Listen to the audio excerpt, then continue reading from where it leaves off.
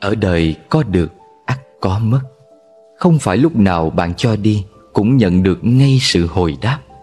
Cuộc sống luôn có cách vận hành riêng của nó. Tương lai luôn ở phía trước Chỉ cần ta mạnh chân bước tới. Hãy chấp cho mình đôi cánh tự do Bước qua những đớn đau và hệ lụy Để làm một người vui vẻ. Hãy quên đi năm tháng và tuổi tác Đừng để thời gian khiến ta trở nên già cỗi. Cho dù bao nhiêu tuổi, Chỉ cần cảm thấy tinh thần còn trẻ là được. Vượt qua sự cám dỗ của danh lợi Vì chúng vốn là vật ngoài thân Và có hạn Thường ai cũng muốn mình có một chút danh tiếng, Một chút lợi lộc, Rồi tranh nhau giành lấy. Rồi khi không được như ý, Lại quay sang oán trách cuộc đời không công bằng với mình. Thật ra Sống một cuộc đời đơn giản và bình thường Mới là hạnh phúc lớn nhất. Và bất kỳ ai cũng nên có một người bạn. Tài sản không thể làm bạn với ta cả đời, Mà bạn hữu đôi khi trở thành tài sản cả đời của ta. Tốt hơn hết là có một tri kỷ. Lúc cảm thấy lẻ loi, Có thể tìm đến nói vài ba câu. Nhưng việc có một người bạn đúng nghĩa Thật sự không hề dễ dàng. Nên xem trọng chất lượng trong kết giao bạn bè. Xây dựng một nơi nương tựa trong chính mình. Khi gặp chuyện phiền não, Hãy lắng lòng yên tĩnh, Cho mình một không gian Để tâm trí bình lặng lại. Nhìn những cánh hoa dại bên đường, Dù bé nhỏ Cũng đua nhau khoe sắc, Tô điểm cho đời. Thế giới cũng bỗng chốc trở nên tươi đẹp. Nghĩ một cách lạc quan, Sống một đời hạnh phúc. Nhớ ưu điểm người khác, dưỡng đạo đức chính mình. Có lẽ chúng ta thường hay phạm chung một lỗi lầm. Nhận lòng tốt ai đó đã quen. Bỗng một ngày họ có chút sơ suất, mình lập tức quên hết những điều tốt đẹp còn lại. Người ta thường hay nhớ những khiếm khuyết và lỗi lầm của kẻ khác thích xét nét những khuyết điểm của họ, rồi cho rằng người ta không bằng mình, nên càng nhìn càng thấy thiên hạ yếu kém, Càng quan sát càng khó lòng chấp nhận. Thật ra, việc nhìn người khác cũng giống như soi gương. Nếu mình châu mày trợn mắt, Chắc chắn sẽ nhận lại hình ảnh khó chịu. Từ đó cả ta và người đều cảm thấy không vui. Chút vụng về của người khác trong mắt ta cũng trở nên to tát. Khi không hài lòng nhưng vẫn phải đối diện, thì khó chịu như kim đâm vào mắt, gai chích vào da, phải nhổ ra mới thấy thoải mái.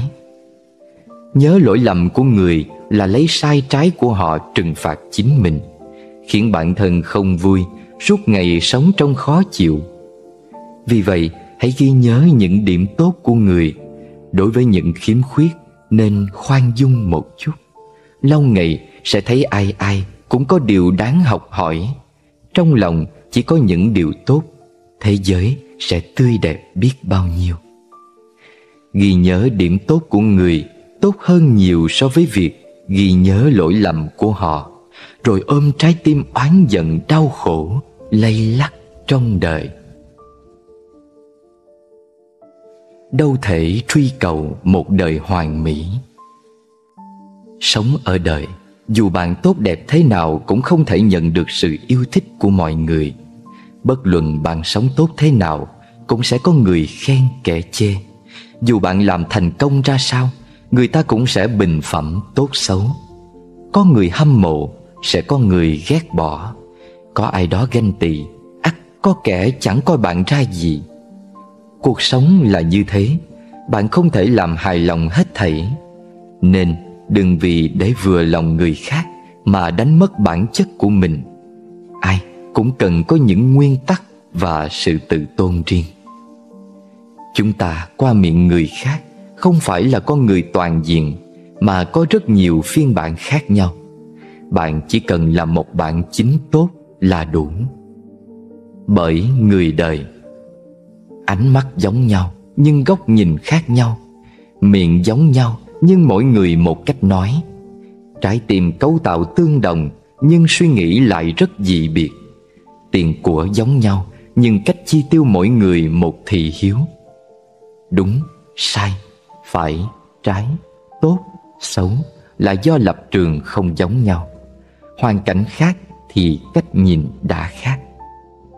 Cũng là con người Nhưng mỗi cá nhân có một cách sống. Cần tự tin bước đi trên đôi chân của mình. Đại bàng không có tiếng cổ vũ cũng gian cánh bay lượn. Đám cỏ không cần người chăm sóc Cũng biết tự vươn mình lớn lên. Hoa dại trong núi sâu Dù không ai thưởng thức Vẫn tỏa hương thơm ngát.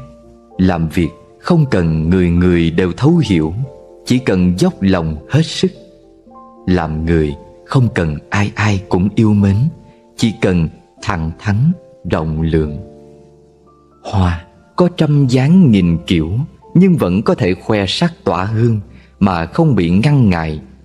Sống ở đời, Mỗi người một phong cách, Sao không nâng đỡ cùng đi lên, Hạ thấp nhau làm chi?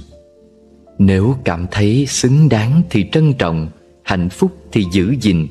Người khiến bạn vui vẻ thì gần gũi, Cảm động thì yêu thương. Làm người, Nếu nói dễ cũng không hẳn dễ để lay động hàng ngàn trái tim hay quản lý miệng lưỡi của thiên hạ, tất nhiên là không hề dễ dàng. Làm người nói khó cũng không hẳn khó. Chỉ cần giữ tấm lòng lương thiện, là một người hiền lành, rồi đi con đường của mình là đủ. Một đời người thật ra không dài lắm. Dù sao, mình cũng đã đến đây rồi, thì nên sống cho đẹp một chút vậy ba loại việc của nhân sinh. Trên đời có ba loại việc chính. Thứ nhất, việc của bản thân. Ví dụ như hôm nay nên làm gì, ăn uống ra sao, cần giúp đỡ những ai, vui hay buồn, tất cả đều do bản thân quyết định. Thứ hai, việc của người khác. Đại khái như anh nọ lười làm ăn chị kia kết hôn không hạnh phúc bạn ấy lừa dối mình Sao giúp đỡ mà họ không cảm kích? Đó là việc do người khác làm chủ. Thứ ba Việc của trời đất. Tiêu biểu như chuyện mưa gió sấm chớp Thiên tai, dịch bệnh. Đó là những việc vượt ra ngoài khả năng của con người. Chúng ta muôn phiền phần lớn là do quên mất việc bản thân Thích quản chuyện người khác và lo lắng thái quá những vấn đề của đất trời. Muốn bình an tự tại, đơn giản chỉ cần lo tròn việc bản thân, không xăm soi chuyện người khác và đừng quấy nhiễu đến chuyện trời đất. Vì thế, mỗi khi thấy phiền não bất an, hãy suy xét. Rốt cuộc, đây là việc của ai? Bạn sẽ biết cách tháo gỡ. Phù hợp là hạnh phúc. Trong cuộc sống có rất nhiều việc không phải cứ theo ý mình mới là tốt. Mặt trời không vì bạn không vui mà sớm mai không mọc. Ánh trăng cũng không vì bạn trách hờn mà cuối đêm không lặng. Bịt mắt mình lại không có nghĩa Thế giới sẽ biến thành màn đêm tăm tối, Làm mờ mắt người cũng chưa chắc ánh sáng sẽ thuộc về riêng mình. Trên đời chỉ có búa rượu chưa đủ sắc bén Chứ không có loại cỏ cây nào là không thể đốn đi. Công việc, chỉ có con người chưa nghĩ đến phương pháp, Hoàn toàn không có gì là không thể làm thành. Nếu muốn, người ta sẽ nghĩ cách, Còn không, họ sẽ tìm lý do.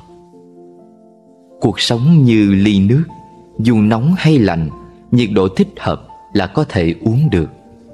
Hương vị, dù ngọt bùi hay cay đắng chỉ cần hợp khẩu vị là ngon. Giai điệu dù nhanh hay chậm Hợp với thính giác là hay.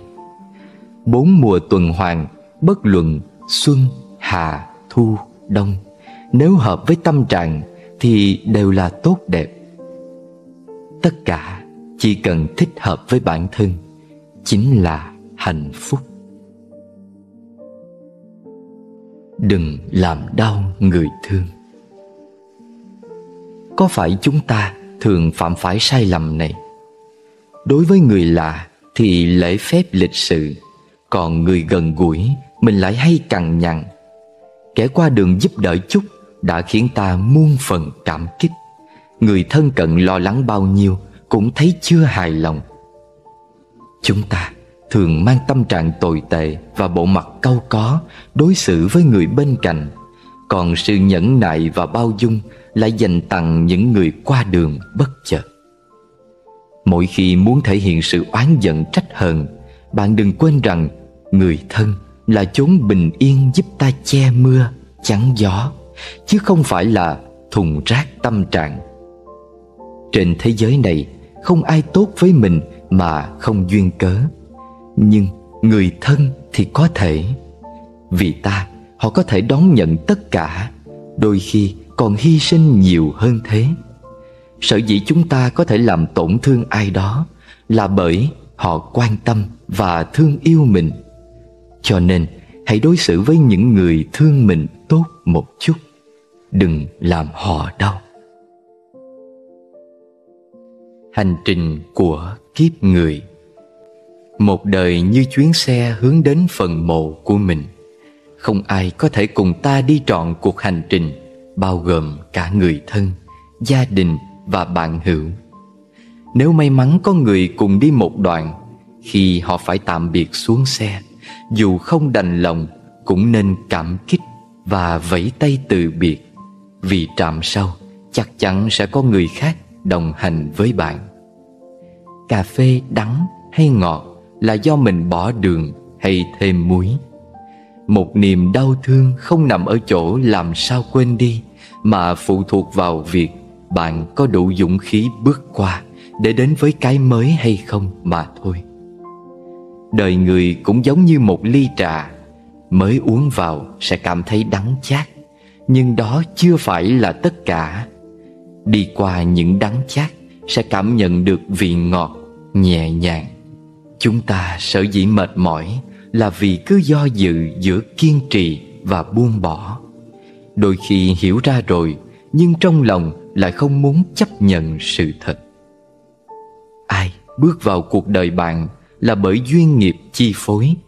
Nhưng việc gắn bó lâu dài hay ra đi vội vã là do bản thân mình quyết định. Không giải thích mới nhẹ nhàng, không cố chấp mới khai thông và không hoàn mỹ mới là cuộc đời. Đừng đổ lỗi cho người khác không cười nhạo bất kỳ ai cũng chẳng cần ngưỡng mộ họ. Mặt trời chiếu sáng thì ta sưởi ấm Mưa gió nổi lên thì tìm chỗ trú ẩn. Thực hiện mong ước của mình Đi con đường mình lựa chọn Thế giới sẽ thanh bình. Những điều cần rõ ràng trong cuộc sống. Đời mỗi người đều có hai con đường. Một, dùng tâm trải nghiệm gọi là ước mơ. Hai, dùng chân bước đi gọi là hiện thực. Nếu tâm cảm nhận không kịp Hiện thực sẽ nhạt nhòa. Chân bước đi quá chậm Mộng ước sẽ bay xa. Trên thế giới này Việc khó chịu nhất không gì hơn Là biết người mình thương yêu hướng lòng về kẻ khác Mà vẫn đa tình một cách ngốc nghếch. Những cuộc gặp gỡ hay chia ly Đều có nhân duyên nhất định. Thuận theo đó mà được yên ổn chính là điều tốt đẹp nhất. Khi ai đó bên cạnh ta, nếu có thể khiến họ thấy an lạc, đã là thành công lớn. Lúc nhỏ, hạnh phúc là chuyện rất đơn giản. Lớn lên rồi, có thể sống giản đơn mới là điều hạnh phúc. Để không uổng công đến đây một đời, hãy làm việc muốn làm và yêu những gì mình muốn. Đời người chính vì quá kỳ vọng nên mới thất vọng Mộng ước xa vời nên mới tiêu tan. Chất chứa quá nhiều nên khó lòng bộc bạch. Có một số người quên không được là do không nở Một số khác nhất định phải quên đi vì không đáng nhớ. Cũng đừng quá tin tưởng vào mắt mình, Vì có khi những gì bạn nhìn thấy là những điều đang mong muốn, Còn những thứ không thích đã bị bạn lướt qua. Thật ra, Người bị hiểu lầm không hề mất mát gì, Kẻ nhìn nhận sai người khác mới thật sự mất đi cơ hội. Chúng ta đều nghĩ rằng mình làm chủ cuộc đời này mà quên mất cuộc sống vốn phải cần rất nhiều người phối hợp. Cũng đừng vì cái lợi trước mắt mà đánh mất tương lai lâu dài nên nhớ những gì có được nhờ vào sự hy sinh của kẻ khác thì không bao giờ bền vững. Đời người rất ngắn ngủi, không có thời gian cho việc tiếc nuối. Đừng quá bận lòng với những người hoặc việc khiến mình phiền muộn, dù chỉ là một phút. Nếu chưa có kết quả cuối cùng, hãy mỉm cười và mạnh chân tiến về phía trước. Nhân thế gặp gềnh nhớ tặng người bên cạnh chút ấm áp mưa gió cuộc đời, hãy dành cho mình chút lạc quan. Nếu biết cách yêu đời, khéo dung hòa mọi thứ, thì dần dần niềm vui và hạnh phúc sẽ lan tỏa ra xa. Đời người không phải cuộc chạy đua, mà chính là chuyến du lịch. Cuộc đua quan trọng ở đích đến, còn chuyện rong chơi cần quan tâm đến phong cảnh bên đường. Tâm trạng tốt thì cảnh vật theo đó cũng sẽ đẹp hơn bất luận hôm nay gặp bao nhiêu khó khăn, hãy vững tin rằng chỉ có hôm qua là không thể trở lại, còn ngày mai chắc chắn sẽ đến. Sống an hòa. Tay vốn không phải để đánh mà dùng để bảo bọc những người mình yêu thương. Chúng ta cô đơn buồn khổ, hoàn toàn không phải vì người đời không thông cảm cho ta, mà bởi lòng mình không buông được ai đó. Một người bạn tốt thật sự trong đời thì khó tìm, khó bỏ và cũng khó quên. Bạn không cần cố gắng, cũng không phải che đậy. Người hiểu tất sẽ biết bạn vốn là người như thế nào. Không nên vừa gặp người lạ, liền phơi bày tâm can. Nên biết một số người trước mặt thì tỏ vẻ hết lòng, nhưng sau lưng lại có những suy nghĩ khác.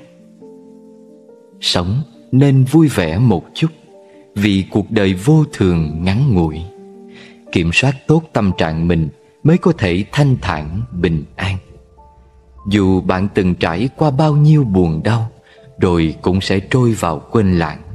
Không có gì là vĩnh viễn, vì cuộc sống phân nửa là hồi ức, phần còn lại là phải tiếp tục hãy mang những điều không vui trả hết lại hôm qua, tặng cho hôm nay niềm tin và hy vọng, rồi gửi đến ngày mai tất cả sự nỗ lực của mình. Mọi việc đều có đáp án riêng của nó. Đã cố gắng hết mình rồi thì không cần phải lo lắng hay muộn phiền, cứ thuận theo nhân duyên là được. Niềm hạnh phúc mang tên cha mẹ còn cha mẹ còn, gia đình mới là nơi yên ổn để bạn quay về mỗi tối và an tâm ngủ nướng mỗi buổi sớm mai. Bước vào cửa, còn người để gọi tiếng cha, mẹ, thân thiết. Chúng ta mới thấy ấm áp và có cảm giác đã về nhà. Cha mẹ còn, có nghĩa là tình thân vĩnh hằng trên đời hãy còn. Sự nghiệp hay công danh thất bại có thể làm lại, nhưng thời gian ở bên cha mẹ qua rồi thì không thể quay đầu. Nên khi song thân còn khỏe mạnh, hãy hết lòng chăm lo để không phải hối hận trong những ngày tháng sau của cuộc đời. Cha mẹ còn tức là tuổi già xế bóng cách chúng ta còn xa, chúng ta vẫn còn thời gian để biến ước mơ thành hiện thực và con đường dưới chân vẫn còn mở ra thênh thang sáng lạng cha mẹ còn, chúng ta còn có người để hiếu kính, còn nơi để quay quần, còn có thể làm những đứa trẻ nuôi mãi không lớn để cảm nhận sự yêu thương vô bờ của đấng sinh thành. Cha mẹ còn là còn gia đình, còn tình thương, còn chỗ để tựa nương, còn nơi để quay về. Bất luận bên ngoài có bao nhiêu mưa gió, bao nhiêu vất vả hay mỏi mệt, gia đình vẫn là bến đỗ bình yên, bao dung, chào đón những đứa con trở về để thấy mình thật hạnh phúc.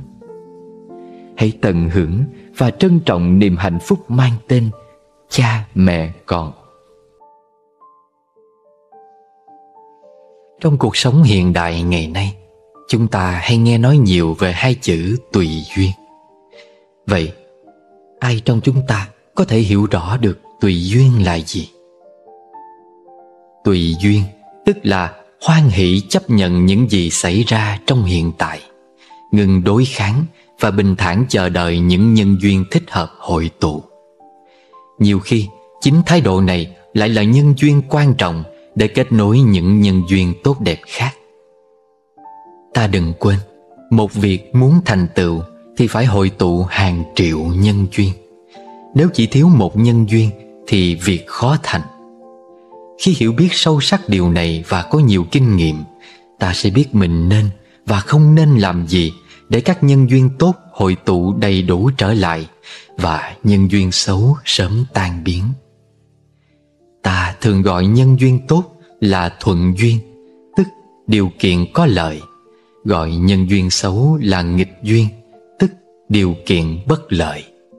Có những nhân duyên thuận với ta, nhưng lại nghịch với người khác và ngược lại. Đó chỉ là nói trong phạm vi con người trong khi nhân duyên luôn xảy ra với vạn vật trong khắp vũ trụ. Bản chất của nhân duyên là không có thuận nghịch tốt xấu. Nó chỉ hội tụ hay tan rã theo sự thích ứng giữa các tần số năng lượng phát ra từ mọi cá thể mà thôi. ấy vậy mà, nhiều người có thói quen khi gặp thuận duyên thì luôn cảm thấy sung sướng, chỉ muốn duy trì mãi nhân duyên ấy. Còn khi gặp nghịch duyên thì luôn cảm thấy khó chịu và tìm cách tránh né, loại trừ. Nhưng chưa hẳn thuận duyên sẽ đem lại hạnh phúc, chưa hẳn nghịch duyên sẽ mang tới khổ đau Bởi có khi nghịch duyên sẽ giúp ta trưởng thành Còn thuận duyên sẽ khiến ta yếu đuối Và nhiều khi có những nhân duyên ban đầu là thuận duyên nhưng về sau lại trở thành nghịch duyên. Tương tự, Có những nhân duyên ban đầu là nghịch duyên, Nhưng về sau lại trở thành thuận duyên. Đôi khi thuận duyên hay nghịch duyên tùy thuộc cả vào bản lĩnh và thái độ sống của ta. Thế nên, ta không cần phải cẩn trương thay đổi những nhân duyên ta đang không hài lòng. Cũng không cần cố gắng tìm kiếm những nhân duyên ta hằng mong đợi khi tâm ta đủ vững chãi để tạo ra những nhân duyên an lành, thì những nhân duyên tương ứng sẽ tự động kết nối. Ví như người ta có nói câu, đồng thanh tương ứng, đồng khí tương cầu là vậy. Quan trọng hơn, Khi tìm được sức sống từ chính bản thân, Ta sẽ không xem những giá trị bên ngoài là quan trọng nữa. Nhân duyên nào cũng được cả, Ta cứ đón nhận một cách thông dong, tự tại. Đức Đạt Lai Lạc Ma có câu. Hãy nhớ rằng, Đôi khi không đạt được những gì bạn muốn Lại là sự may mắn tuyệt vời.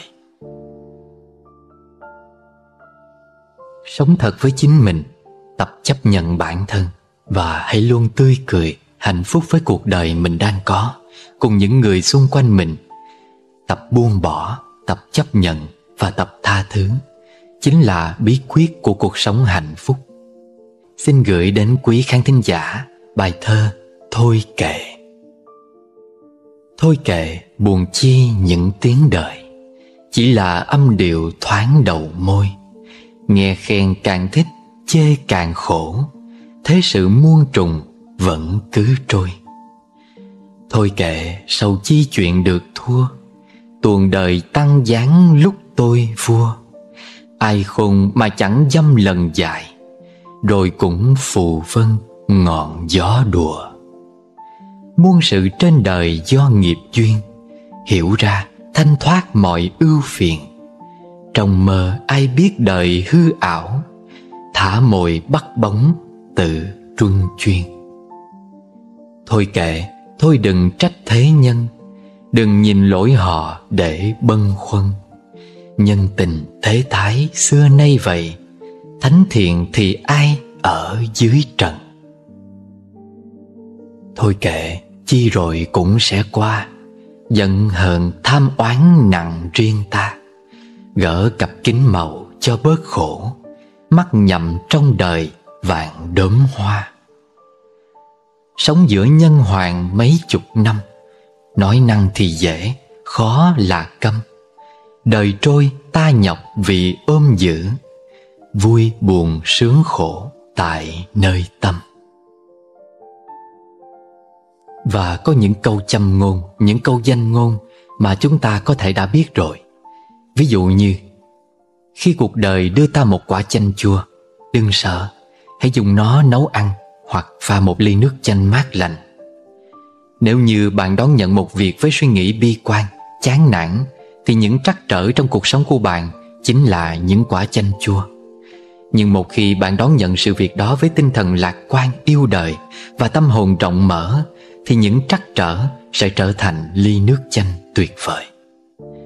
Nhăn mặt nếm quả chanh chua Hay thích thú thưởng thức ly nước chanh mát lành Đều do chúng ta lựa chọn. Thời gian có thể giúp chúng ta lớn lên Nhưng chưa chắc khiến cho người ta trưởng thành. Chỉ khi va vấp và đối mặt với những biến cố trong đời con người ta mới dần khôn lên và hiểu biết nhiều hơn. Người có trí tuệ khi ở một mình Sẽ quản thúc tốt cái tâm của mình Xem đó là cơ hội tốt để tự kiểm điểm bản thân. Khi tiếp xúc với người khác Người đó sẽ biết quản tốt cái miệng của mình Xem đó là cơ hội để khiêm tốn, học hỏi. Trong cuộc sống Khi chúng ta cảm thấy mất hy vọng và cuộc sống bế tắc. Hãy lắng động, mỉm cười và tự nói với chính mình. Tôi ơi, hãy thư giãn một chút. Đây chỉ là khúc quanh chứ không phải đường cùng. Tất cả những điều mình có trong đời sống này đều là tạm bợ. Nếu được hanh thông, hãy vui hưởng vì nó sẽ chóng qua. Nếu không thuận lợi, đừng lo lắng vì nó sẽ không kéo dài. Đạo đức không phải như bánh xe dự phòng Để ta lấy ra làm bình phong khi xã giao bên ngoài. Đạo đức nên luôn như bánh lái Để ta đi đúng đường suốt cuộc du hành Ngang qua cõi tạm này. Khi người khác giúp ta giải quyết vấn đề nào đó, Thì hãy cảm ơn, Nhưng đừng đặt niềm tin vĩnh viễn vào họ. Để khi họ không thể giải quyết những vấn đề của ta, Thì ta vẫn có thể tin vào khả năng và sức lực của tự chính mình. Bạn cũ là vàng, Bạn mới là kim cương. Nếu ta có kim cương, Đừng quên vàng.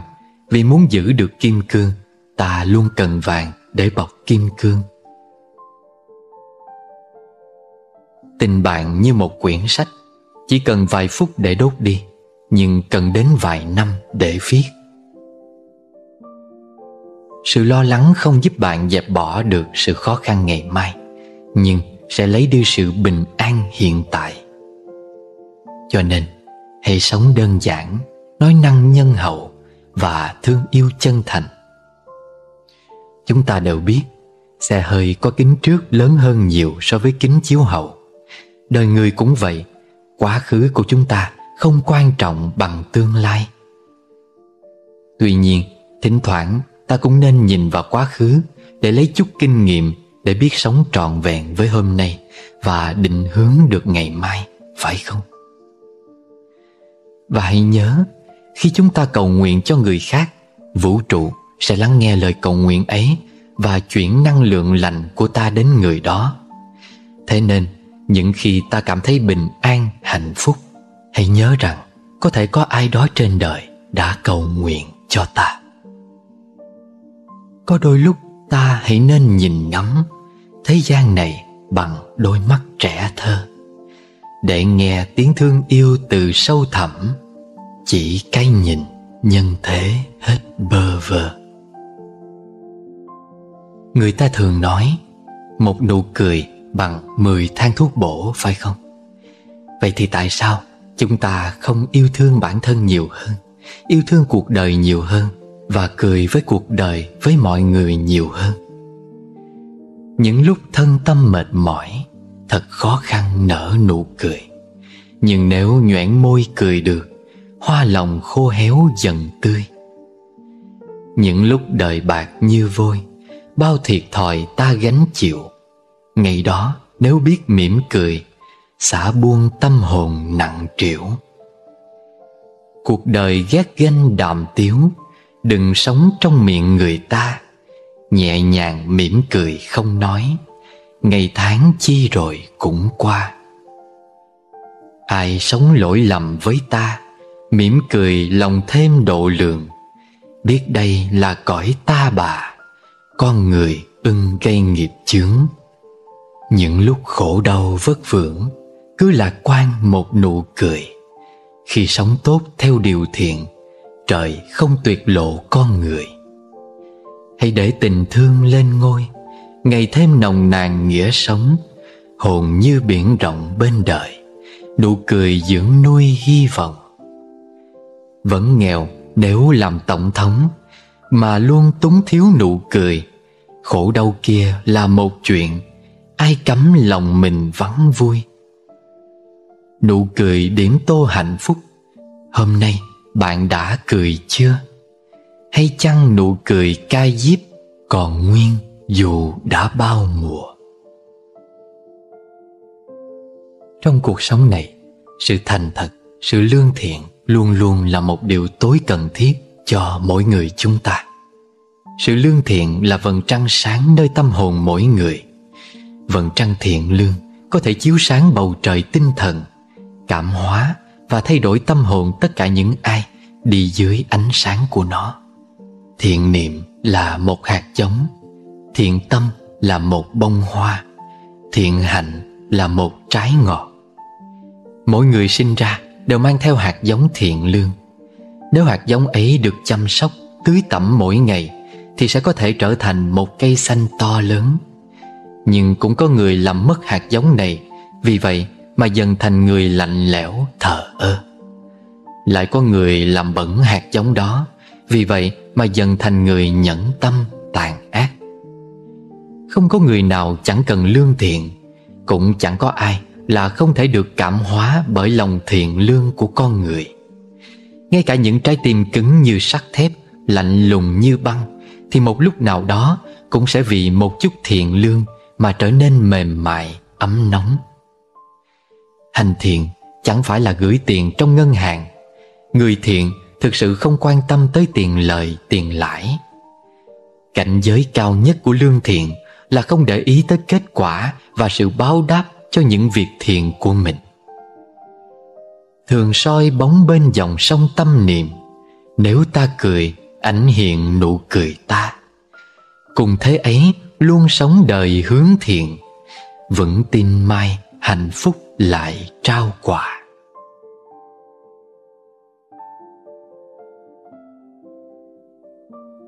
Trong cái xã hội mà ngày nay, người ta ai nấy cũng đều chạy trong cái cuồng quay, công việc, cơm áo gạo tiền.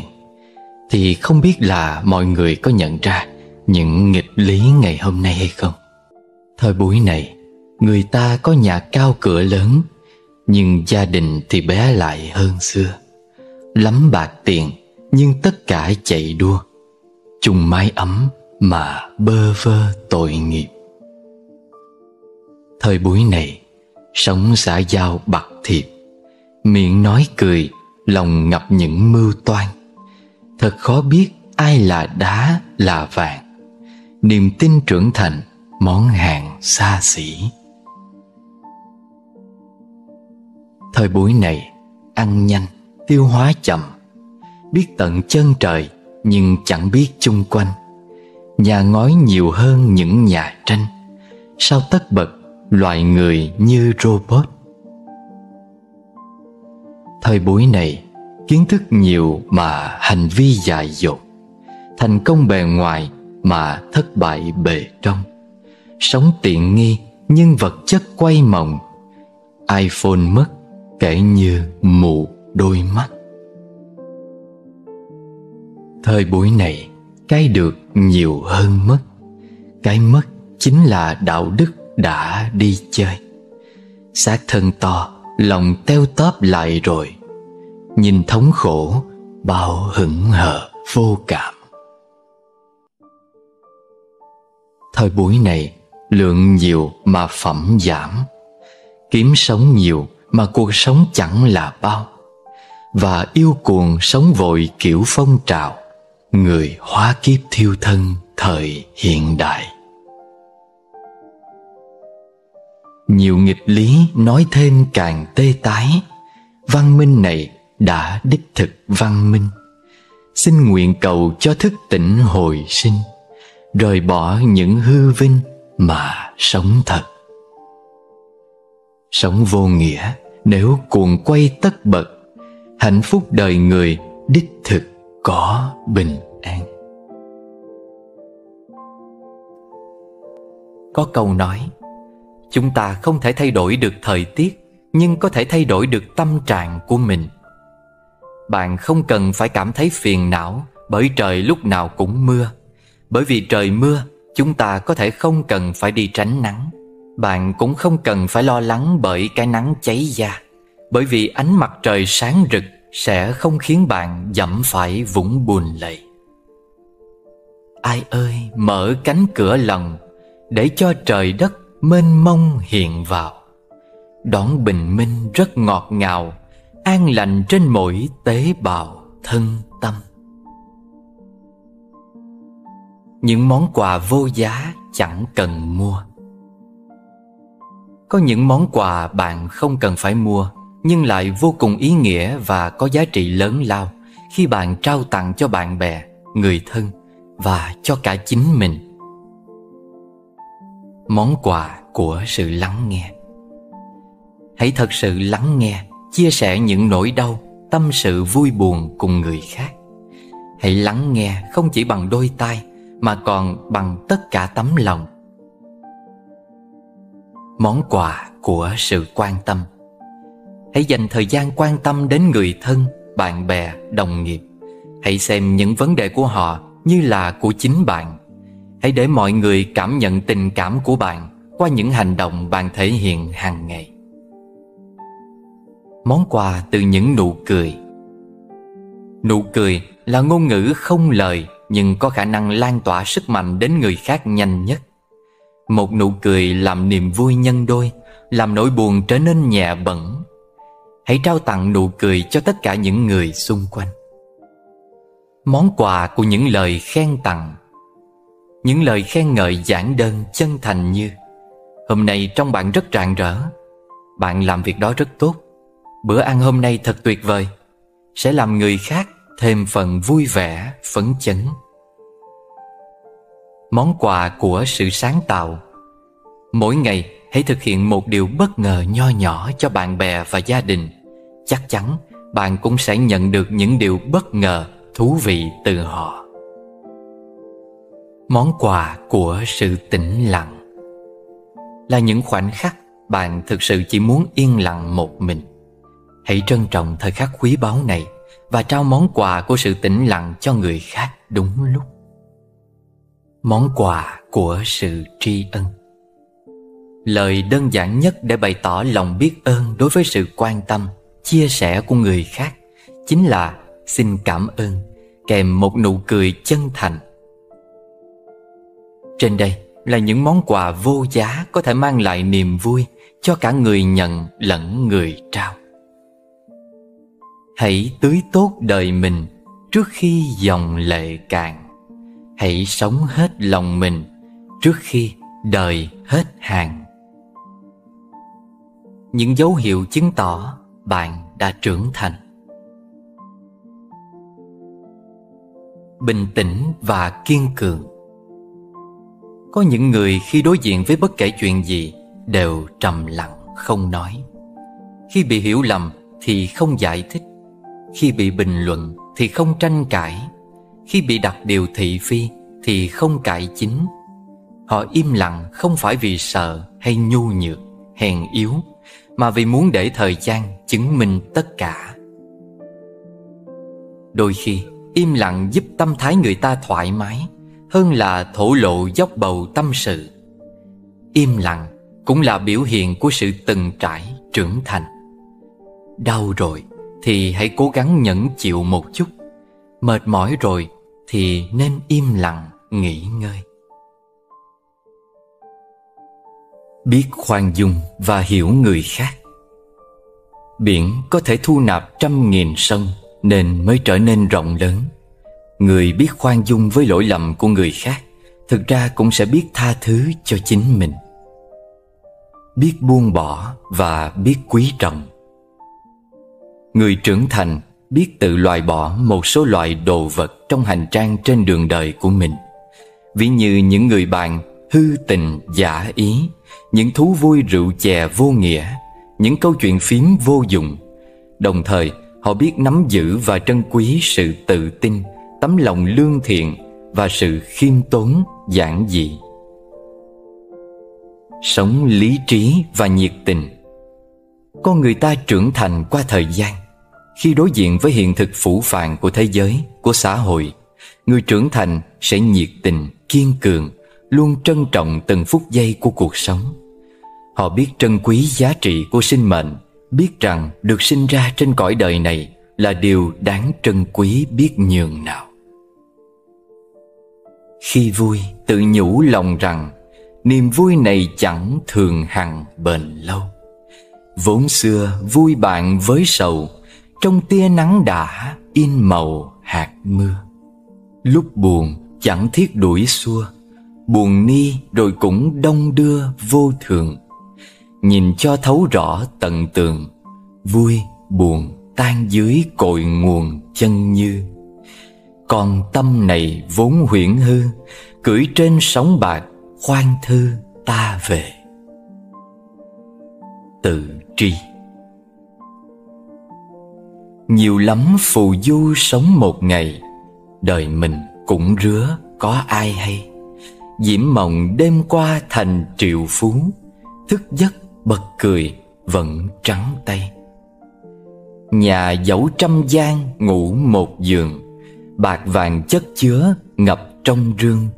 Một cơn gió ác thành thiên cổ, Thần thức ngục tù trong vấn vương. Dẫu ta quen biết đầy thiên hạ, Mấy kẻ quan hoài cho nén hương. Tơ tình bao mối thành xa lạ, Mình lẻ loi đi, nghiệp dẫn đường. Vô thường một sớm làm cây chổi, Quét lá mùa thu, quét mạng người. Nếu hay vạn sự làm mây nổi, Thì giờ nắm níu hoặc buông lơi. Nhiều lắm trăm năm một kiếp người, Đến rồi ai cũng phải đi thôi. Hãy sống sao cho đầy ý nghĩa Để buổi xuôi tay miệng mỉm cười. Không tha thứ là một loại ngục tù. Nhà tù là nơi giam giữ những người phạm tội. Tâm chúng ta cũng như một nhà tù Tức nơi ta giam giữ những người có tội, có lỗi với ta. Chúng ta khóa chặt họ trong đó. Ta giữ kỹ chìa khóa Ta ráo riết canh cửa ngục ngày đêm. Ta tự nhủ Tôi sẽ không cho anh ta hoặc cô ta ra ngoài. Tôi có thể thả anh ta, cô ta Nhưng tôi quyết không thả. Trong lúc ấy Thì chính chúng ta cũng đang ngồi tù. Ta không hề hay biết Ta đang bỏ tù chính mình Ta cũng đang ngồi tù. Không tha thứ Chính là một loại ngục tù là vậy. Hãy cứ thương đi, Dù ai ghét, Dù ai ganh, bôi bác thị phi. Thói đời vẫn vậy, chấp mà chi. Đời ý nghĩa là khi tha thứ. Những điều không nên ngộ nhận trong cuộc sống. Hạnh phúc là để cảm nhận, Không phải để huênh hoang. Cuộc sống là để trải nghiệm, Không phải để toan tính. Tình thương là để kết nối, Không phải để thử nghiệm. Cha mẹ là để hiếu thuận, Không phải để đòi hỏi. Bạn bè là để chia sẻ, Không phải để so bì. Người thân là để chăm sóc, Không phải để tổn thương. Công danh là để cống hiến, Không phải để tự đại. Vật chất là để sử dụng, Không phải để phô trương. Giả dối là để phá hoại không phải để bảo hộ. Tin tưởng là để chắc chắn, Không phải để áp lực. Tiền bạc là để chi tiêu, không phải để đo lường. Quá cảnh trần gian.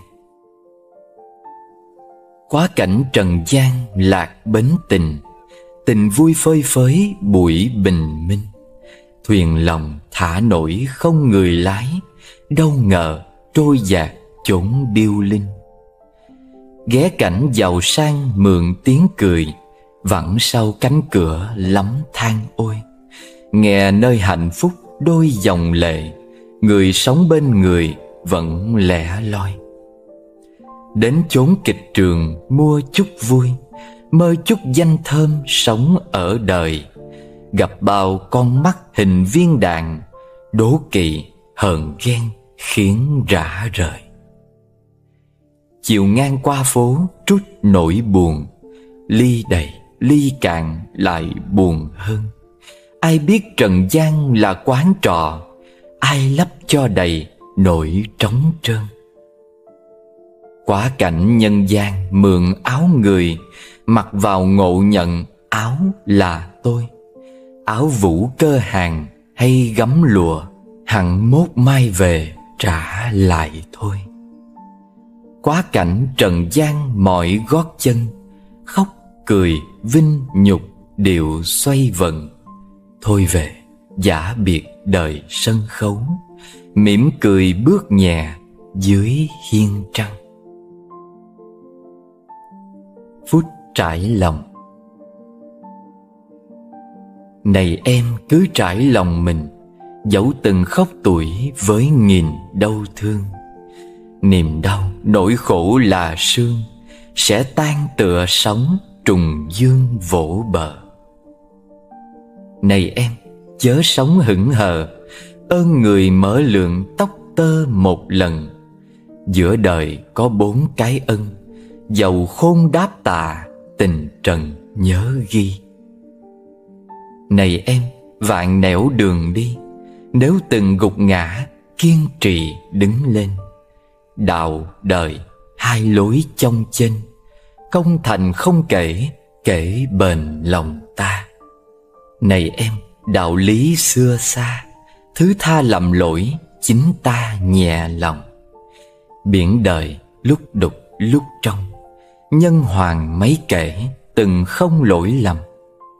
Cùng tôi, em hãy mở tâm về xoa dịu những vết bầm tổn thương.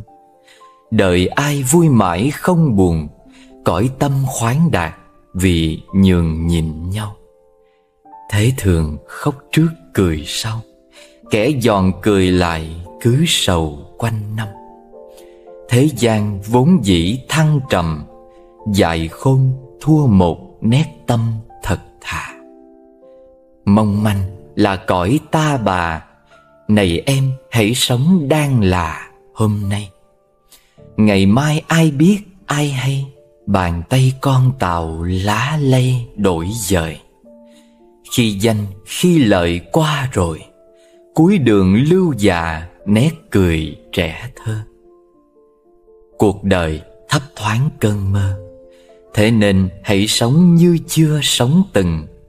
Này em, đôi lúc biết dừng thản nhìn mây nước ung dung qua cầu.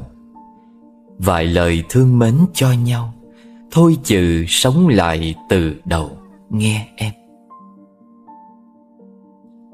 Tỉnh ngôn cho ngày mới. Không luôn sống hoài niệm về những gì trong quá khứ, gọi là buông xả. Không cuồng vọng với những gì còn nằm trong tương lai, gọi là an trú không vương vấn tâm tư với những người đã rời xa, gọi là an nhiên. Không khổ đau với những điều đã nỗ lực mà không đạt thành tựu, gọi là tùy duyên. Không quay quắt với những gì chưa có hay không có được, gọi là thuần pháp. Không xâm nhập vào đám đông để đánh mất mình, gọi là thần trọng không quên đời mình đang tồn tại qua từng hơi thở gọi là biết sống. Không thốt ra những lời binh khí miệng lưỡi gọi là ái ngữ. Trước khi quyết định làm điều gì Nhận thấy rằng điều đó sẽ dẫn đến đau khổ cho mình, cho người. Ngày đó biết dừng tâm lại Gọi là từ bi. Năm nghịch lý của con người thời nay một Thế giới ảo thực hơn thế giới thực. Công nghệ đang ngày càng phát triển giúp chúng ta kết nối được nhiều người Thu hẹp những khoảng cách địa lý. Ngồi một chỗ, chúng ta có thể trò chuyện với bạn bè khắp thế giới Kết nối mọi thông tin thông qua cái điện thoại bé xíu cầm trên tay.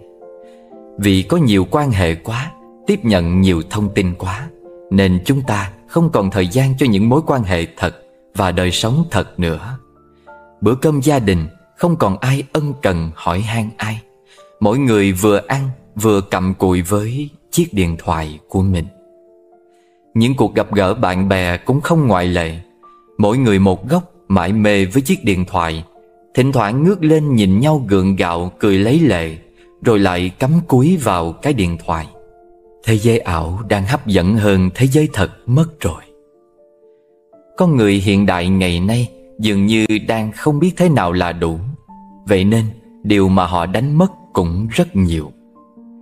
Con người hiện đại ngày nay dường như đều bị cuốn vào công việc, kiếm tiền Mà vô tình đánh mất những điều ý nghĩa khác trong cuộc sống.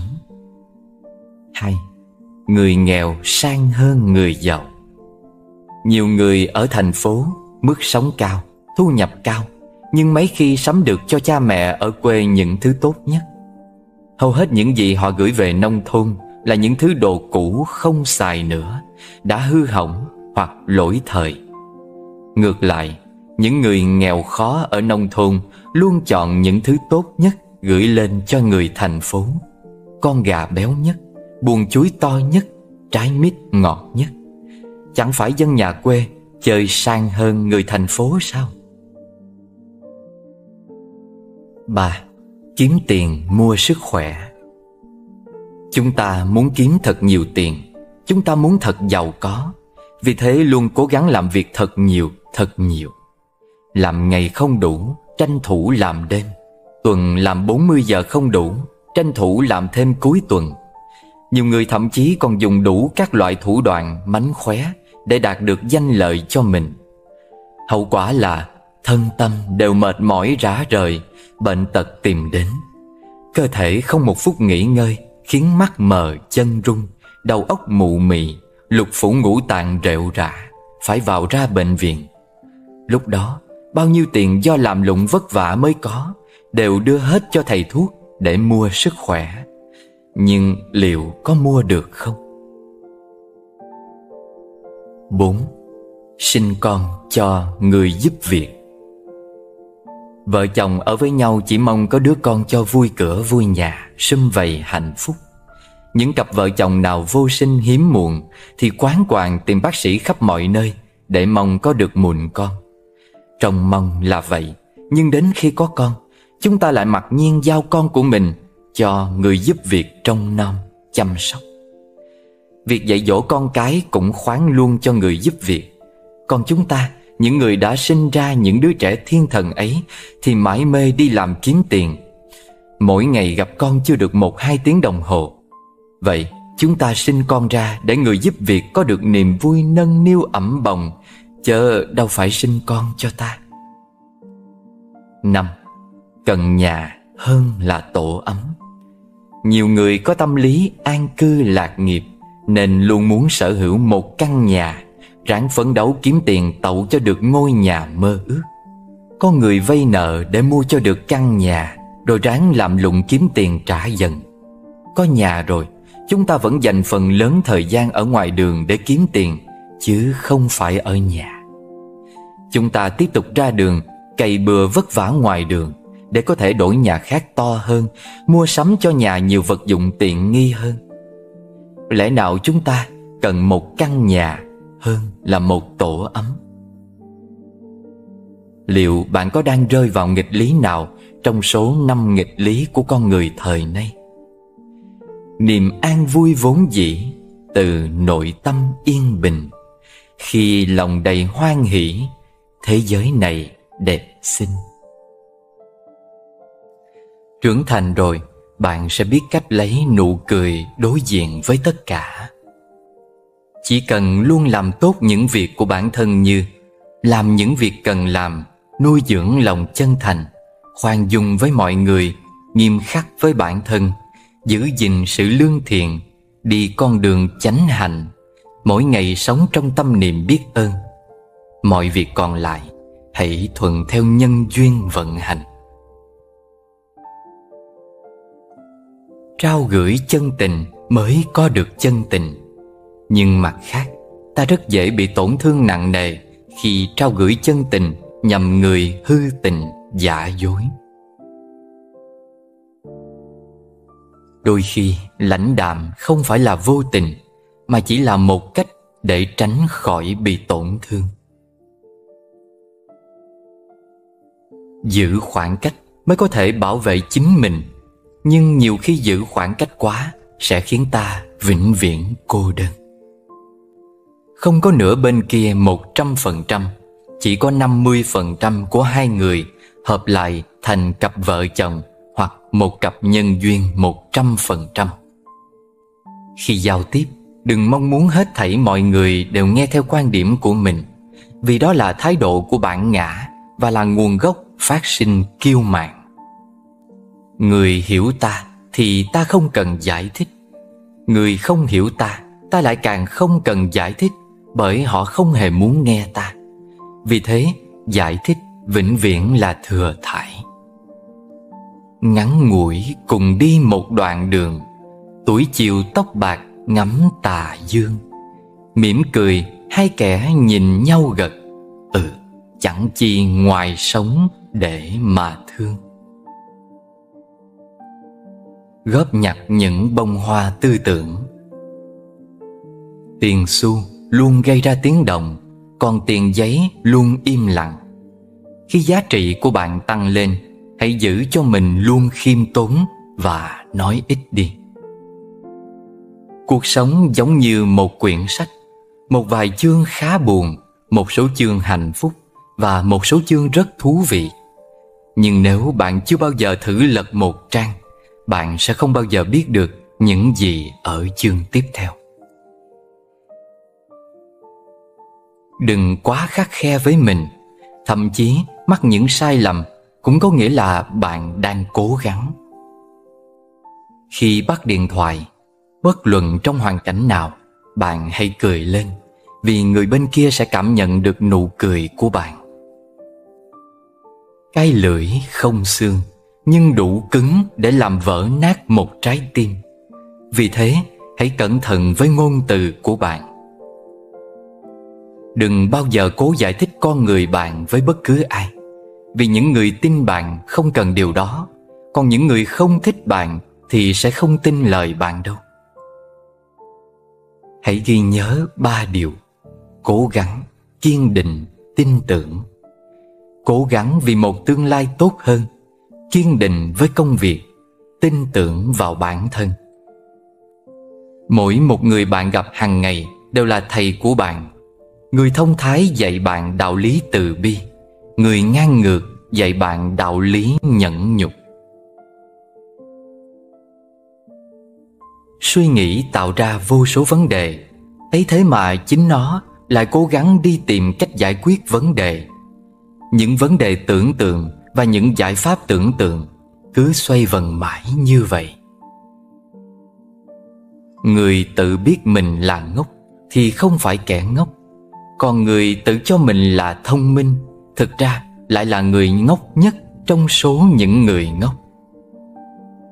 Vũ trụ vạn vật đều là nhất thể, đều liên quan, tương hỗ với nhau.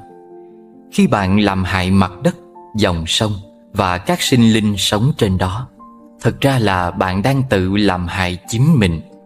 Khi bạn cho đi, thật ra là bạn đang làm lợi cho chính mình nếu bạn muốn thường xuyên vui vẻ đừng đem niềm vui của mình đặt vào những thứ phù phiếm bề ngoài. Hãy xem tiền bạc nhà cửa xe cộ của bạn đều là mượn của người khác. Hãy lợi dụng chúng thật tốt nhưng đừng si mê chúng. Chỉ cần làm được như vậy bạn sẽ hưởng thụ một cuộc đời đơn giản nhưng vui vẻ. Nếu không cẩn thận, bạn sẽ làm ầm ĩ cái việc kiếm sống của mình. Bạn luôn bận rộn, nhưng tại sao? Chỉ là để kiếm miếng ăn. Đàn gà tiếu tít tìm và mổ thức ăn, nhưng cuối cùng chỉ để bị người ta ăn thịt. Không nhẽ con người cả đời bận rộn chỉ để chết mà thôi. Một đời luân lạc ưu phiền Tháng năm lòng nặng bao niềm âu lo từ đâu, ai đã buộc cho? Khư khư rồi lại bo bo nghiệp trần. Làm sao giữ lại? Làm sao giữ lại điều không thể? Các biển tuôn dần qua kẻ tay Làm sao miên viện đời dâu bể? Bảo gió trên ngàn thôi cuốn mây. Làm sao níu áo thời gian lại? Ngắm nụ xuân thì chưa úa môi. Làm sao tìm thấy dòng sông cũ Lạ lẫm chiều nay bến lỡ bồi. Làm sao giữ được tình ban sớm? Chưa kịp hoàng hôn đã úa màu. Ta trách sao người thay đổi vội? Chắc gì ta chẳng đổi thay đâu. Làm sao nắm giữ ngày nhung lụa? Hào phú vang danh của một thời. Phút chốc, một chiều bao cái của, Đồng tình đội nón chạy xa xôi. Soi gương thấy nụ cười năm đó, Chẳng biết vì đâu méo mó rồi. Làm sao giữ được điều không thể, cầm bằng như nước cuốn hoa trôi. Vốc nước lòng tay không giữ được mọi vật trên đời cũng rứa thôi. Thái độ trước biến cố. Vì sao con trai mềm yếu lại có thể tạo ra trân châu? Khi một hạt cát lọt vào trong con trai, dù cảm thấy rất khó chịu, nhưng nó không thể đẩy hạt cát ra ngoài. Đối diện với nỗi đau ấy, Con trai không một lời oán trách. Mà chỉ dùng dinh dưỡng trong cơ thể bao bọc lấy hạt cát, Từng lớp từng lớp một. Dần dần, từ chỗ là một nỗi đau xót, Hạt cát ấy trở thành một viên minh châu mỹ lệ. Và vì sao ngựa hoang mạnh mẽ Lại bị khuất phục bởi con dơi bé nhỏ? Khi bị dơi hút máu, Ngựa hoang cảm thấy rất khó chịu, Nhưng không thể đuổi dơi đi. Ngựa hoang giận dữ chạy nhảy cuồng loạn đến mức kiệt sức chết. Các nhà khoa học phát hiện ra rằng, Lượng máu bị dơi hút không đủ khiến ngựa chết. Nó chết là do quá phẫn nộ và chạy một cách điên cuồng. Cuộc sống luôn chứa đầy ẩn số. Thông thường, những chuyện không như ý ta Lại thường chiếm tới 7-8 phần. Khi gặp chuyện không như ý, nên chăng ta hãy nghĩ về chuyện trai ngọc và ngựa hoang? Thái độ sống và cái nhìn minh triết về hoàn cảnh Giúp con người xoay chuyển và tháo gỡ được mọi vấn đề.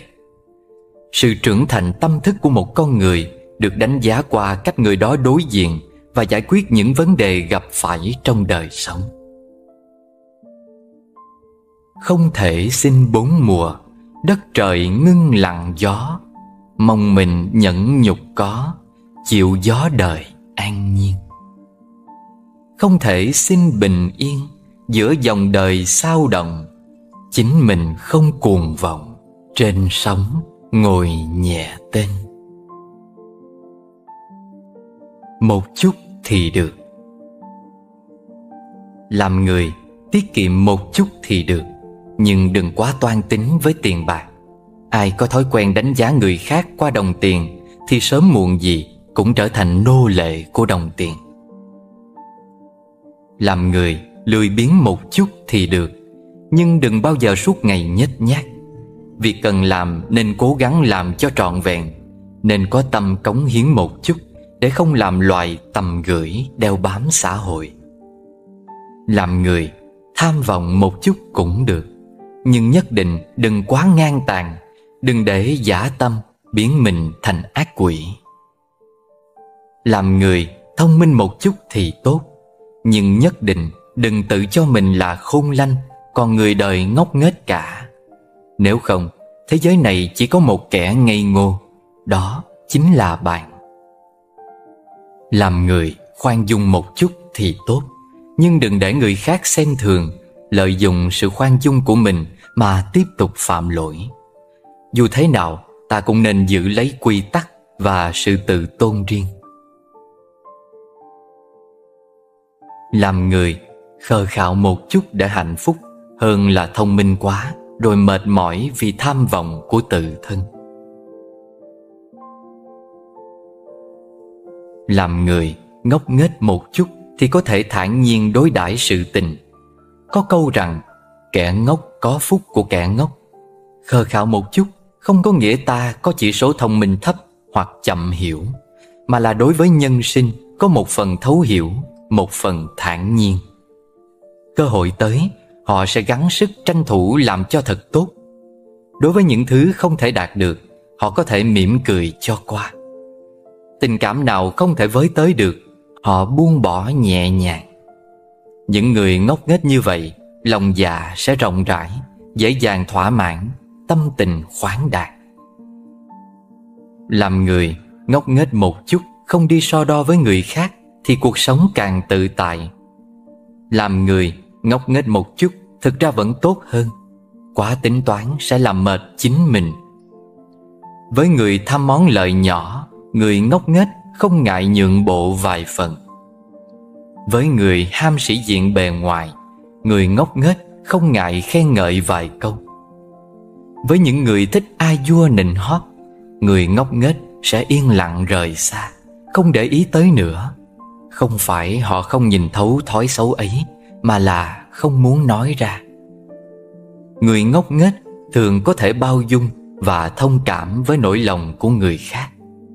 Hạnh phúc kỳ thực rất giản đơn Chỉ cần hiểu được khi nào nên tiến, nên thoái.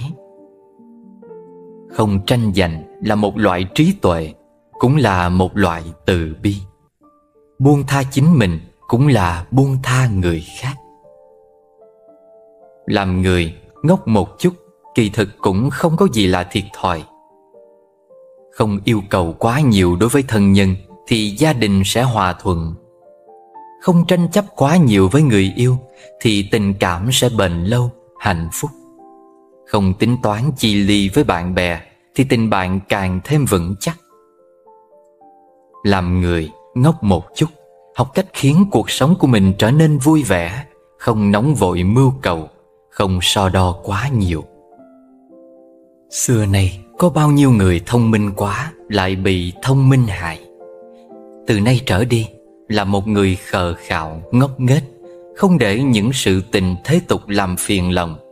Như vậy mới có thể bình thản giữa cuộc đời Mới đạt được cảnh giới thông dong tự tại. Lòng như nắng trải đều không một phía Hồn như mưa, mưa khắp cả ngàn phương. Tình như gió tỏa về muôn vạn hướng. Sống như là không cố chấp yêu thương. Người biết cách đối diện. Cuộc đời ví như một vở kịch mà mỗi người phải luân phiên diễn rất nhiều vai. Từ vai con cái anh chị em người bạn đời đến cương vị làm bố mẹ hiểu rõ từng vai trò và linh hoạt dùng những tâm thế khác nhau để sống với những thân phận khác nhau sẽ khiến cho cuộc đời của bạn nhẹ nhàng hơn, dễ mở đường chào đón niềm vui và hạnh phúc hơn. Một, đối diện với bố mẹ, hãy mở rộng tấm lòng. Bố mẹ đã cho chúng ta sự sống, mãi mãi là người quan tâm, yêu thương chúng ta vô điều kiện nhất. Đừng bực bội với tuổi già hoặc tính hay cầu nhàu của bố mẹ. Hãy tâm sự với bố mẹ những phiền não trong lòng bạn Rồi bạn sẽ nhận ra rằng Kinh nghiệm sống và những lời khuyên của họ Sẽ giúp bạn mở rộng tầm nhìn. Hai, đối diện với con cái. Đừng đóng khung trong luật lệ. Với bậc làm bố mẹ sự uy nghiêm và yêu thương phải song hành mới nuôi dạy con hiệu quả. Đối với những hành vi xấu của con, bạn kiên quyết nói không. Nhưng mặt khác, bạn cần trò chuyện với con một cách bình đẳng. Hãy để con có sự lựa chọn, chứ không phải lúc nào cũng tuân theo khuôn khổ cứng nhắc mà ta đặt ra. Chẳng hạn câu nói Bây giờ con đi ngủ hay 10 phút nữa mới ngủ Sẽ hiệu quả hơn câu mệnh lệnh Bố, mẹ, bảo đi ngủ ngay. Ba Đối diện với bạn đời Hãy thể hiện sự yếu đuối. Gia đình không phải là nơi tranh cao thấp, quyền lực Cũng không phải là cái thùng rác để trút mọi buồn bực. Mái ấm cần được vun đắp bằng tình cảm dịu dàng và thái độ tôn trọng nhau. Khi bạn mệt, hãy thể hiện sự yếu đuối trước nửa kia. Hãy chia sẻ áp lực, uất ức của bạn Để nửa kia biết rằng bạn cần được thấu hiểu và an ủi. Làm được như thế, cả hai sẽ ngày càng quan tâm, yêu thương nhau. 4. Đối với công việc, hãy chấp nhận thử thách. Làm việc là một vai trò mang tính chất lý tính, trưởng thành. Vì vậy, chúng ta không thể lựa chọn nhiệm vụ, công việc theo sự yêu ghét của bản thân. Ở môi trường làm việc nào, mỗi người đều cần phải chấp nhận khó khăn Sẵn sàng học hỏi, cầu tiến Dung hòa với mọi người Và rèn luyện mình ngày càng tốt hơn. 5. Đối với bạn bè Hãy thả lỏng hoàn toàn. Mỗi chúng ta đều có vài người bạn thân thiết. Trước mặt họ Bạn không cần phải che đậy những muộn phiền của mình Hay giả vờ mạnh mẽ. Những lúc tâm trạng không vui hoặc gặp khó khăn, Hãy hẹn gặp vài người bạn Hoặc gọi điện thoại trò chuyện. Chia sẻ với nhau những nỗi vui buồn trong cuộc sống Sẽ giúp cho hai bên tăng thêm cảm giác Được quan tâm và ủng hộ. 6. Đối với chính mình, Hãy tháo mặt nạ ra. Trong lòng mỗi người đều có chỗ yếu đuối. Nếu nội tâm của bạn không được bạn quan tâm, Thì sự vui vẻ cũng chỉ là vẻ bề ngoài mà thôi. Quan tâm và yêu bản thân Chính là sự tiếp sức cho tâm hồn. Khi bạn mệt mỏi, phiền muộn Thay vì cố gắng gượng cười với mọi người Hãy tự cho mình một khoảng lặng tạm thời. Hãy tháo mặt nạ ra để tĩnh tâm lại. Tâm là chủ của ngôi nhà Thân là công cụ để mà khiến sai. Mấy dòng xin tỏ cùng ai? Ngẫm đời muôn sự, không ngoài chữ tâm. Những hạt giống trên cánh đồng tâm. Một người sống có vui vẻ hay không, Hạnh phúc hay không, Then chốt là nằm ở tâm, Chứ không phải là thân thể. Không phải những thứ được và mất mỗi ngày. Quyết định tâm trạng của chúng ta Vốn không phải là người khác mà là chính bản thân chúng ta. Tâm của mỗi một người tựa như một cánh đồng. Gieo nhân lành sẽ thu được quả lành. Gieo nhân xấu sẽ thu được quả xấu. Nếu bạn có thể vui vẻ mà sống trọn mỗi ngày, Khiến cho sinh mệnh của bạn tự nhiên khỏe mạnh, Giống như cây cỏ ngoài đồng Hoặc tỏa hương, Nở rộ giống như những đóa hoa, Thế thì toàn bộ giới tự nhiên sẽ chúc mừng bạn. Đúng là như vậy Bởi vì vui vẻ có thể khiến con người ta trở nên duyên dáng xinh đẹp.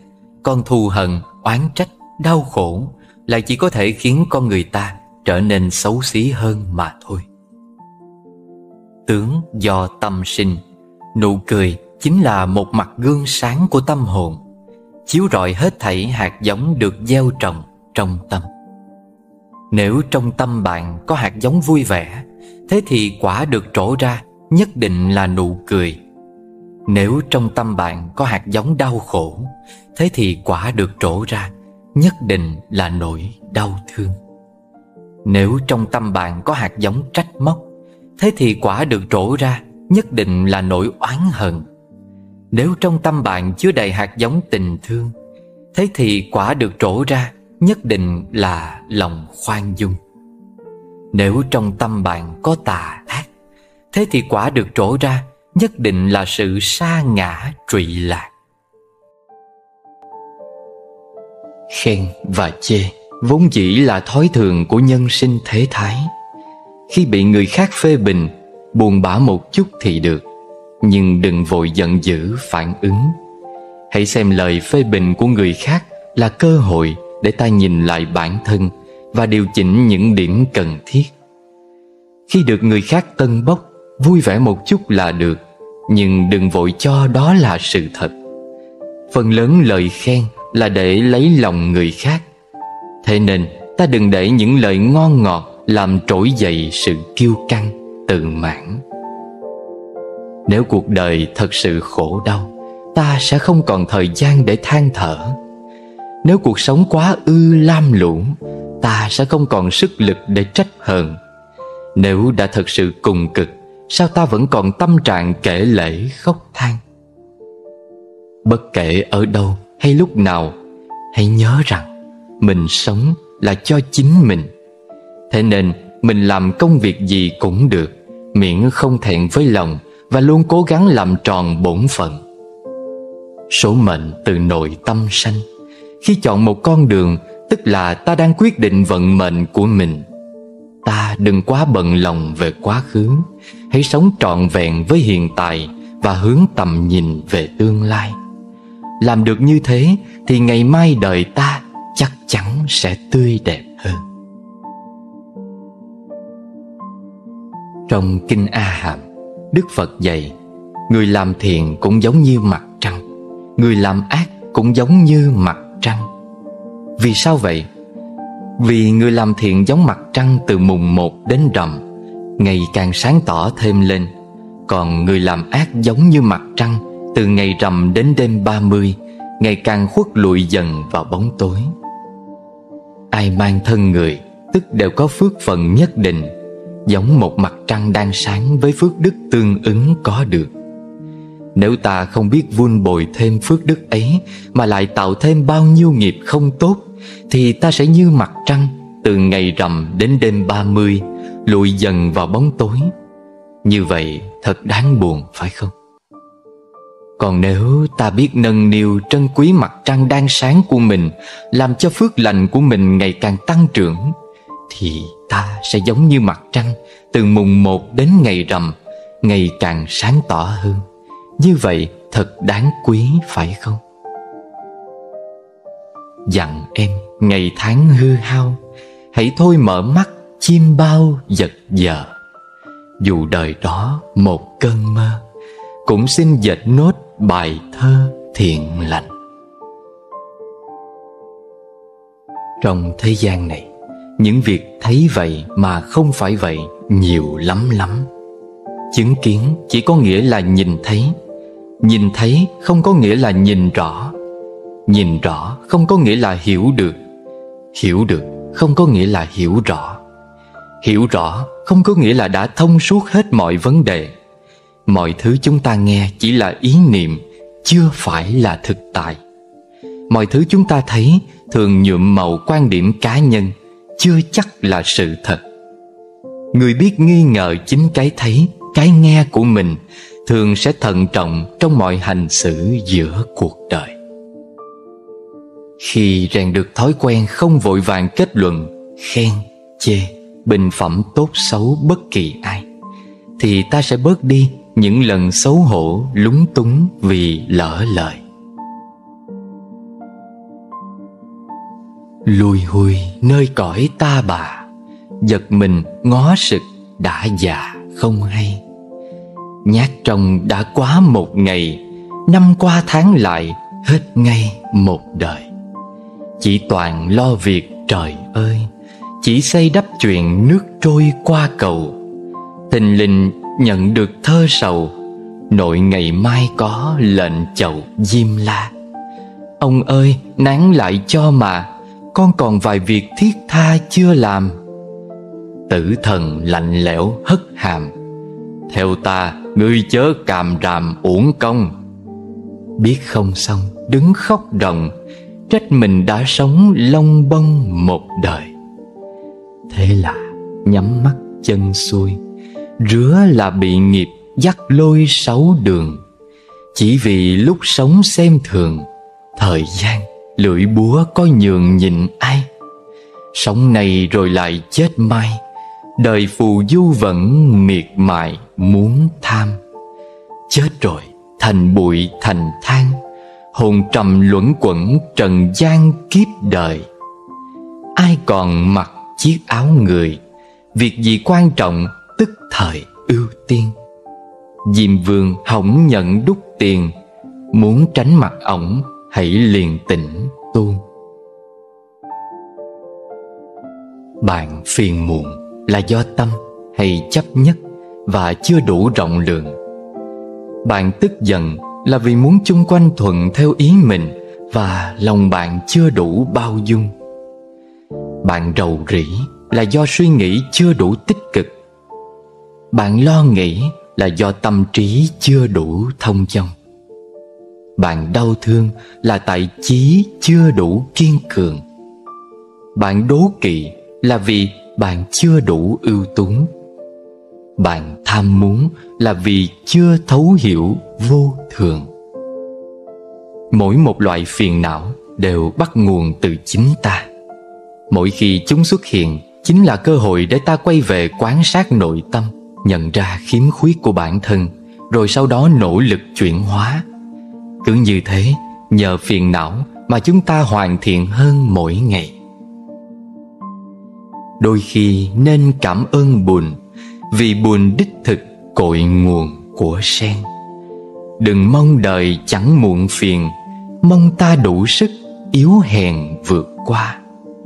Tạ ơn giáo lý Phật Đà, Giữa đời thuận nghịch vẫn là thông dong. Giữa người với nhau, Chỉ có một sự khác biệt rất nhỏ. Nhưng chính sự khác biệt nhỏ ấy Sẽ quyết định con người thất bại hay thành công, Đau khổ hay hạnh phúc. Sự khác biệt đó chính là tâm lượng và thái độ sống. Có lần Đức Phật dạy rằng, Loài người được chia làm hai hạng, Một hạng như cái giếng nước ở ngã tư đường Cho muôn người sử dụng, một hạng như cái giếng nước nằm trong rừng sâu Hiếm ai dùng được. Hạnh phúc thay.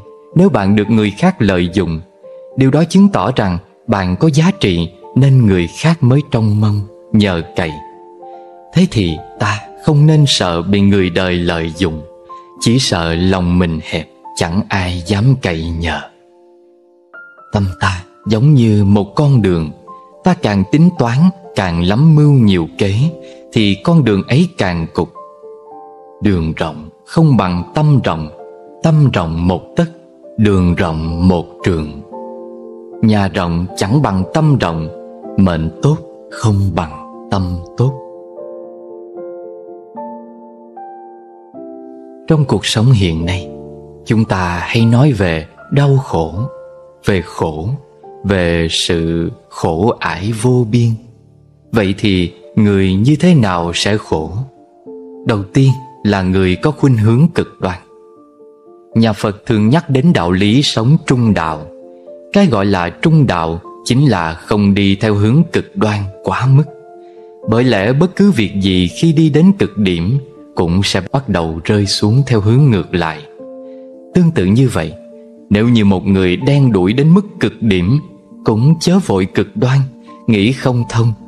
Bởi thường thì qua cơn bị cực Đến hồi thới lai. Qua lúc khó khăn đến hồi thư thái đó mà. Và ngược lại, Khi thành công gặp vận may, Cũng đừng quá đắc chí Mà hành xử thiếu suy nghĩ, Thì họa sẽ liền kéo đến. Thứ hai, Đó là người tự cao tự đại.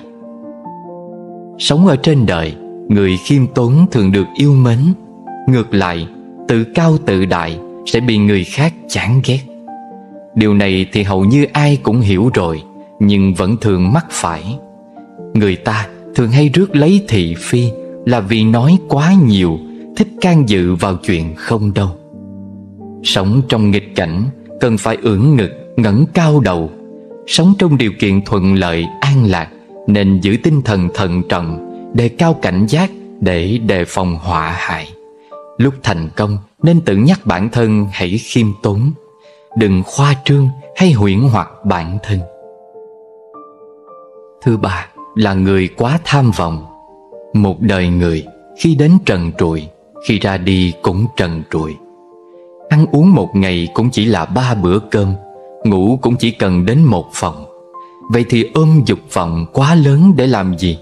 Trong khi nó chỉ khiến con người ta luôn luôn cảm thấy không thỏa mãn. Dục vọng quá lớn cũng là nguồn cơn của mọi khổ đau trên đời.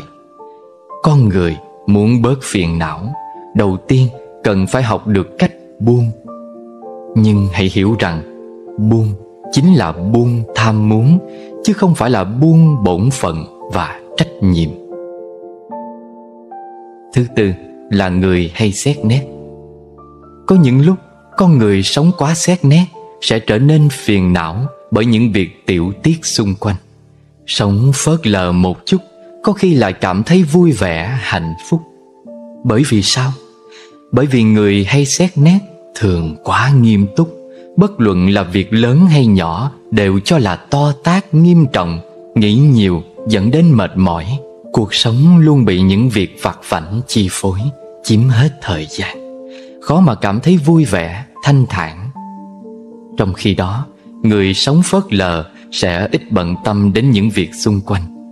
Có lẽ vì thế mà cuộc sống trở nên giản đơn Và có phần qua loa đại khái. Nhưng cũng nhờ vậy mà họ tìm được hương vị thực sự của đời sống bình an. Làm người hãy cứ đơn giản. Làm việc hãy cứ thực tế. Để tháng ngày trôi qua nhẹ nhàng, giản đơn Thông dong tự tại Vậy là đủ.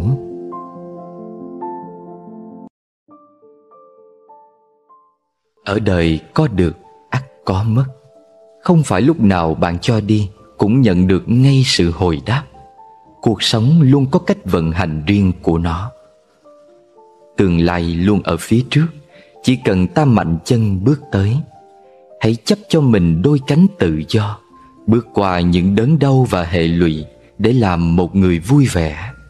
Hãy quên đi năm tháng và tuổi tác Đừng để thời gian khiến ta trở nên già cỗi cho dù bao nhiêu tuổi, Chỉ cần cảm thấy tinh thần còn trẻ là được.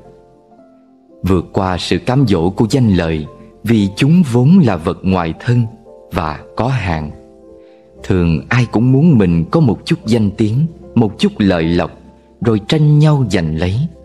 Rồi khi không được như ý, Lại quay sang oán trách cuộc đời không công bằng với mình. Thật ra, Sống một cuộc đời đơn giản và bình thường mới là hạnh phúc lớn nhất. Và bất kỳ ai cũng nên có một người bạn. Tài sản không thể làm bạn với ta cả đời, mà bạn hữu đôi khi trở thành tài sản cả đời của ta. Tốt hơn hết là có một tri kỷ. Lúc cảm thấy lẻ loi, có thể tìm đến nói vài ba câu. Nhưng việc có một người bạn đúng nghĩa thật sự không hề dễ dàng nên xem trọng chất lượng trong kết giao bạn bè. Xây dựng một nơi nương tựa trong chính mình. Khi gặp chuyện phiền não, hãy lắng lòng yên tĩnh, cho mình một không gian để tâm trí bình lặng lại. Nhìn những cánh hoa dại bên đường, dù bé nhỏ cũng đua nhau khoe sắc, tô điểm cho đời. Thế giới cũng bỗng chốc trở nên tươi đẹp nghĩ một cách lạc quan, sống một đời hạnh phúc. Nhớ ưu điểm người khác, dưỡng đạo đức chính mình. Có lẽ chúng ta thường hay phạm chung một lỗi lầm. Nhận lòng tốt ai đó đã quen. Bỗng một ngày họ có chút sơ suất, mình lập tức quên hết những điều tốt đẹp còn lại. Người ta thường hay nhớ những khiếm khuyết và lỗi lầm của kẻ khác thích xét nét những khuyết điểm của họ, rồi cho rằng người ta không bằng mình, nên càng nhìn càng thấy thiên hạ yếu kém, càng quan sát càng khó lòng chấp nhận. Thật ra, việc nhìn người khác cũng giống như soi gương. Nếu mình châu mày trợn mắt, chắc chắn sẽ nhận lại hình ảnh khó chịu. Từ đó cả ta và người đều cảm thấy không vui. Chút vụng về của người khác trong mắt ta cũng trở nên to tát khi không hài lòng nhưng vẫn phải đối diện, thì khó chịu như kim đâm vào mắt, gai chích vào da, Phải nhổ ra mới thấy thoải mái. Nhớ lỗi lầm của người là lấy sai trái của họ trừng phạt chính mình, Khiến bản thân không vui, Suốt ngày sống trong khó chịu. Vì vậy, hãy ghi nhớ những điểm tốt của người. Đối với những khiếm khuyết, Nên khoan dung một chút. Lâu ngày sẽ thấy ai ai cũng có điều đáng học hỏi. Trong lòng chỉ có những điều tốt, Thế giới sẽ tươi đẹp biết bao nhiêu. Ghi nhớ điểm tốt của người Tốt hơn nhiều so với việc Ghi nhớ lỗi lầm của họ, Rồi ôm trái tim oán giận, đau khổ, lay lắc trong đời. Đâu thể truy cầu một đời hoàn mỹ. Sống ở đời dù bạn tốt đẹp thế nào cũng không thể nhận được sự yêu thích của mọi người. Bất luận bạn sống tốt thế nào, cũng sẽ có người khen, kẻ chê. Dù bạn làm thành công ra sao, người ta cũng sẽ bình phẩm tốt xấu. Có người hâm mộ, sẽ có người ghét bỏ. Có ai đó ganh tị, ắt có kẻ chẳng coi bạn ra gì. Cuộc sống là như thế, Bạn không thể làm hài lòng hết thảy. Nên đừng vì để vừa lòng người khác Mà đánh mất bản chất của mình. Ai cũng cần có những nguyên tắc Và sự tự tôn riêng. Chúng ta qua miệng người khác Không phải là con người toàn diện Mà có rất nhiều phiên bản khác nhau. Bạn chỉ cần là một bạn chính tốt là đủ. Bởi người đời, Ánh mắt giống nhau nhưng góc nhìn khác nhau, Miệng giống nhau nhưng mỗi người một cách nói. Trái tim cấu tạo tương đồng nhưng suy nghĩ lại rất dị biệt. Tiền của giống nhau nhưng cách chi tiêu mỗi người một thị hiếu. Đúng, sai, phải, trái, tốt, xấu là do lập trường không giống nhau. Hoàn cảnh khác thì cách nhìn đã khác. Cũng là con người nhưng mỗi cá nhân có một cách sống. Cần tự tin bước đi trên đôi chân của mình. Đại bàng không có tiếng cổ vũ cũng gian cánh bay lượn. Đám cỏ không cần người chăm sóc Cũng biết tự vươn mình lớn lên. Hoa dại trong núi sâu Dù không ai thưởng thức Vẫn tỏa hương thơm ngát. Làm việc không cần người người đều thấu hiểu Chỉ cần dốc lòng hết sức. Làm người không cần ai ai cũng yêu mến Chỉ cần thẳng thắn, rộng lượng. Hoa có trăm dáng nghìn kiểu, Nhưng vẫn có thể khoe sắc tỏa hương Mà không bị ngăn ngại. Sống ở đời, mỗi người một phong cách, Sao không nâng đỡ cùng đi lên, Hạ thấp nhau làm chi? Nếu cảm thấy xứng đáng thì trân trọng, Hạnh phúc thì giữ gìn. Người khiến bạn vui vẻ thì gần gũi, Cảm động thì yêu thương. Làm người, Nếu nói dễ cũng không hẳn dễ. Để lay động hàng ngàn trái tim Hay quản lý miệng lưỡi của thiên hạ, Tất nhiên là không hề dễ dàng. Làm người nói khó cũng không hẳn khó. Chỉ cần giữ tấm lòng lương thiện, Là một người hiền lành, Rồi đi con đường của mình là đủ. Một đời người thật ra không dài lắm. Dù sao, mình cũng đã đến đây rồi, Thì nên sống cho đẹp một chút vậy. Ba loại việc của nhân sinh. Trên đời có ba loại việc chính. Thứ nhất, việc của bản thân. Ví dụ như hôm nay nên làm gì, ăn uống ra sao Cần giúp đỡ những ai, vui hay buồn Tất cả đều do bản thân quyết định. Thứ hai, việc của người khác. Đại khái như anh nọ lười làm ăn Chị kia kết hôn không hạnh phúc. Bạn ấy lừa dối mình Sao giúp đỡ mà họ không cảm kích? Đó là việc do người khác làm chủ. Thứ ba, việc của trời đất. Tiêu biểu như chuyện mưa gió sấm chớp Thiên tai, dịch bệnh. Đó là những việc vượt ra ngoài khả năng của con người. Chúng ta muôn phiền phần lớn là do quên mất việc bản thân Thích quản chuyện người khác. Và lo lắng thái quá những vấn đề của đất trời Muốn bình an tự tại Đơn giản chỉ cần lo tròn việc bản thân Không xăm soi chuyện người khác và đừng quấy nhiễu đến chuyện trời đất. Vì thế, mỗi khi thấy phiền não bất an, hãy suy xét.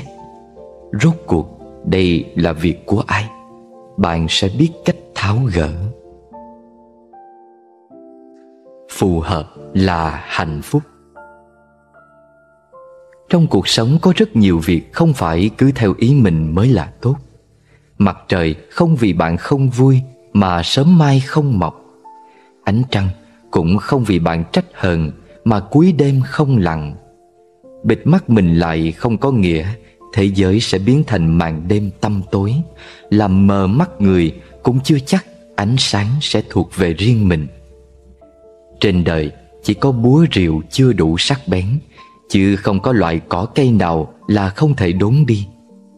Công việc, chỉ có con người chưa nghĩ đến phương pháp, Hoàn toàn không có gì là không thể làm thành. Nếu muốn, Người ta sẽ nghĩ cách, Còn không, Họ sẽ tìm lý do. Cuộc sống như ly nước, Dù nóng hay lạnh, Nhiệt độ thích hợp là có thể uống được. Hương vị, dù ngọt bùi hay cay đắng chỉ cần hợp khẩu vị là ngon. Giai điệu dù nhanh hay chậm, hợp với thính giác là hay. Bốn mùa tuần hoàn, bất luận xuân, hạ, thu, đông, nếu hợp với tâm trạng thì đều là tốt đẹp. Tất cả chỉ cần thích hợp với bản thân chính là hạnh phúc. Đừng làm đau người thương có phải chúng ta thường phạm phải sai lầm này? Đối với người lạ thì lễ phép lịch sự, Còn người gần gũi mình lại hay cằn nhằn. Kẻ qua đường giúp đỡ chút đã khiến ta muôn phần cảm kích. Người thân cận lo lắng bao nhiêu cũng thấy chưa hài lòng. Chúng ta thường mang tâm trạng tồi tệ và bộ mặt cau có đối xử với người bên cạnh. Còn sự nhẫn nại và bao dung lại dành tặng những người qua đường bất chợt. Mỗi khi muốn thể hiện sự oán giận trách hờn Bạn đừng quên rằng Người thân là chốn bình yên giúp ta che mưa, chắn gió Chứ không phải là thùng rác tâm trạng. Trên thế giới này Không ai tốt với mình mà không duyên cớ. Nhưng người thân thì có thể. Vì ta họ có thể đón nhận tất cả. Đôi khi còn hy sinh nhiều hơn thế. Sở dĩ chúng ta có thể làm tổn thương ai đó Là bởi họ quan tâm và thương yêu mình. Cho nên, hãy đối xử với những người thương mình tốt một chút. Đừng làm họ đau. Hành trình của kiếp người. Một đời như chuyến xe hướng đến phần mộ của mình. Không ai có thể cùng ta đi trọn cuộc hành trình. Bao gồm cả người thân, gia đình và bạn hữu. Nếu may mắn có người cùng đi một đoạn Khi họ phải tạm biệt xuống xe Dù không đành lòng Cũng nên cảm kích Và vẫy tay từ biệt. Vì trạm sau Chắc chắn sẽ có người khác đồng hành với bạn. Cà phê đắng hay ngọt Là do mình bỏ đường hay thêm muối. Một niềm đau thương không nằm ở chỗ làm sao quên đi, Mà phụ thuộc vào việc bạn có đủ dũng khí bước qua để đến với cái mới hay không mà thôi. Đời người cũng giống như một ly trà, mới uống vào sẽ cảm thấy đắng chát, nhưng đó chưa phải là tất cả.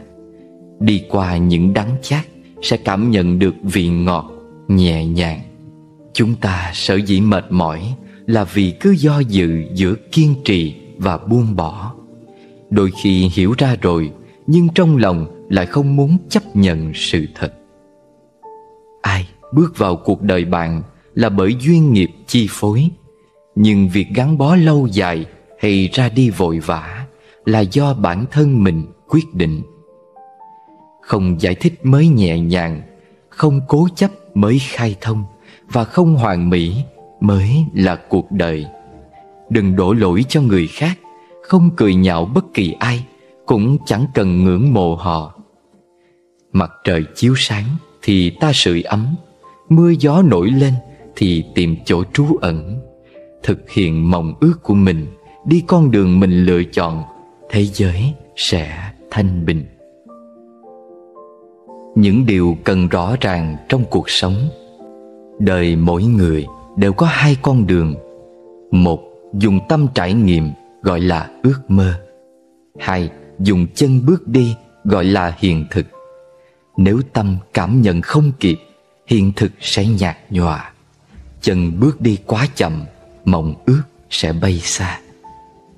Trên thế giới này, việc khó chịu nhất không gì hơn là biết người mình thương yêu hướng lòng về kẻ khác, mà vẫn đa tình một cách ngốc nghếch những cuộc gặp gỡ hay chia ly đều có nhân duyên nhất định. Thuận theo đó mà được yên ổn chính là điều tốt đẹp nhất. Khi ai đó bên cạnh ta, nếu có thể khiến họ thấy an lạc, đã là thành công lớn.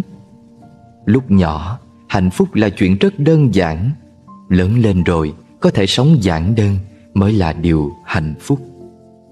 Để không uổng công đến đây một đời hãy làm việc muốn làm và yêu những gì mình muốn. Đời người chính vì quá kỳ vọng nên mới thất vọng, mong ước xa vời nên mới tiêu tan. Chất chứa quá nhiều nên khó lòng bộc bạch. Có một số người quên không được là do không nỡ, một số khác nhất định phải quên đi vì không đáng nhớ. Cũng đừng quá tin tưởng vào mắt mình vì có khi những gì bạn nhìn thấy là những điều đang mong muốn, còn những thứ không thích đã bị bạn lướt qua. Thật ra, người bị hiểu lầm không hề mất mát gì. Kẻ nhìn nhận sai người khác mới thật sự mất đi cơ hội. Chúng ta đều nghĩ rằng mình làm chủ cuộc đời này mà quên mất cuộc sống vốn phải cần rất nhiều người phối hợp. Cũng đừng vì cái lợi trước mắt mà đánh mất tương lai lâu dài. Nên nhớ những gì có được nhờ vào sự hy sinh của kẻ khác thì không bao giờ bền vững. Đời người rất ngắn ngủi, không có thời gian cho việc tiếc nuối. Đừng quá bận lòng với những người hoặc việc khiến mình phiền muộn, dù chỉ là một phút. Nếu chưa có kết quả cuối cùng, hãy mỉm cười và mạnh chân tiến về phía trước. Nhân thế gặp gành nhớ tặng người bên cạnh chút ấm áp. Mưa gió cuộc đời, hãy dành cho mình chút lạc quan. Nếu biết cách yêu đời, khéo dung hòa mọi thứ, thì dần dần niềm vui và hạnh phúc sẽ lan tỏa ra xa. Đời người không phải cuộc chạy đua, mà chính là chuyến du lịch. Cuộc đua quan trọng ở đích đến, còn chuyện rong chơi cần quan tâm đến phong cảnh bên đường. Tâm trạng tốt thì cảnh vật theo đó cũng sẽ đẹp hơn. Bất luận hôm nay gặp bao nhiêu khó khăn, hãy vững tin rằng chỉ có hôm qua là không thể trở lại, còn ngày mai chắc chắn sẽ đến. Sống an hòa. Tay vốn không phải để đánh mà dùng để bảo bọc những người mình yêu thương. Chúng ta cô đơn buồn khổ hoàn toàn không phải vì người đời không thông cảm cho ta, mà bởi lòng mình không buông được ai đó. Một người bạn tốt thật sự trong đời thì khó tìm, khó bỏ và cũng khó quên.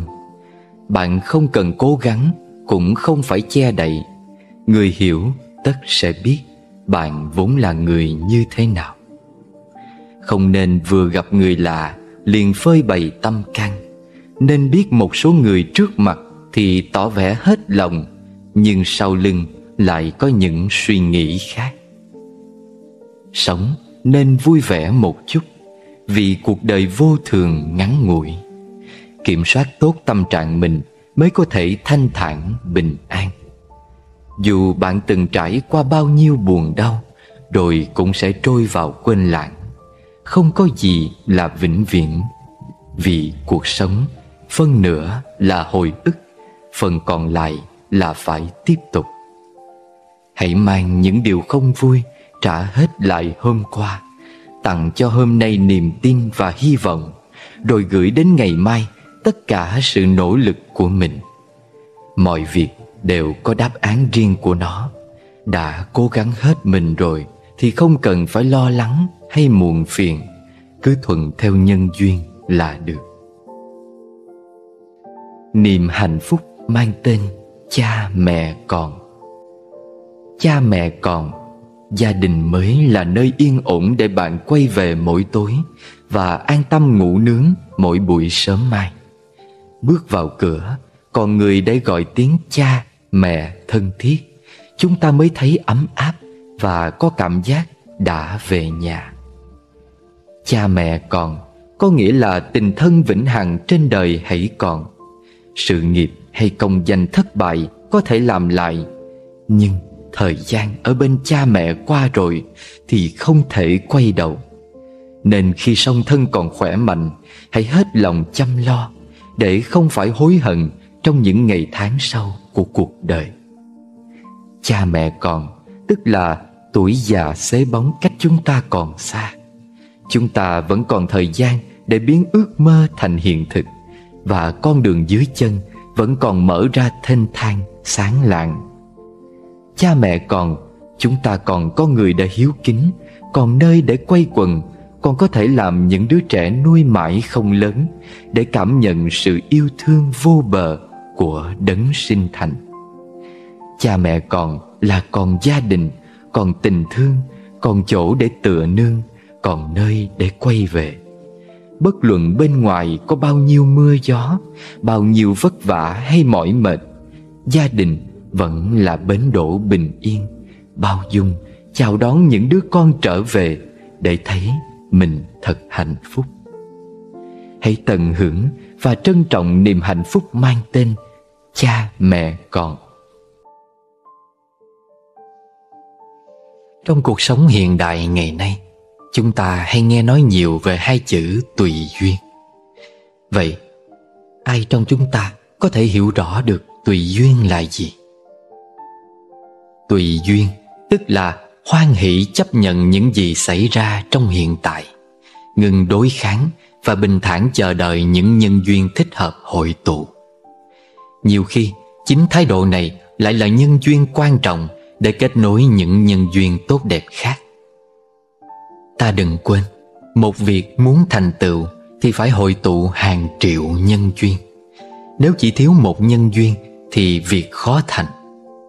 Khi hiểu biết sâu sắc điều này và có nhiều kinh nghiệm, Ta sẽ biết mình nên và không nên làm gì Để các nhân duyên tốt hội tụ đầy đủ trở lại Và nhân duyên xấu sớm tan biến. Ta thường gọi nhân duyên tốt là thuận duyên, Tức điều kiện có lợi. Gọi nhân duyên xấu là nghịch duyên, Tức điều kiện bất lợi. Có những nhân duyên thuận với ta, Nhưng lại nghịch với người khác, và ngược lại. Đó chỉ là nói trong phạm vi con người, Trong khi nhân duyên luôn xảy ra với vạn vật trong khắp vũ trụ. Bản chất của nhân duyên là không có thuận nghịch tốt xấu. Nó chỉ hội tụ hay tan rã Theo sự thích ứng giữa các tần số năng lượng phát ra. Từ mọi cá thể mà thôi. Ấy vậy mà Nhiều người có thói quen Khi gặp thuận duyên Thì luôn cảm thấy sung sướng chỉ muốn duy trì mãi nhân duyên ấy. Còn khi gặp nghịch duyên Thì luôn cảm thấy khó chịu Và tìm cách tránh né, loại trừ. Nhưng chưa hẳn thuận duyên Sẽ đem lại hạnh phúc Chưa hẳn nghịch duyên Sẽ mang tới khổ đau. Bởi có khi nghịch duyên Sẽ giúp ta trưởng thành Còn thuận duyên sẽ khiến ta yếu đuối. Và nhiều khi, Có những nhân duyên ban đầu là thuận duyên, nhưng về sau lại trở thành nghịch duyên. Tương tự, Có những nhân duyên ban đầu là nghịch duyên, Nhưng về sau lại trở thành thuận duyên. Đôi khi thuận duyên hay nghịch duyên Tùy thuộc cả vào bản lĩnh và thái độ sống của ta. Thế nên, ta không cần phải cẩn trương thay đổi những nhân duyên ta đang không hài lòng. Cũng không cần cố gắng tìm kiếm những nhân duyên ta hằng mong đợi. Khi tâm ta đủ vững chãi để tạo ra những nhân duyên an lành Thì những nhân duyên tương ứng sẽ tự động kết nối. Ví như người ta có nói câu Đồng thanh tương ứng, đồng khí tương cầu là vậy. Quan trọng hơn, khi tìm được sức sống từ chính bản thân Ta sẽ không xem những giá trị bên ngoài là quan trọng nữa. Nhân duyên nào cũng được cả. Ta cứ đón nhận một cách thông dong, tự tại. Đức Đạt Lai Lạc Ma có câu, Hãy nhớ rằng, Đôi khi không đạt được những gì bạn muốn Lại là sự may mắn tuyệt vời. Sống thật với chính mình, Tập chấp nhận bản thân Và hãy luôn tươi cười, Hạnh phúc với cuộc đời mình đang có, Cùng những người xung quanh mình. Tập buông bỏ Tập chấp nhận Và tập tha thứ, Chính là bí quyết của cuộc sống hạnh phúc. Xin gửi đến quý khán thính giả Bài thơ Thôi kệ. Thôi kệ buồn chi những tiếng đời, Chỉ là âm điệu thoáng đầu môi. Nghe khen càng thích, Chê càng khổ, Thế sự muôn trùng Vẫn cứ trôi. Thôi kệ, sầu chi chuyện được thua Tuồng đời tăng giáng lúc tôi vua. Ai khôn mà chẳng dâm lần dài Rồi cũng phù vân ngọn gió đùa. Muôn sự trên đời do nghiệp duyên Hiểu ra thanh thoát mọi ưu phiền. Trong mơ ai biết đời hư ảo Thả mồi bắt bóng tự truân chuyên. Thôi kệ, thôi đừng trách thế nhân Đừng nhìn lỗi họ để bâng khuâng. Nhân tình thế thái xưa nay vậy Thánh thiện thì ai ở dưới trần? Thôi kệ, chi rồi cũng sẽ qua.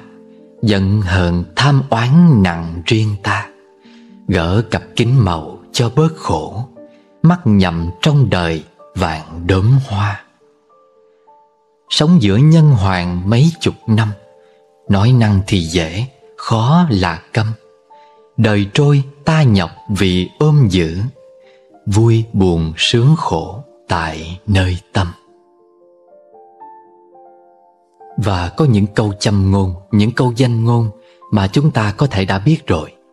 Ví dụ như Khi cuộc đời đưa ta một quả chanh chua Đừng sợ Hãy dùng nó nấu ăn Hoặc pha một ly nước chanh mát lạnh nếu như bạn đón nhận một việc với suy nghĩ bi quan Chán nản Thì những trắc trở trong cuộc sống của bạn Chính là những quả chanh chua Nhưng một khi bạn đón nhận sự việc đó Với tinh thần lạc quan, yêu đời Và tâm hồn rộng mở Thì những trắc trở sẽ trở thành ly nước chanh tuyệt vời nhăn mặt nếm quả chanh chua hay thích thú thưởng thức ly nước chanh mát lành đều do chúng ta lựa chọn.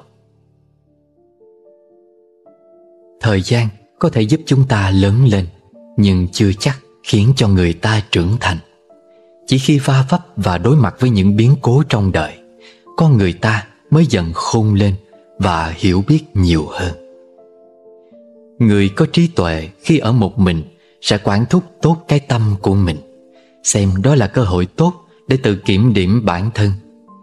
Khi tiếp xúc với người khác, người đó sẽ biết quản tốt cái miệng của mình, xem đó là cơ hội để khiêm tốn, học hỏi.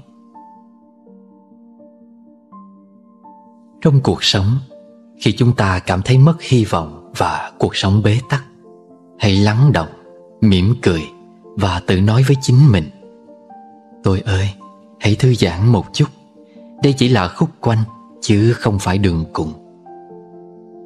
Tất cả những điều mình có trong đời sống này đều là tạm bợ.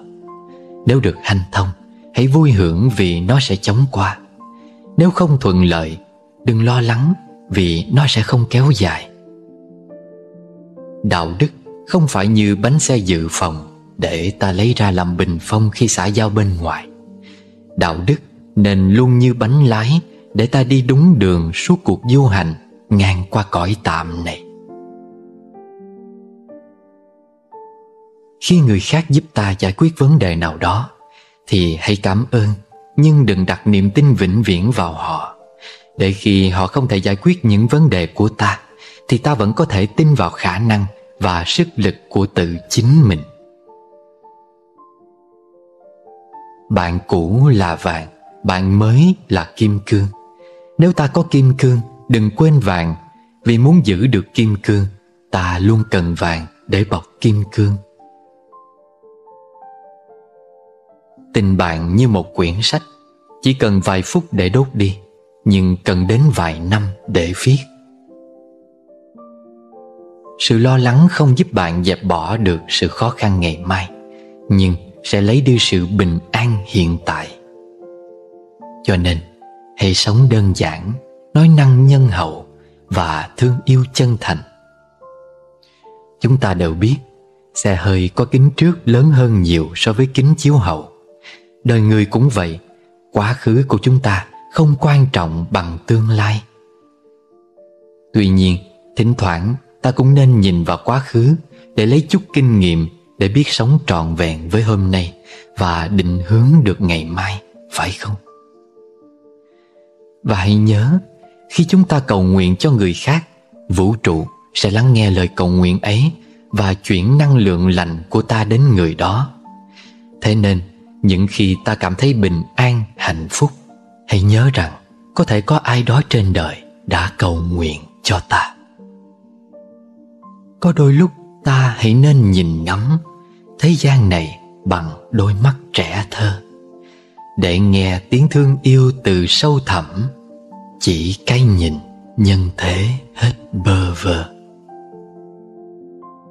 Người ta thường nói Một nụ cười bằng 10 thang thuốc bổ phải không? Vậy thì tại sao chúng ta không yêu thương bản thân nhiều hơn, yêu thương cuộc đời nhiều hơn và cười với cuộc đời với mọi người nhiều hơn? Những lúc thân tâm mệt mỏi, thật khó khăn nở nụ cười. Nhưng nếu nhoẻn môi cười được, hoa lòng khô héo dần tươi. Những lúc đời bạc như vôi, bao thiệt thòi ta gánh chịu Ngày đó, nếu biết mỉm cười, Xả buông tâm hồn nặng trĩu. Cuộc đời ghét ganh đàm tiếu, Đừng sống trong miệng người ta, Nhẹ nhàng mỉm cười không nói. Ngày tháng chi rồi cũng qua. Ai sống lỗi lầm với ta, Mỉm cười lòng thêm độ lượng. Biết đây là cõi ta bà, Con người ưng gây nghiệp chướng những lúc khổ đau vất vưởng, Cứ lạc quan một nụ cười. Khi sống tốt theo điều thiện, Trời không tuyệt lộ con người. Hãy để tình thương lên ngôi, Ngày thêm nồng nàn nghĩa sống, Hồn như biển rộng bên đời, Nụ cười dưỡng nuôi hy vọng. Vẫn nghèo nếu làm tổng thống, Mà luôn túng thiếu nụ cười, Khổ đau kia là một chuyện Ai cấm lòng mình vắng vui? Nụ cười điểm tô hạnh phúc. Hôm nay bạn đã cười chưa? Hay chăng nụ cười cay diếp Còn nguyên dù đã bao mùa? Trong cuộc sống này Sự thành thật, sự lương thiện Luôn luôn là một điều tối cần thiết Cho mỗi người chúng ta. Sự lương thiện là vầng trăng sáng nơi tâm hồn mỗi người. Vầng trăng thiện lương có thể chiếu sáng bầu trời tinh thần Cảm hóa và thay đổi tâm hồn tất cả những ai đi dưới ánh sáng của nó. Thiện niệm là một hạt giống Thiện tâm là một bông hoa Thiện hạnh là một trái ngọt. Mỗi người sinh ra đều mang theo hạt giống thiện lương. Nếu hạt giống ấy được chăm sóc, tưới tẩm mỗi ngày Thì sẽ có thể trở thành một cây xanh to lớn nhưng cũng có người làm mất hạt giống này. Vì vậy mà dần thành người lạnh lẽo, thờ ơ. Lại có người làm bẩn hạt giống đó. Vì vậy mà dần thành người nhẫn tâm, tàn ác. Không có người nào chẳng cần lương thiện. Cũng chẳng có ai là không thể được cảm hóa bởi lòng thiện lương của con người. Ngay cả những trái tim cứng như sắt thép, Lạnh lùng như băng, Thì một lúc nào đó cũng sẽ vì một chút thiện lương mà trở nên mềm mại, ấm nóng. Hành thiện chẳng phải là gửi tiền trong ngân hàng. Người thiện thực sự không quan tâm tới tiền lợi, tiền lãi. Cảnh giới cao nhất của lương thiện là không để ý tới kết quả và sự báo đáp cho những việc thiện của mình. Thường soi bóng bên dòng sông tâm niệm Nếu ta cười, ảnh hiện nụ cười ta Cùng thế ấy luôn sống đời hướng thiện, vững tin mai hạnh phúc lại trao quà.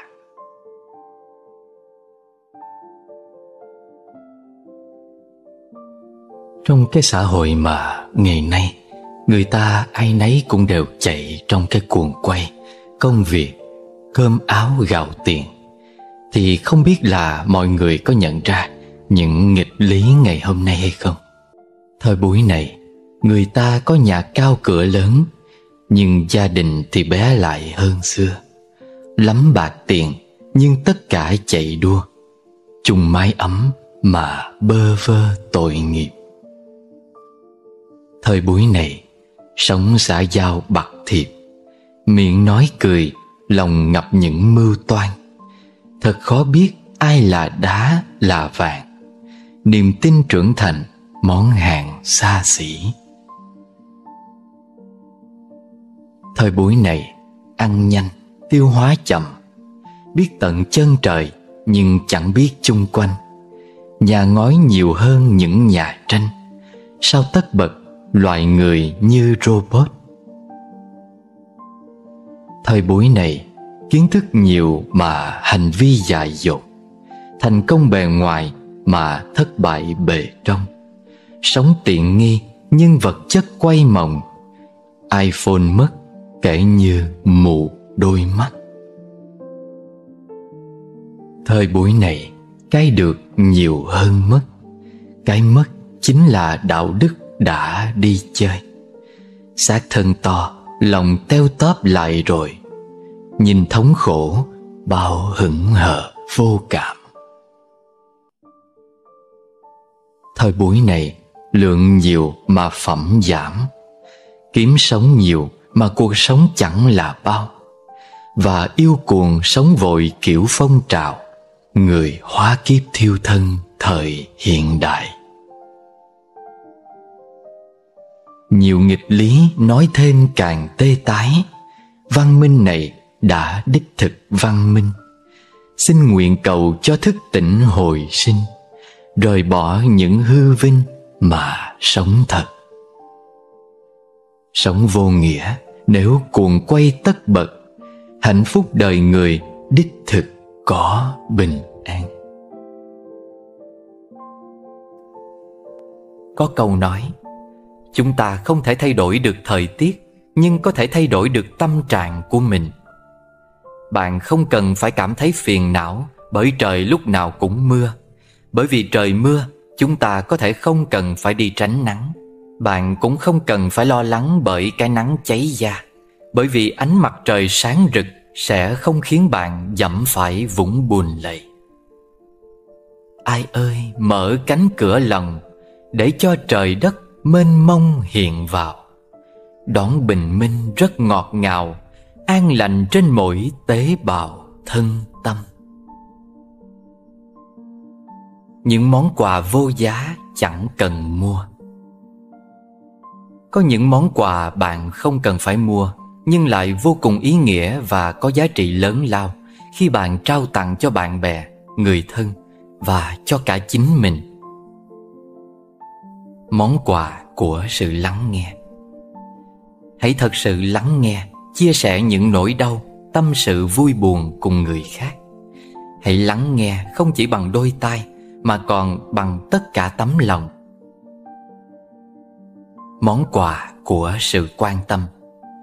Hãy dành thời gian quan tâm đến người thân, bạn bè, đồng nghiệp. Hãy xem những vấn đề của họ như là của chính bạn. Hãy để mọi người cảm nhận tình cảm của bạn qua những hành động bạn thể hiện hàng ngày. Món quà từ những nụ cười. Nụ cười là ngôn ngữ không lời nhưng có khả năng lan tỏa sức mạnh đến người khác nhanh nhất.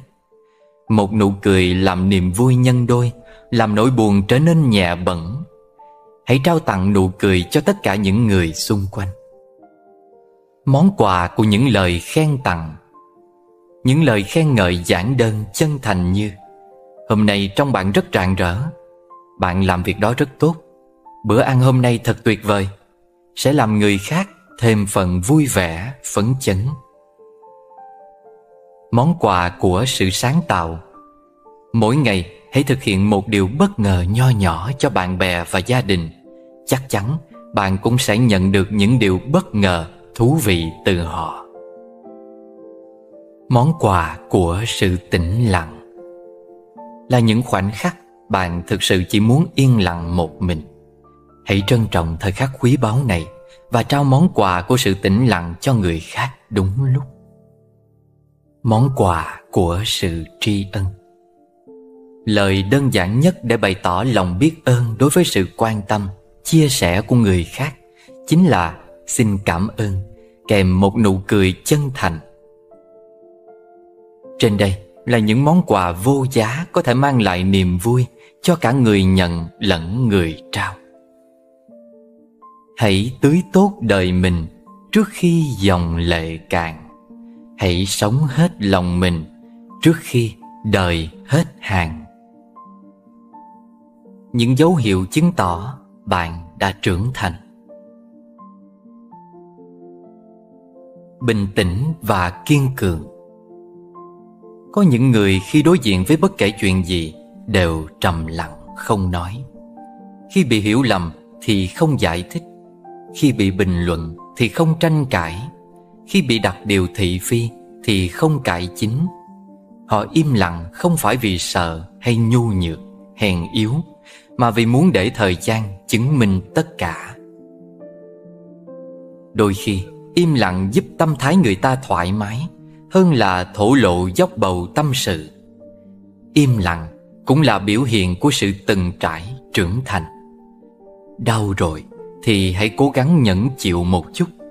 Mệt mỏi rồi thì nên im lặng, nghỉ ngơi. Biết khoan dung và hiểu người khác. Biển có thể thu nạp trăm nghìn sông nên mới trở nên rộng lớn. Người biết khoan dung với lỗi lầm của người khác thực ra cũng sẽ biết tha thứ cho chính mình. Biết buông bỏ và biết quý trọng. Người trưởng thành biết tự loại bỏ một số loại đồ vật trong hành trang trên đường đời của mình. Ví như những người bạn hư tình giả ý, những thú vui rượu chè vô nghĩa, những câu chuyện phím vô dụng. Đồng thời, họ biết nắm giữ và trân quý sự tự tin, tấm lòng lương thiện và sự khiêm tốn, giản dị. Sống lý trí và nhiệt tình. Con người ta trưởng thành qua thời gian khi đối diện với hiện thực phủ phàng của thế giới, của xã hội, người trưởng thành sẽ nhiệt tình, kiên cường, luôn trân trọng từng phút giây của cuộc sống. Họ biết trân quý giá trị của sinh mệnh, biết rằng được sinh ra trên cõi đời này là điều đáng trân quý biết nhường nào. Khi vui, tự nhủ lòng rằng, niềm vui này chẳng thường hằng bền lâu. Vốn xưa, vui bạn với sầu trong tia nắng đã, in màu hạt mưa. Lúc buồn, chẳng thiết đuổi xua. Buồn ni rồi cũng đông đưa vô thường. Nhìn cho thấu rõ tận tường. Vui, buồn, tan dưới cội nguồn chân như. Còn tâm này vốn huyễn hư, cưỡi trên sóng bạc, khoan thư ta về. Tự tri nhiều lắm phù du sống một ngày, đời mình cũng rứa, có ai hay. Diễm mộng đêm qua thành triệu phú, thức giấc bật cười vẫn trắng tay. Nhà dẫu trăm gian ngủ một giường, bạc vàng chất chứa ngập trong rương. Một cơn gió ác thành thiên cổ, thần thức ngục tù trong vấn vương dẫu ta quen biết đầy thiên hạ, mấy kẻ quan hoài cho nén hương. Tơ tình bao mối thành xa lạ, mình lẻ loi đi, nghiệp dẫn đường. Vô thường một sớm làm cây chổi, quét lá mùa thu, quét mạng người. Nếu hay vạn sự làm mây nổi, thì giờ nắm níu hoặc buông lơi nhiều lắm trăm năm một kiếp người, Đến rồi ai cũng phải đi thôi.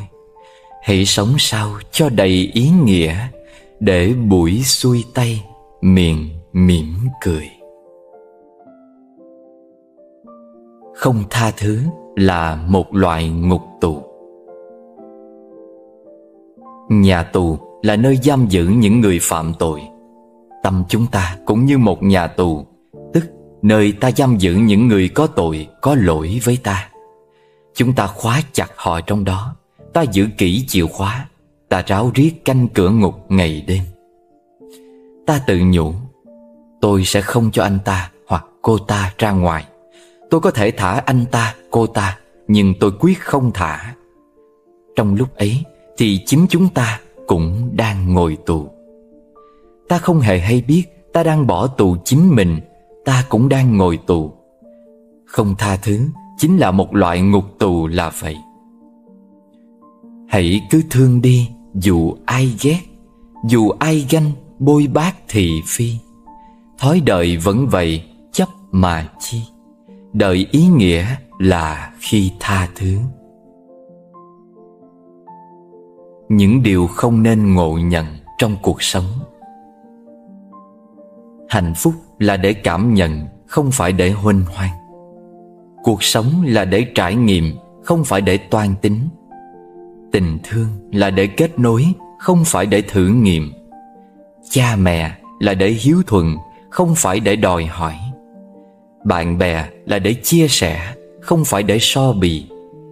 Người thân là để chăm sóc, Không phải để tổn thương. Công danh là để cống hiến, Không phải để tự đại.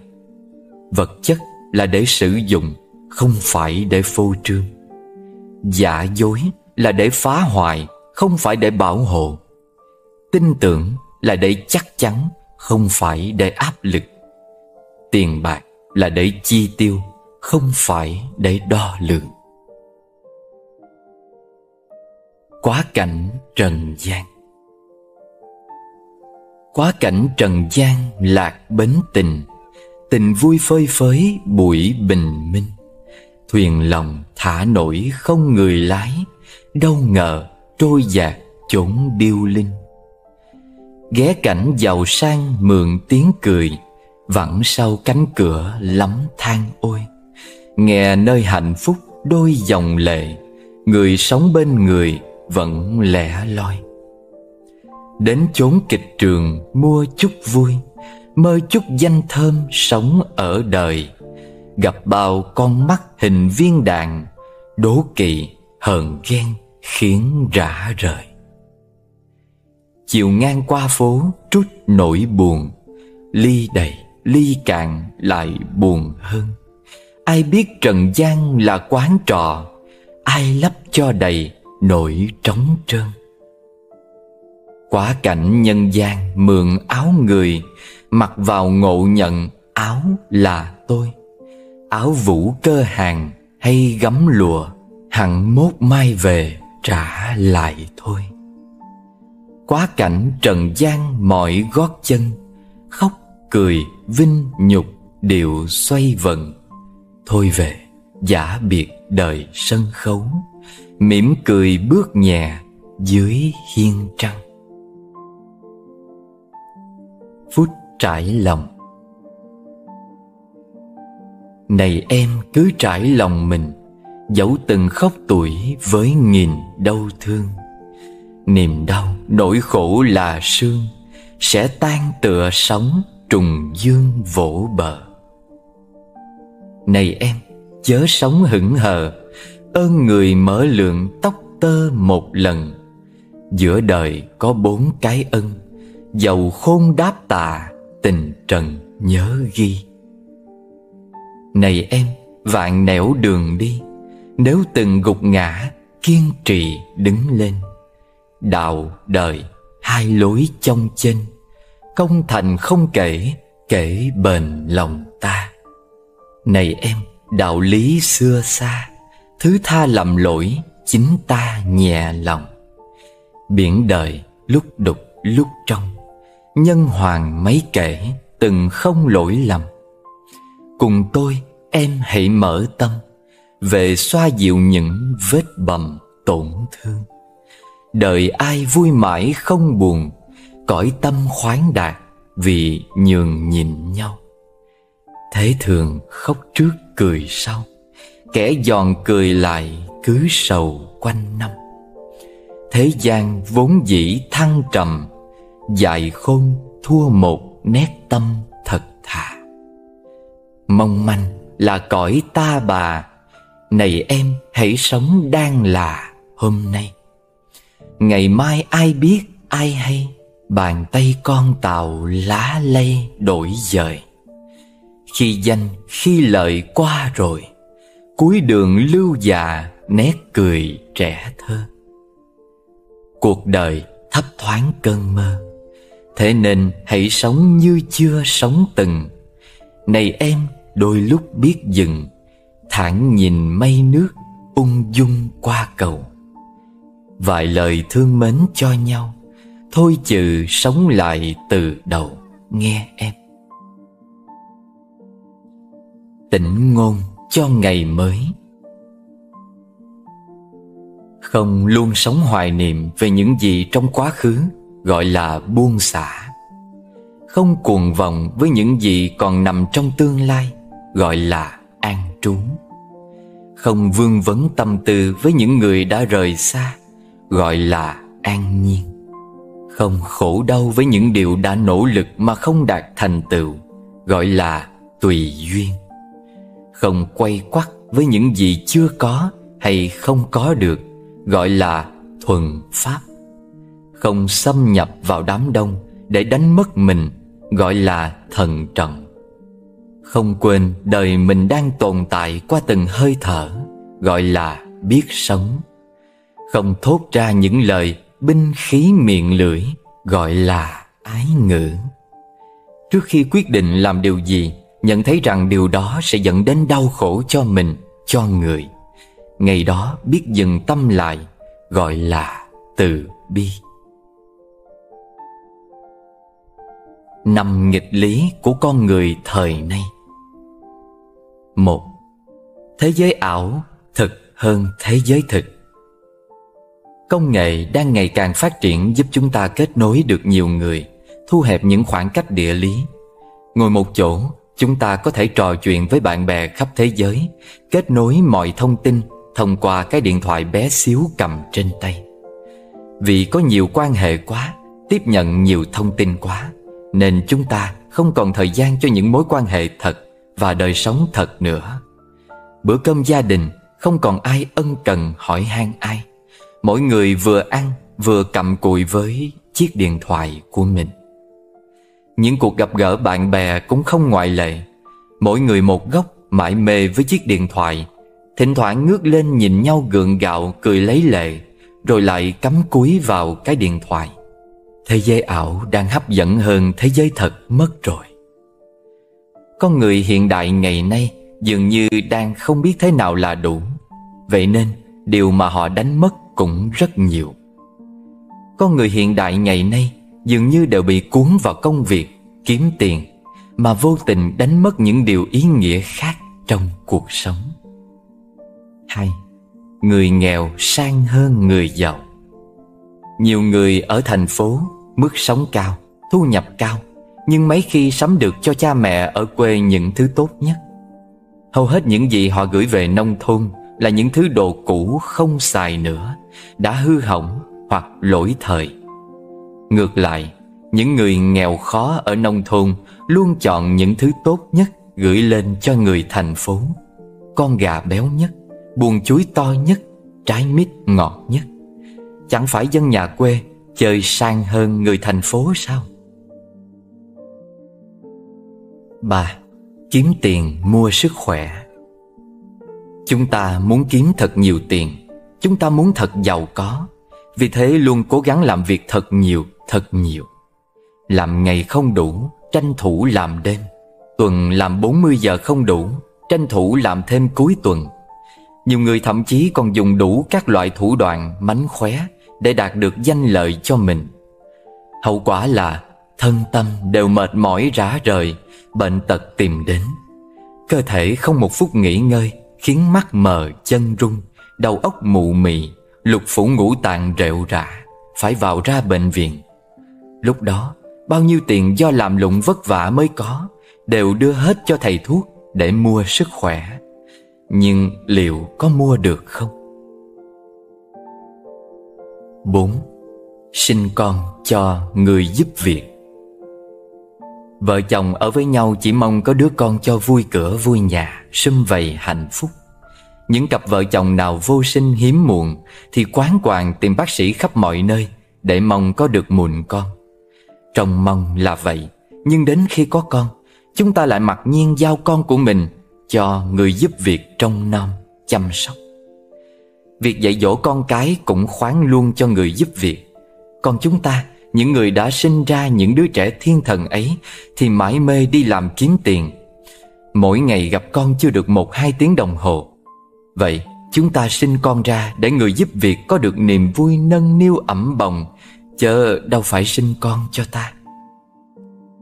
Năm Cần nhà hơn là tổ ấm. Nhiều người có tâm lý an cư lạc nghiệp.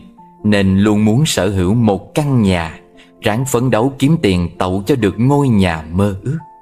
Có người vay nợ để mua cho được căn nhà, Rồi ráng làm lụng kiếm tiền trả dần. Có nhà rồi, Chúng ta vẫn dành phần lớn thời gian ở ngoài đường để kiếm tiền, Chứ không phải ở nhà. Chúng ta tiếp tục ra đường, Cày bừa vất vả ngoài đường, Để có thể đổi nhà khác to hơn, Mua sắm cho nhà nhiều vật dụng tiện nghi hơn. Lẽ nào chúng ta cần một căn nhà hơn là một tổ ấm? Liệu bạn có đang rơi vào nghịch lý nào Trong số năm nghịch lý của con người thời nay? Niềm an vui vốn dĩ Từ nội tâm yên bình, Khi lòng đầy hoan hỷ, Thế giới này đẹp xinh. Trưởng thành rồi bạn sẽ biết cách lấy nụ cười đối diện với tất cả. Chỉ cần luôn làm tốt những việc của bản thân như Làm những việc cần làm, Nuôi dưỡng lòng chân thành, Khoan dung với mọi người, Nghiêm khắc với bản thân, Giữ gìn sự lương thiện, Đi con đường chánh hành Mỗi ngày sống trong tâm niệm biết ơn. Mọi việc còn lại, Hãy thuận theo nhân duyên vận hành. Trao gửi chân tình mới có được chân tình. Nhưng mặt khác, Ta rất dễ bị tổn thương nặng nề Khi trao gửi chân tình Nhằm người hư tình giả dối. Đôi khi, lãnh đạm không phải là vô tình, Mà chỉ là một cách để tránh khỏi bị tổn thương. Giữ khoảng cách mới có thể bảo vệ chính mình. Nhưng nhiều khi giữ khoảng cách quá Sẽ khiến ta vĩnh viễn cô đơn. Không có nửa bên kia một trăm phần trăm, Chỉ có năm mươi phần trăm của hai người Hợp lại thành cặp vợ chồng Hoặc một cặp nhân duyên một trăm phần trăm. Khi giao tiếp, Đừng mong muốn hết thảy mọi người đều nghe theo quan điểm của mình, Vì đó là thái độ của bản ngã Và là nguồn gốc phát sinh kiêu mạn. Người hiểu ta thì ta không cần giải thích. Người không hiểu ta Ta lại càng không cần giải thích, bởi họ không hề muốn nghe ta. Vì thế, giải thích vĩnh viễn là thừa thải. Ngắn ngủi cùng đi một đoạn đường, tuổi chiều tóc bạc ngắm tà dương. Mỉm cười, hai kẻ nhìn nhau gật ừ chẳng chi ngoài sống để mà thương góp nhặt những bông hoa tư tưởng. Tiền xu luôn gây ra tiếng động, Còn tiền giấy luôn im lặng. Khi giá trị của bạn tăng lên, Hãy giữ cho mình luôn khiêm tốn Và nói ít đi. Cuộc sống giống như một quyển sách, Một vài chương khá buồn, Một số chương hạnh phúc Và một số chương rất thú vị. Nhưng nếu bạn chưa bao giờ thử lật một trang bạn sẽ không bao giờ biết được những gì ở chương tiếp theo. Đừng quá khắc khe với mình, Thậm chí mắc những sai lầm Cũng có nghĩa là bạn đang cố gắng. Khi bắt điện thoại, Bất luận trong hoàn cảnh nào, Bạn hãy cười lên Vì người bên kia sẽ cảm nhận được nụ cười của bạn. Cái lưỡi không xương. Nhưng đủ cứng để làm vỡ nát một trái tim. Vì thế hãy cẩn thận với ngôn từ của bạn. Đừng bao giờ cố giải thích con người bạn với bất cứ ai. Vì những người tin bạn không cần điều đó Còn những người không thích bạn Thì sẽ không tin lời bạn đâu. Hãy ghi nhớ ba điều. Cố gắng, kiên định, tin tưởng. Cố gắng vì một tương lai tốt hơn. Kiên định với công việc, Tin tưởng vào bản thân. Mỗi một người bạn gặp hàng ngày Đều là thầy của bạn. Người thông thái dạy bạn đạo lý từ bi. Người ngang ngược dạy bạn đạo lý nhẫn nhục. Suy nghĩ tạo ra vô số vấn đề. Ấy thế mà chính nó lại cố gắng đi tìm cách giải quyết vấn đề. Những vấn đề tưởng tượng và những giải pháp tưởng tượng Cứ xoay vần mãi như vậy. Người tự biết mình là ngốc Thì không phải kẻ ngốc Còn người tự cho mình là thông minh Thực ra lại là người ngốc nhất Trong số những người ngốc. Vũ trụ vạn vật đều là nhất thể Đều liên quan tương hỗ với nhau. Khi bạn làm hại mặt đất, dòng sông và các sinh linh sống trên đó. Thật ra là bạn đang tự làm hại chính mình. Khi bạn cho đi Thật ra là bạn đang làm lợi cho chính mình. Nếu bạn muốn thường xuyên vui vẻ Đừng đem niềm vui của mình đặt vào những thứ phù phiếm bề ngoài. Hãy xem tiền bạc, nhà cửa, xe cộ của bạn Đều là mượn của người khác. Hãy lợi dụng chúng thật tốt Nhưng đừng si mê chúng. Chỉ cần làm được như vậy, Bạn sẽ hưởng thụ một cuộc đời đơn giản Nhưng vui vẻ. Nếu không cẩn thận, Bạn sẽ làm ầm ĩ cái việc kiếm sống của mình. Bạn luôn bận rộn, Nhưng tại sao? Chỉ là để kiếm miếng ăn. Đàn gà tiếu tít tìm và mổ thức ăn, Nhưng cuối cùng chỉ để bị người ta ăn thịt. Không nhẽ con người cả đời bận rộn, Chỉ để chết mà thôi. Một đời luân lạc ưu phiền, Tháng năm lòng nặng, bao niềm âu lo. Từ đâu ai đã buộc cho? Khư khư rồi lại bo bo nghiệp trần. Làm sao giữ lại? Làm sao giữ lại điều không thể? Các biển tuôn dần qua kẻ tay làm sao miên viễn đời dâu bể? Bảo gió trên ngàn thôi cuốn mây. Làm sao níu áo thời gian lại, Ngắm nụ xuân thì chưa úa môi. Làm sao tìm thấy dòng sông cũ, Lạ lẫm chiều nay bến lỡ bồi. Làm sao giữ được tình ban sớm, Chưa kịp hoàng hôn đã úa màu. Ta trách sao người thay đổi vội Chắc gì ta chẳng đổi thay đâu. Làm sao nắm giữ ngày nhung lụa, Hào phú vang danh của một thời. Phút chốc, một chiều bao cái của, Đồng tình đội nón chạy xa xôi. Soi gương thấy nụ cười năm đó, Chẳng biết vì đâu méo mó rồi. Làm sao giữ được điều không thể? Cầm bằng như nước cuốn hoa trôi. Vốc nước lòng tay không giữ được, Mọi vật trên đời cũng rứa thôi. Thái độ trước biến cố. Vì sao con trai mềm yếu lại có thể tạo ra trân châu? Khi một hạt cát lọt vào trong con trai, Dù cảm thấy rất khó chịu nhưng nó không thể đẩy hạt cát ra ngoài Đối diện với nỗi đau ấy Con trai không một lời oán trách mà chỉ dùng dinh dưỡng trong cơ thể bao bọc lấy hạt cát, từng lớp từng lớp một. Dần dần, từ chỗ là một nỗi đau xót, hạt cát ấy trở thành một viên minh châu mỹ lệ. Và vì sao ngựa hoang mạnh mẽ lại bị khuất phục bởi con dơi bé nhỏ? Khi bị dơi hút máu, ngựa hoang cảm thấy rất khó chịu, nhưng không thể đuổi dơi đi. Ngựa hoang giận dữ chạy nhảy cuồng loạn đến mức kiệt sức chết.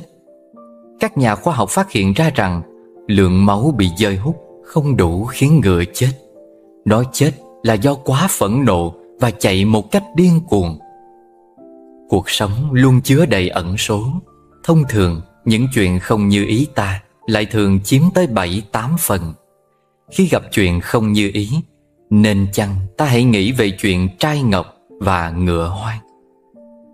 Thái độ sống và cái nhìn minh triết về hoàn cảnh giúp con người xoay chuyển và tháo gỡ được mọi vấn đề. Sự trưởng thành tâm thức của một con người được đánh giá qua cách người đó đối diện và giải quyết những vấn đề gặp phải trong đời sống.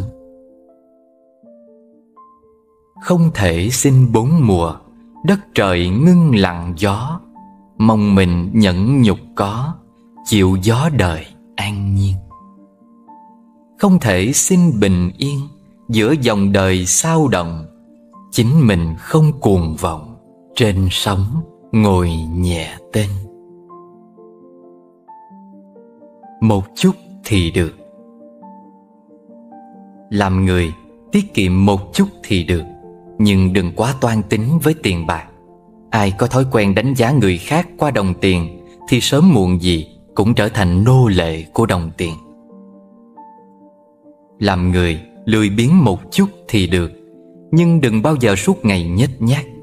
Việc cần làm nên cố gắng làm cho trọn vẹn, Nên có tâm cống hiến một chút Để không làm loài tầm gửi đeo bám xã hội. Làm người, tham vọng một chút cũng được, Nhưng nhất định đừng quá ngang tàn. Đừng để giả tâm biến mình thành ác quỷ Làm người thông minh một chút thì tốt Nhưng nhất định đừng tự cho mình là khôn lanh Còn người đời ngốc nghếch cả nếu không, thế giới này chỉ có một kẻ ngây ngô, đó chính là bạn. Làm người khoan dung một chút thì tốt, nhưng đừng để người khác xem thường, lợi dụng sự khoan dung của mình mà tiếp tục phạm lỗi. Dù thế nào, ta cũng nên giữ lấy quy tắc và sự tự tôn riêng. Làm người khờ khạo một chút để hạnh phúc hơn là thông minh quá rồi mệt mỏi vì tham vọng của tự thân. Làm người ngốc nghếch một chút thì có thể thản nhiên đối đãi sự tình. Có câu rằng kẻ ngốc có phúc của kẻ ngốc. Khờ khạo một chút không có nghĩa ta có chỉ số thông minh thấp hoặc chậm hiểu, mà là đối với nhân sinh có một phần thấu hiểu, một phần thản nhiên. Cơ hội tới, Họ sẽ gắng sức tranh thủ làm cho thật tốt. Đối với những thứ không thể đạt được, Họ có thể mỉm cười cho qua. Tình cảm nào không thể với tới được, Họ buông bỏ nhẹ nhàng. Những người ngốc nghếch như vậy, Lòng dạ sẽ rộng rãi, Dễ dàng thỏa mãn. Tâm tình khoáng đạt. Làm người ngốc nghếch một chút, Không đi so đo với người khác Thì cuộc sống càng tự tại. Làm người ngốc nghếch một chút, thực ra vẫn tốt hơn. Quá tính toán sẽ làm mệt chính mình. Với người tham món lợi nhỏ, Người ngốc nghếch không ngại nhượng bộ vài phần. Với người ham sĩ diện bề ngoài, Người ngốc nghếch không ngại khen ngợi vài câu. Với những người thích ai vua nịnh hót Người ngốc nghếch sẽ yên lặng rời xa Không để ý tới nữa. Không phải họ không nhìn thấu thói xấu ấy Mà là không muốn nói ra. Người ngốc nghếch thường có thể bao dung và thông cảm với nỗi lòng của người khác. Hạnh phúc kỳ thực rất giản đơn Chỉ cần hiểu được khi nào nên tiến, nên thoái. Không tranh giành là một loại trí tuệ cũng là một loại từ bi. Buông tha chính mình cũng là buông tha người khác. Làm người ngốc một chút Kỳ thực cũng không có gì là thiệt thòi. Không yêu cầu quá nhiều đối với thân nhân Thì gia đình sẽ hòa thuận. Không tranh chấp quá nhiều với người yêu Thì tình cảm sẽ bền lâu, hạnh phúc. Không tính toán chi ly với bạn bè Thì tình bạn càng thêm vững chắc. Làm người ngốc một chút.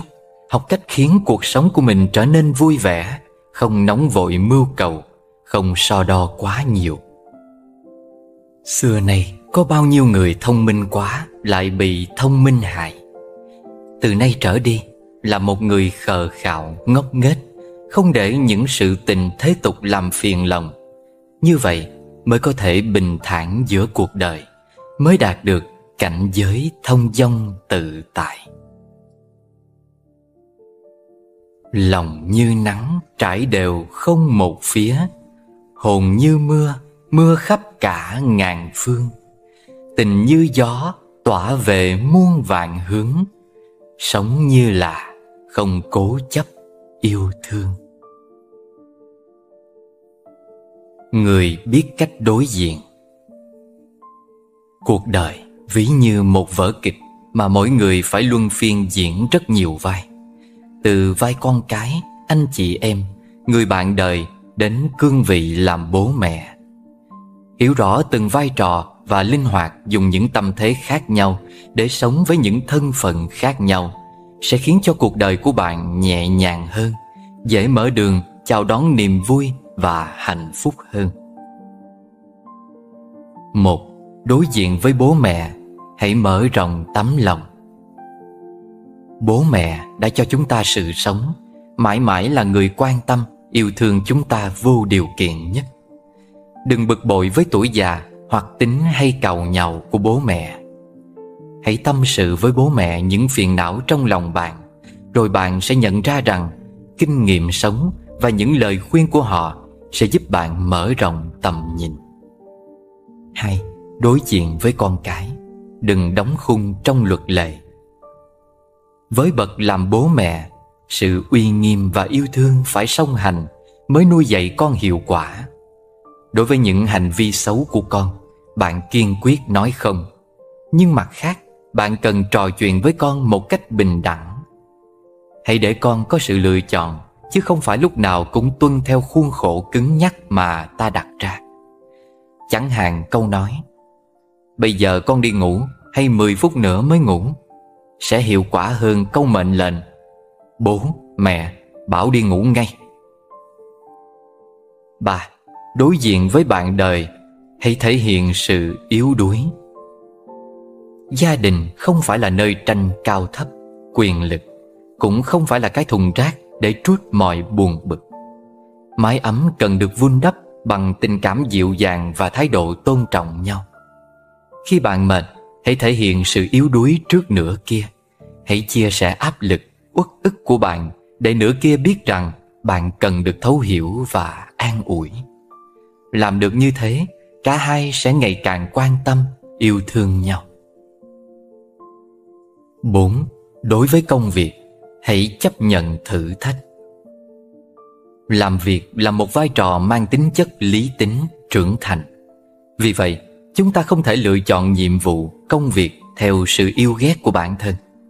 Ở môi trường làm việc nào, mỗi người đều cần phải chấp nhận khó khăn Sẵn sàng học hỏi, cầu tiến Dung hòa với mọi người và rèn luyện mình ngày càng tốt hơn. 5. Đối với bạn bè, hãy thả lỏng hoàn toàn. Mỗi chúng ta đều có vài người bạn thân thiết.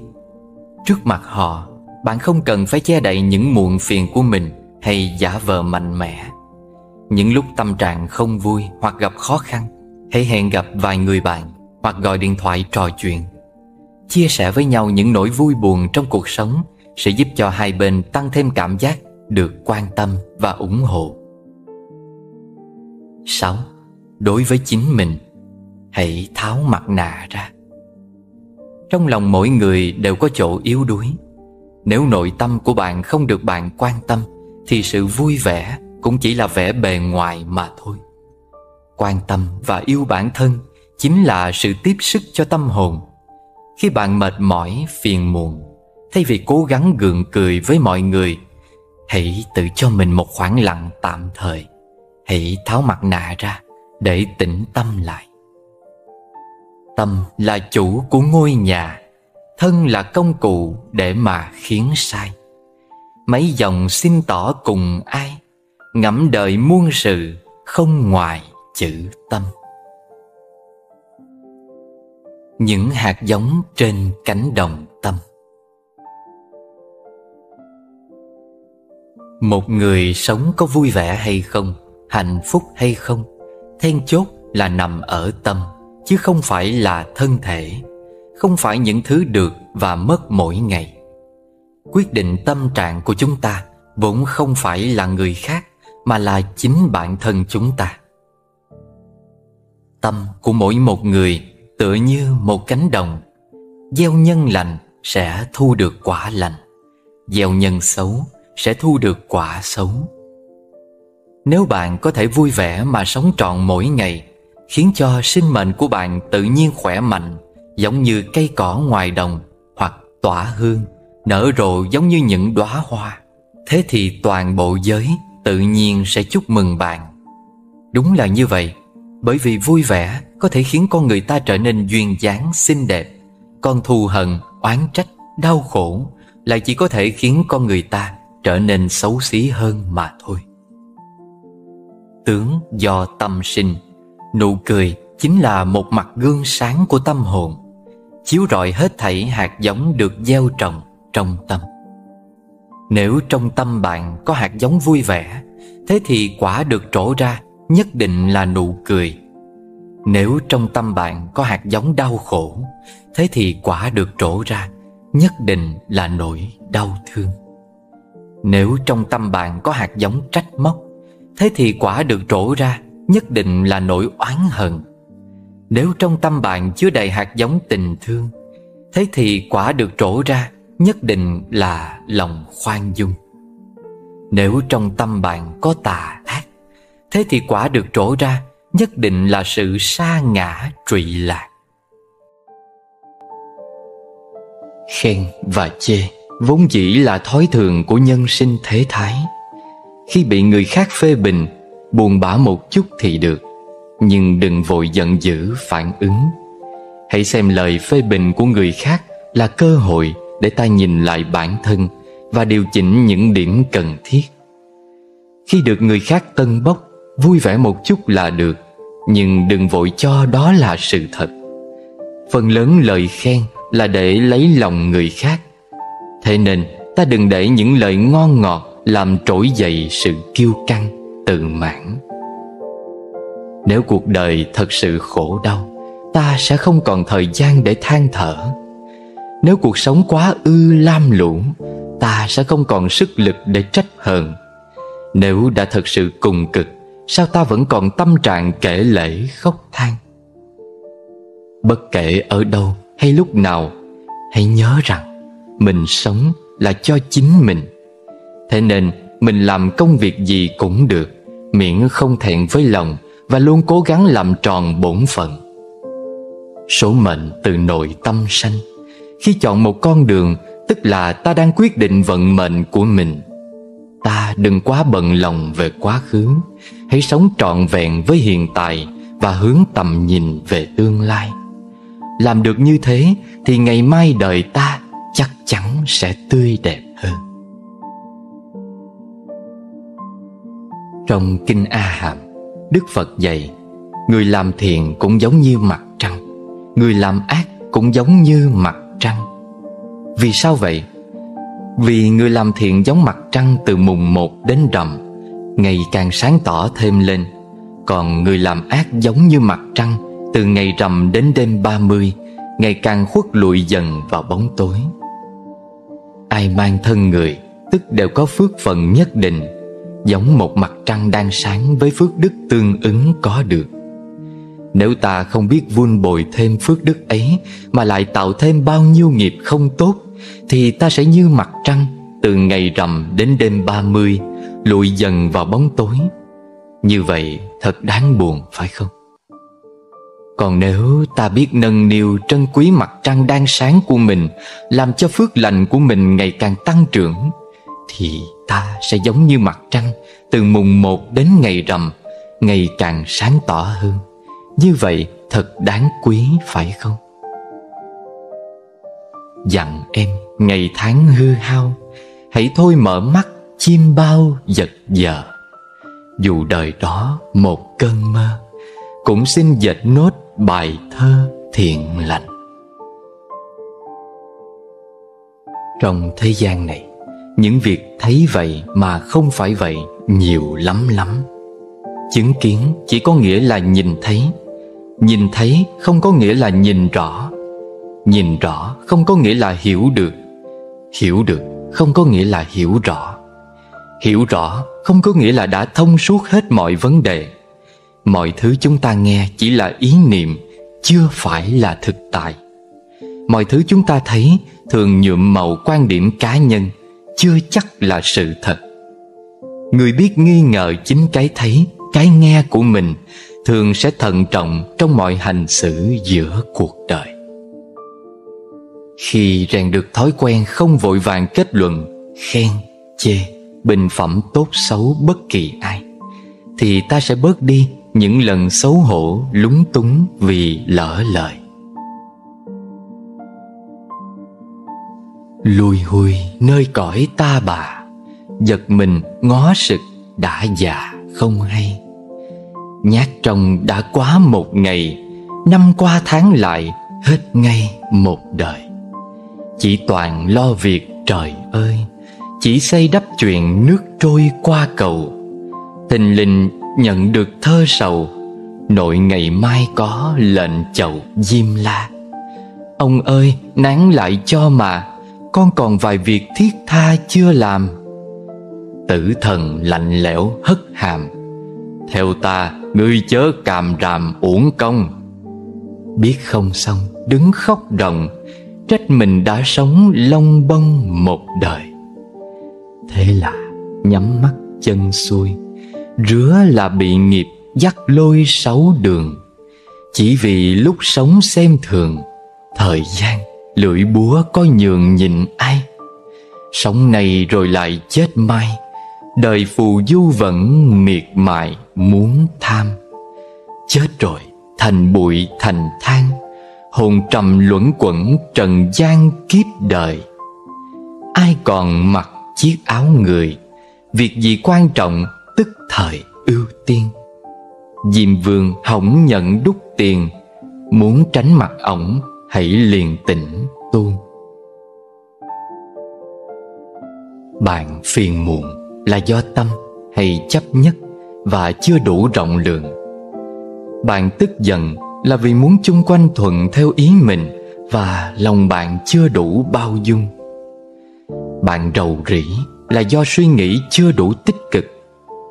Bạn lo nghĩ là do tâm trí chưa đủ thông dong. Bạn đau thương là tại chí chưa đủ kiên cường. Bạn đố kỵ là vì bạn chưa đủ ưu tú. Bạn tham muốn là vì chưa thấu hiểu vô thường. Mỗi một loại phiền não đều bắt nguồn từ chính ta. Mỗi khi chúng xuất hiện Chính là cơ hội để ta quay về quan sát nội tâm, Nhận ra khiếm khuyết của bản thân, Rồi sau đó nỗ lực chuyển hóa. Cứ như thế, Nhờ phiền não mà chúng ta hoàn thiện hơn mỗi ngày. Đôi khi nên cảm ơn buồn, Vì buồn đích thực cội nguồn của sen. Đừng mong đời chẳng muộn phiền, Mong ta đủ sức yếu hèn vượt qua. Tạ ơn giáo lý Phật Đà, Giữa đời thuận nghịch vẫn là thông dong. Giữa người với nhau. Chỉ có một sự khác biệt rất nhỏ. Nhưng chính sự khác biệt nhỏ ấy Sẽ quyết định con người thất bại hay thành công, Đau khổ hay hạnh phúc. Sự khác biệt đó chính là tâm lượng và thái độ sống. Có lần Đức Phật dạy rằng, Loài người được chia làm hai hạng. Một hạng như cái giếng nước ở ngã tư đường Cho muôn người sử dụng một hạng như cái giếng nước nằm trong rừng sâu, Hiếm ai dùng được. Hạnh phúc thay, Nếu bạn được người khác lợi dụng, Điều đó chứng tỏ rằng bạn có giá trị Nên người khác mới trông mong, Nhờ cậy. Thế thì ta không nên sợ bị người đời lợi dụng, chỉ sợ lòng mình hẹp, Chẳng ai dám cậy nhờ. Tâm ta giống như một con đường Ta càng tính toán, Càng lắm mưu nhiều kế, Thì con đường ấy càng cục. Đường rộng không bằng tâm rộng Tâm rộng một tấc, Đường rộng một trường. Nhà rộng chẳng bằng tâm rộng, Mệnh tốt không bằng tâm tốt. Trong cuộc sống hiện nay, chúng ta hay nói về đau khổ, về khổ về sự khổ ải vô biên. Vậy thì người như thế nào sẽ khổ? Đầu tiên là người có khuynh hướng cực đoan. Nhà phật thường nhắc đến đạo lý sống trung đạo. Cái gọi là trung đạo chính là không đi theo hướng cực đoan quá mức. Bởi lẽ bất cứ việc gì khi đi đến cực điểm cũng sẽ bắt đầu rơi xuống theo hướng ngược lại. Tương tự như vậy nếu như một người đen đuổi đến mức cực điểm, cũng chớ vội cực đoan, nghĩ không thông. Bởi thường thì qua cơn bị cực đến hồi thới lai. Qua lúc khó khăn đến hồi thư thái đó mà. Và ngược lại, khi thành công gặp vận may, cũng đừng quá đắc chí mà hành xử thiếu suy nghĩ, thì họa sẽ liền kéo đến. Thứ hai, đó là người tự cao tự đại sống ở trên đời, người khiêm tốn thường được yêu mến. Ngược lại, tự cao tự đại sẽ bị người khác chán ghét. Điều này thì hầu như ai cũng hiểu rồi, nhưng vẫn thường mắc phải.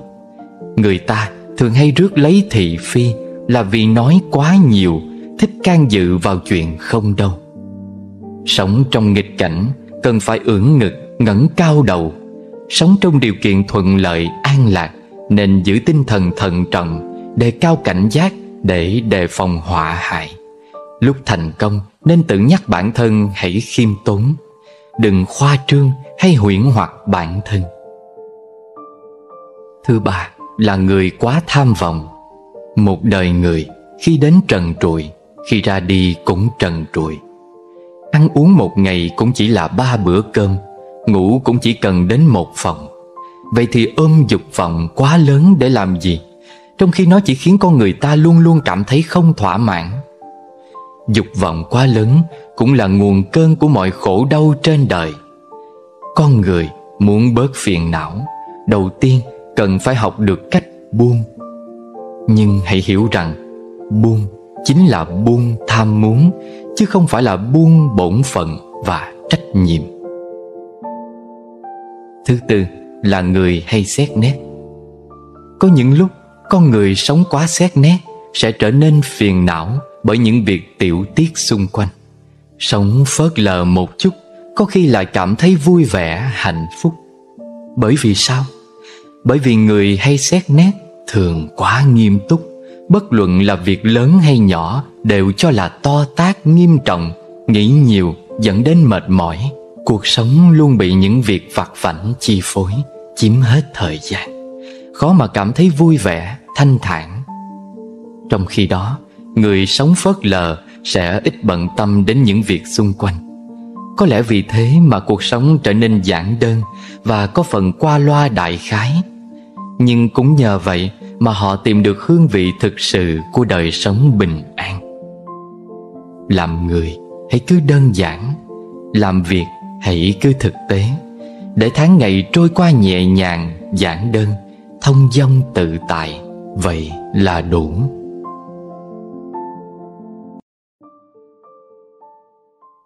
Ở đời có được, ắt có mất.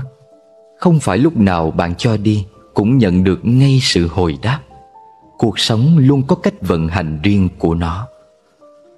Tương lai luôn ở phía trước, chỉ cần ta mạnh chân bước tới hãy chấp cho mình đôi cánh tự do, bước qua những đớn đau và hệ lụy để làm một người vui vẻ. Hãy quên đi năm tháng và tuổi tác, đừng để thời gian khiến ta trở nên già cỗi. Cho dù bao nhiêu tuổi, chỉ cần cảm thấy tinh thần còn trẻ là được. Vượt qua sự cám dỗ của danh lợi vì chúng vốn là vật ngoài thân và có hạn thường ai cũng muốn mình có một chút danh tiếng một chút lợi lộc, rồi tranh nhau giành lấy.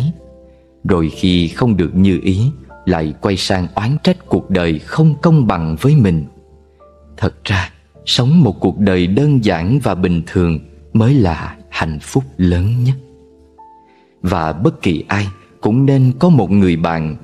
Tài sản không thể làm bạn với ta cả đời, mà bạn hữu đôi khi trở thành tài sản cả đời của ta. Tốt hơn hết là có một tri kỷ. Lúc cảm thấy lẻ loi, có thể tìm đến nói vài ba câu. Nhưng việc có một người bạn đúng nghĩa Thật sự không hề dễ dàng, Nên xem trọng chất lượng trong kết giao bạn bè. Xây dựng một nơi nương tựa trong chính mình. Khi gặp chuyện phiền não, Hãy lắng lòng yên tĩnh, Cho mình một không gian Để tâm trí bình lặng lại. Nhìn những cánh hoa dại bên đường, Dù bé nhỏ Cũng đùa nhau khoe sắc, Tô điểm cho đời. Thế giới cũng bỗng chốc trở nên tươi đẹp hơn. Nghĩ một cách lạc quan, Sống một đời hạnh phúc. Nhớ ưu điểm người khác, Dưỡng đạo đức chính mình. Có lẽ chúng ta thường hay phạm chung một lỗi lầm Nhận lòng tốt ai đó đã quen. Bỗng một ngày, họ có chút sơ suất. Mình lập tức quên hết những điều tốt đẹp còn lại. Người ta thường hay nhớ những khiếm khuyết và lỗi lầm của kẻ khác, Thích xét nét những khuyết điểm của họ Rồi cho rằng người ta không bằng mình. Nên càng nhìn, càng thấy thiên hạ yếu kém, Càng quan sát, càng khó lòng chấp nhận. Thật ra, việc nhìn người khác cũng giống như soi gương. Nếu mình châu mày trợn mắt, Chắc chắn sẽ nhận lại hình ảnh khó chịu. Từ đó cả ta và người đều cảm thấy không vui. Chút vụng về của người khác trong mắt ta cũng trở nên to tát. Khi không hài lòng nhưng vẫn phải đối diện, Thì khó chịu như kim đâm vào mắt, Gai chích vào da, Phải nhổ ra mới thấy thoải mái. Nhớ lỗi lầm của người là lấy sai trái của họ trừng phạt chính mình. Khiến bản thân không vui, Suốt ngày sống trong khó chịu. Vì vậy, hãy ghi nhớ những điểm tốt của người. Đối với những khiếm khuyết, nên khoan dung một chút. Lâu ngày, sẽ thấy ai ai cũng có điều đáng học hỏi. Trong lòng, chỉ có những điều tốt, Thế giới sẽ tươi đẹp biết bao nhiêu. Ghi nhớ điểm tốt của người Tốt hơn nhiều so với việc Ghi nhớ lỗi lầm của họ. Rồi ôm trái tim oán giận, đau khổ, Lay lắc trong đời. Đâu thể truy cầu một đời hoàn mỹ. Sống ở đời, dù bạn tốt đẹp thế nào cũng không thể nhận được sự yêu thích của mọi người. Bất luận bạn sống tốt thế nào, cũng sẽ có người khen, kẻ chê. Dù bạn làm thành công ra sao, người ta cũng sẽ bình phẩm tốt xấu. Có người hâm mộ sẽ có người ghét bỏ. Có ai đó ganh tị, ắt có kẻ chẳng coi bạn ra gì. Cuộc sống là như thế, Bạn không thể làm hài lòng hết thảy. Nên đừng vì để vừa lòng người khác Mà đánh mất bản chất của mình. Ai cũng cần có những nguyên tắc Và sự tự tôn riêng. Chúng ta qua miệng người khác Không phải là con người toàn diện, Mà có rất nhiều phiên bản khác nhau. Bạn chỉ cần là một bạn chính tốt là đủ. Bởi người đời Ánh mắt giống nhau nhưng góc nhìn khác nhau Miệng giống nhau nhưng mỗi người một cách nói. Trái tim cấu tạo tương đồng nhưng suy nghĩ lại rất dị biệt. Tiền của giống nhau nhưng cách chi tiêu mỗi người một thị hiếu. Đúng, sai, phải, trái, tốt, xấu là do lập trường không giống nhau. Hoàn cảnh khác thì cách nhìn đã khác. Cũng là con người, nhưng mỗi cá nhân có một cách sống, Cần tự tin bước đi trên đôi chân của mình. Đại bàng không có tiếng cổ vũ cũng gian cánh bay lượn. Đám cỏ không cần người chăm sóc, Cũng biết tự vươn mình lớn lên. Hoa dại trong núi sâu, Dù không ai thưởng thức, Vẫn tỏa hương thơm ngát. Làm việc không cần người người đều thấu hiểu. Chỉ cần dốc lòng hết sức Làm người không cần ai ai cũng yêu mến Chỉ cần thẳng thắn, rộng lượng. Hoa có trăm dáng nghìn kiểu Nhưng vẫn có thể khoe sắc tỏa hương Mà không bị ngăn ngại. Sống ở đời mỗi người một phong cách Sao không nâng đỡ cùng đi lên Hạ thấp nhau làm chi? Nếu cảm thấy xứng đáng thì trân trọng Hạnh phúc thì giữ gìn Người khiến bạn vui vẻ thì gần gũi, Cảm động thì yêu thương. Làm người, Nếu nói dễ cũng không hẳn dễ. Để lay động hàng ngàn trái tim Hay quản lý miệng lưỡi của thiên hạ, Tất nhiên là không hề dễ dàng. Làm người nói khó cũng không hẳn khó. Chỉ cần giữ tấm lòng lương thiện, Là một người hiền lành, Rồi đi con đường của mình là đủ. Một đời người thật ra không dài lắm. Dù sao mình cũng đã đến đây rồi Thì nên sống cho đẹp một chút vậy. Ba loại việc của nhân sinh. Trên đời có ba loại việc chính. Thứ nhất, việc của bản thân. Ví dụ như hôm nay nên làm gì, ăn uống ra sao Cần giúp đỡ những ai, vui hay buồn. Tất cả đều do bản thân quyết định. Thứ hai, việc của người khác. Đại khái như anh nọ lười làm ăn Chị kia kết hôn không hạnh phúc Bạn ấy lừa dối mình Sao giúp đỡ mà họ không cảm kích? Đó là việc do người khác làm chủ. Thứ ba, việc của trời đất. Tiêu biểu như chuyện mưa gió sấm chớp Thiên tai, dịch bệnh. Đó là những việc vượt ra ngoài khả năng của con người. Chúng ta muôn phiền phần lớn là do quên mất việc bản thân, Thích quản chuyện người khác Và lo lắng thái quá những vấn đề của đất trời. Muốn bình an tự tại, Đơn giản chỉ cần lo tròn việc bản thân, Không xăm soi chuyện người khác Và đừng quấy nhiễu đến chuyện trời đất. Vì thế, mỗi khi thấy phiền não bất an, Hãy suy xét. Rốt cuộc, đây là việc của ai? Bạn sẽ biết cách tháo gỡ. Phù hợp là hạnh phúc. Trong cuộc sống có rất nhiều việc không phải cứ theo ý mình mới là tốt. Mặt trời không vì bạn không vui mà sớm mai không mọc. Ánh trăng cũng không vì bạn trách hờn mà cuối đêm không lặng. Bịt mắt mình lại không có nghĩa Thế giới sẽ biến thành màn đêm tăm tối. Làm mờ mắt người cũng chưa chắc ánh sáng sẽ thuộc về riêng mình. Trên đời, chỉ có búa rìu chưa đủ sắc bén, Chứ không có loại cỏ cây nào là không thể đốn đi. Công việc, chỉ có con người chưa nghĩ đến phương pháp, Hoàn toàn không có gì là không thể làm thành. Nếu muốn, người ta sẽ nghĩ cách, Còn không, họ sẽ tìm lý do. Cuộc sống như ly nước Dù nóng hay lạnh Nhiệt độ thích hợp là có thể uống được. Hương vị dù ngọt bùi hay cay đắng Chỉ cần hợp khẩu vị là ngon. Giai điệu dù nhanh hay chậm Hợp với thính giác là hay. Bốn mùa tuần hoàn Bất luận xuân, hạ, thu, đông Nếu hợp với tâm trạng Thì đều là tốt đẹp. Tất cả chỉ cần thích hợp với bản thân, Chính là hạnh phúc. Đừng làm đau người thương. Có phải chúng ta thường phạm phải sai lầm này? Đối với người lạ thì lễ phép lịch sự, Còn người gần gũi mình lại hay cằn nhằn. Kẻ qua đường giúp đỡ chút đã khiến ta muôn phần cảm kích. Người thân cận lo lắng bao nhiêu cũng thấy chưa hài lòng. Chúng ta thường mang tâm trạng tồi tệ và bộ mặt cau có đối xử với người bên cạnh. Còn sự nhẫn nại và bao dung lại dành tặng những người qua đường bất chợt.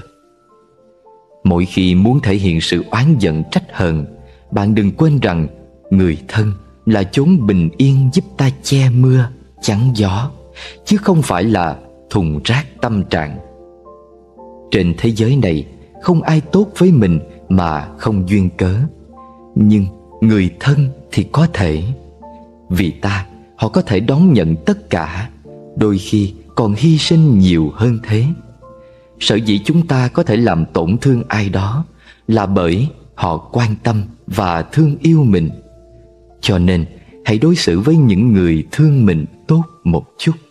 Đừng làm họ đau. Hành trình của kiếp người. Một đời như chuyến xe hướng đến phần mộ của mình. Không ai có thể cùng ta đi trọn cuộc hành trình Bao gồm cả người thân, gia đình và bạn hữu. Nếu may mắn có người cùng đi một đoạn Khi họ phải tạm biệt xuống xe Dù không đành lòng cũng nên cảm kích và vẫy tay từ biệt. Vì trạm sau chắc chắn sẽ có người khác đồng hành với bạn. Cà phê đắng hay ngọt là do mình bỏ đường hay thêm muối. Một niềm đau thương không nằm ở chỗ làm sao quên đi, Mà phụ thuộc vào việc bạn có đủ dũng khí bước qua Để đến với cái mới hay không mà thôi. Đời người cũng giống như một ly trà, Mới uống vào sẽ cảm thấy đắng chát, Nhưng đó chưa phải là tất cả. Đi qua những đắng chát Sẽ cảm nhận được vị ngọt, nhẹ nhàng. Chúng ta sở dĩ mệt mỏi Là vì cứ do dự giữa kiên trì và buông bỏ. Đôi khi hiểu ra rồi Nhưng trong lòng lại không muốn chấp nhận sự thật. Ai bước vào cuộc đời bạn Là bởi duyên nghiệp chi phối. Nhưng việc gắn bó lâu dài hay ra đi vội vã là do bản thân mình quyết định không giải thích mới nhẹ nhàng, không cố chấp mới khai thông và không hoàn mỹ mới là cuộc đời. Đừng đổ lỗi cho người khác, không cười nhạo bất kỳ ai cũng chẳng cần ngưỡng mộ họ. Mặt trời chiếu sáng thì ta sưởi ấm, mưa gió nổi lên thì tìm chỗ trú ẩn. Thực hiện mong ước của mình, đi con đường mình lựa chọn, thế giới sẽ thanh bình những điều cần rõ ràng trong cuộc sống. Đời mỗi người đều có hai con đường. Một, dùng tâm trải nghiệm, gọi là ước mơ. Hai, dùng chân bước đi, gọi là hiện thực. Nếu tâm cảm nhận không kịp, hiện thực sẽ nhạt nhòa. Chân bước đi quá chậm, mộng ước sẽ bay xa. Trên thế giới này, việc khó chịu nhất không gì hơn là biết người mình thương yêu hướng lòng về kẻ khác mà vẫn đa tình một cách ngốc nghếch. Những cuộc gặp gỡ hay chia ly đều có nhân duyên nhất định. Thuận theo đó mà được yên ổn chính là điều tốt đẹp nhất. Khi ai đó bên cạnh ta, nếu có thể khiến họ thấy an lạc, đã là thành công lớn. Lúc nhỏ, hạnh phúc là chuyện rất đơn giản. Lớn lên rồi có thể sống giản đơn mới là điều hạnh phúc. Để không uổng công đến đây một đời, hãy làm việc muốn làm và yêu những gì mình muốn. Đời người chính vì quá kỳ vọng nên mới thất vọng, mong ước xa vời nên mới tiêu tan. Chất chứa quá nhiều nên khó lòng bộc bạch. Có một số người quên không được là do không nỡ, Một số khác nhất định phải quên đi vì không đáng nhớ. Cũng đừng quá tin tưởng vào mắt mình, Vì có khi những gì bạn nhìn thấy là những điều đang mong muốn, Còn những thứ không thích đã bị bạn lướt qua. Thật ra, người bị hiểu lầm không hề mất mát gì. Kẻ nhìn nhận sai người khác mới thật sự mất đi cơ hội. Chúng ta đều nghĩ rằng mình làm chủ cuộc đời này mà quên mất cuộc sống vốn phải cần rất nhiều người phối hợp. Cũng đừng vì cái lợi trước mắt mà đánh mất tương lai lâu dài. Nên nhớ những gì có được nhờ vào sự hy sinh của kẻ khác thì không bao giờ bền vững. Đời người rất ngắn ngủi, không có thời gian cho việc tiếc nuối. Đừng quá bận lòng với những người hoặc việc khiến mình phiền muộn dù chỉ là một phút nếu chưa có kết quả cuối cùng, hãy mỉm cười và mạnh chân tiến về phía trước. Nhân thế gặp gần, nhớ tặng người bên cạnh chút ấm áp. Mưa gió cuộc đời, hãy dành cho mình chút lạc quan. Nếu biết cách yêu đời, khéo dung hòa mọi thứ, thì dần dần niềm vui và hạnh phúc sẽ lan tỏa ra xa. Đời người không phải cuộc chạy đua, Mà chính là chuyến du lịch Cuộc đua quan trọng ở đích đến, Còn chuyện rong chơi cần quan tâm đến phong cảnh bên đường. Tâm trạng tốt thì cảnh vật theo đó cũng sẽ đẹp hơn. Bất luận hôm nay gặp bao nhiêu khó khăn, Hãy vững tin rằng Chỉ có hôm qua là không thể trở lại, Còn ngày mai chắc chắn sẽ đến. Sống an hòa. Tay vốn không phải để đánh mà dùng để bảo bọc những người mình yêu thương. Chúng ta cô đơn buồn khổ Hoàn toàn không phải vì người đời không thông cảm cho ta Mà bởi lòng mình không buông được ai đó. Một người bạn tốt thật sự trong đời Thì khó tìm, khó bỏ và cũng khó quên. Bạn không cần cố gắng Cũng không phải che đậy. Người hiểu tất sẽ biết. Bạn vốn là người như thế nào? Không nên vừa gặp người lạ, Liền phơi bày tâm can. Nên biết một số người trước mặt Thì tỏ vẻ hết lòng, Nhưng sau lưng lại có những suy nghĩ khác.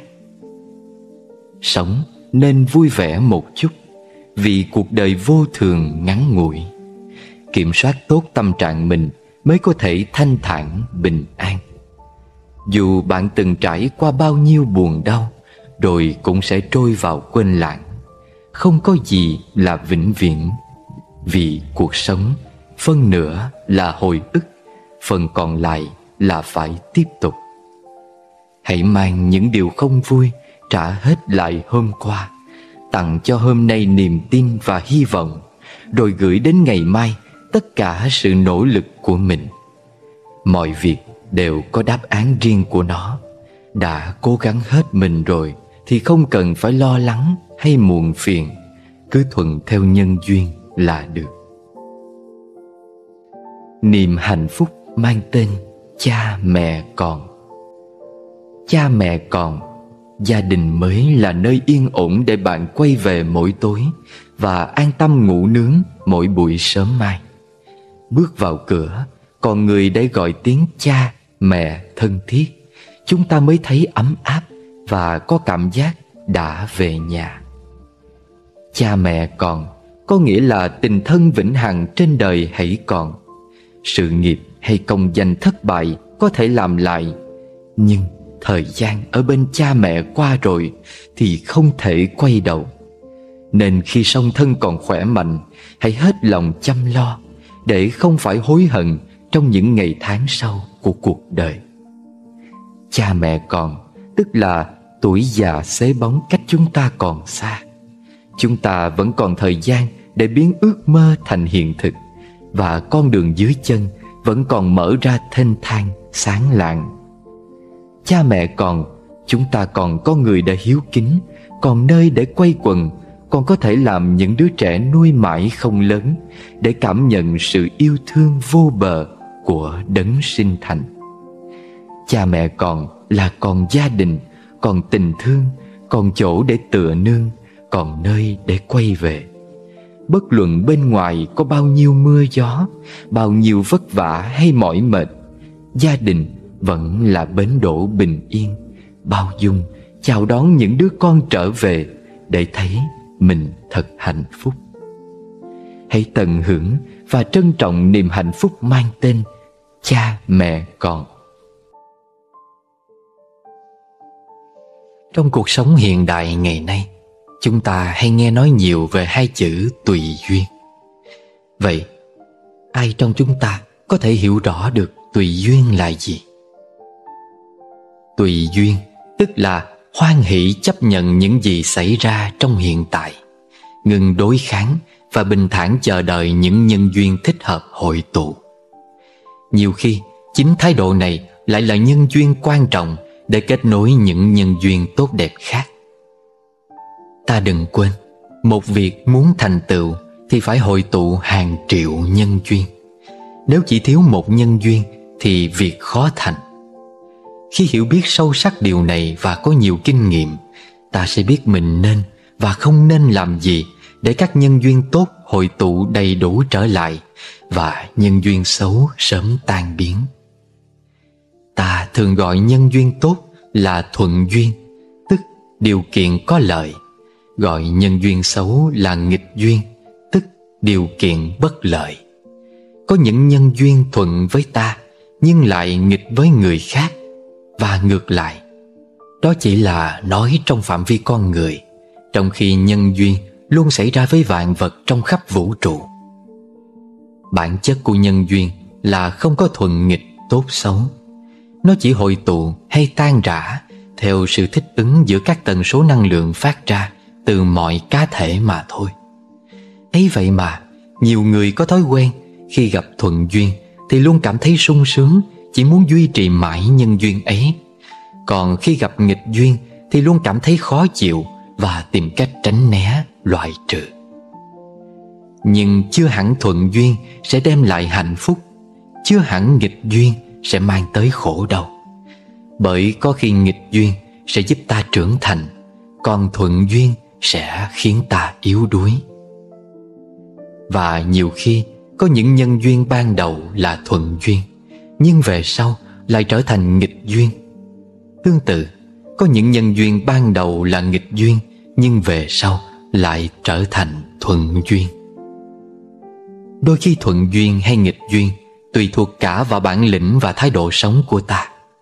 Thế nên ta không cần phải cẩn trương thay đổi những nhân duyên ta đang không hài lòng. Cũng không cần cố gắng Tìm kiếm những nhân duyên ta hằng mong đợi. Khi tâm ta đủ vững chãi Để tạo ra những nhân duyên an lành Thì những nhân duyên tương ứng sẽ tự động kết nối. Ví như người ta có nói câu Đồng thanh tương ứng, đồng khí tương cầu là vậy.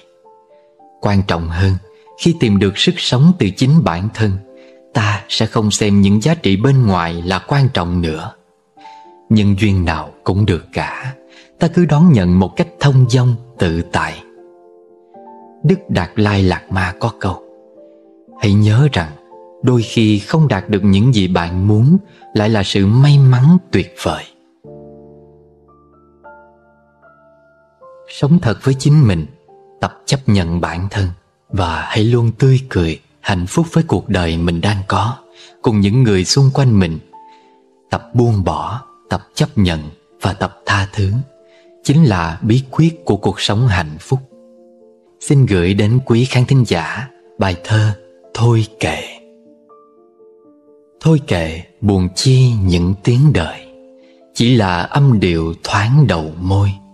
Nghe khen càng thích, chê càng khổ, thế sự muôn trùng vẫn cứ trôi. Thôi kệ sầu chi chuyện được thua, tuần đời tăng gián lúc tôi vua. Ai khôn mà chẳng dâm lần dài. Rồi cũng phù vân ngọn gió đùa. Muôn sự trên đời do nghiệp duyên. Hiểu ra thanh thoát mọi ưu phiền. Trong mơ ai biết đời hư ảo Thả mồi bắt bóng tự truân chuyên. Thôi kệ, thôi đừng trách thế nhân Đừng nhìn lỗi họ để bâng khuâng. Nhân tình thế thái xưa nay vậy Thánh thiện thì ai ở dưới trần? Thôi kệ chi rồi cũng sẽ qua Giận hờn tham oán nặng riêng ta. Gỡ cặp kính màu cho bớt khổ Mắt nhầm trong đời vạn đốm hoa. Sống giữa nhân hoàng mấy chục năm Nói năng thì dễ, khó là câm. Đời trôi ta nhọc vì ôm giữ Vui buồn sướng khổ tại nơi tâm. Và có những câu châm ngôn, những câu danh ngôn Mà chúng ta có thể đã biết rồi. Ví dụ như Khi cuộc đời đưa ta một quả chanh chua Đừng sợ Hãy dùng nó nấu ăn Hoặc pha một ly nước chanh mát lạnh Nếu như bạn đón nhận một việc với suy nghĩ bi quan Chán nản thì những trắc trở trong cuộc sống của bạn chính là những quả chanh chua. Nhưng một khi bạn đón nhận sự việc đó với tinh thần lạc quan, yêu đời và tâm hồn rộng mở, thì những trắc trở sẽ trở thành ly nước chanh tuyệt vời. Nhăn mặt nếm quả chanh chua hay thích thú thưởng thức ly nước chanh mát lành đều do chúng ta lựa chọn. Thời gian có thể giúp chúng ta lớn lên, nhưng chưa chắc khiến cho người ta trưởng thành. Chỉ khi va vấp và đối mặt với những biến cố trong đời, con người ta mới dần khôn lên và hiểu biết nhiều hơn. Người có trí tuệ khi ở một mình Sẽ quản thúc tốt cái tâm của mình Xem đó là cơ hội tốt Để tự kiểm điểm bản thân.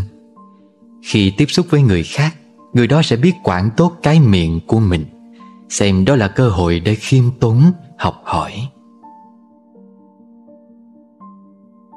Trong cuộc sống Khi chúng ta cảm thấy mất hy vọng Và cuộc sống bế tắc Hãy lắng động, mỉm cười Và tự nói với chính mình. Tôi ơi, hãy thư giãn một chút. Đây chỉ là khúc quanh. Chứ không phải đường cùng. Tất cả những điều mình có trong đời sống này Đều là tạm bợ. Nếu được hanh thông, Hãy vui hưởng vì nó sẽ chóng qua. Nếu không thuận lợi, Đừng lo lắng vì nó sẽ không kéo dài. Đạo đức không phải như bánh xe dự phòng Để ta lấy ra làm bình phong khi xã giao bên ngoài. Đạo đức nên luôn như bánh lái Để ta đi đúng đường suốt cuộc du hành Ngang qua cõi tạm này. Khi người khác giúp ta giải quyết vấn đề nào đó, Thì hãy cảm ơn, Nhưng đừng đặt niềm tin vĩnh viễn vào họ. Để khi họ không thể giải quyết những vấn đề của ta, Thì ta vẫn có thể tin vào khả năng Và sức lực của tự chính mình. Bạn cũ là vàng, Bạn mới là kim cương. Nếu ta có kim cương Đừng quên vàng, Vì muốn giữ được kim cương, Ta luôn cần vàng để bọc kim cương. Tình bạn như một quyển sách, Chỉ cần vài phút để đốt đi, nhưng cần đến vài năm để viết. Sự lo lắng không giúp bạn dẹp bỏ được sự khó khăn ngày mai, nhưng sẽ lấy đi sự bình an hiện tại. Cho nên, hãy sống đơn giản nói năng nhân hậu và thương yêu chân thành. Chúng ta đều biết, xe hơi có kính trước lớn hơn nhiều so với kính chiếu hậu. Đời người cũng vậy, quá khứ của chúng ta không quan trọng bằng tương lai. Tuy nhiên, thỉnh thoảng ta cũng nên nhìn vào quá khứ để lấy chút kinh nghiệm để biết sống trọn vẹn với hôm nay và định hướng được ngày mai, phải không? Và hãy nhớ khi chúng ta cầu nguyện cho người khác, vũ trụ sẽ lắng nghe lời cầu nguyện ấy và chuyển năng lượng lành của ta đến người đó. Thế nên, những khi ta cảm thấy bình an, hạnh phúc, Hãy nhớ rằng có thể có ai đó trên đời đã cầu nguyện cho ta. Có đôi lúc ta hãy nên nhìn ngắm Thế gian này bằng đôi mắt trẻ thơ. Để nghe tiếng thương yêu từ sâu thẳm chỉ cái nhìn nhân thế hết bơ vơ. Người ta thường nói, Một nụ cười bằng mười thang thuốc bổ, phải không? Vậy thì tại sao Chúng ta không yêu thương bản thân nhiều hơn, Yêu thương cuộc đời nhiều hơn Và cười với cuộc đời với mọi người nhiều hơn? Những lúc thân tâm mệt mỏi, Thật khó khăn nở nụ cười. Nhưng nếu nhoẻn môi cười được Hoa lòng khô héo dần tươi. Những lúc đời bạc như vôi, Bao thiệt thòi ta gánh chịu. Ngày đó, nếu biết mỉm cười, xả buông tâm hồn nặng trĩu. Cuộc đời ghét ganh đàm tiếu, đừng sống trong miệng người ta. Nhẹ nhàng mỉm cười không nói, ngày tháng chi rồi cũng qua. Ai sống lỗi lầm với ta mỉm cười lòng thêm độ lượng. Biết đây là cõi ta bà, con người ưng gây nghiệp chướng. Những lúc khổ đau vất vưởng, cứ lạc quan một nụ cười. Khi sống tốt theo điều thiện, trời không tuyệt lộ con người. Hãy để tình thương lên ngôi, ngày thêm nồng nàn nghĩa sống, hồn như biển rộng bên đời. Nụ cười dưỡng nuôi hy vọng vẫn nghèo nếu làm tổng thống mà luôn túng thiếu nụ cười. Khổ đau kia là một chuyện ai cấm lòng mình vắng vui. Nụ cười điểm tô hạnh phúc Hôm nay bạn đã cười chưa? Hay chăng nụ cười cay diếp Còn nguyên dù đã bao mùa? Trong cuộc sống này Sự thành thật, sự lương thiện luôn luôn là một điều tối cần thiết cho mỗi người chúng ta. Sự lương thiện là vầng trăng sáng nơi tâm hồn mỗi người. Vầng trăng thiện lương có thể chiếu sáng bầu trời tinh thần, cảm hóa và thay đổi tâm hồn tất cả những ai đi dưới ánh sáng của nó. Thiện niệm là một hạt giống, thiện tâm là một bông hoa, thiện hạnh là một trái ngọt. Mỗi người sinh ra đều mang theo hạt giống thiện lương. Nếu hạt giống ấy được chăm sóc, tưới tẩm mỗi ngày, thì sẽ có thể trở thành một cây xanh to lớn. Nhưng cũng có người làm mất hạt giống này, vì vậy mà dần thành người lạnh lẽo, thờ ơ.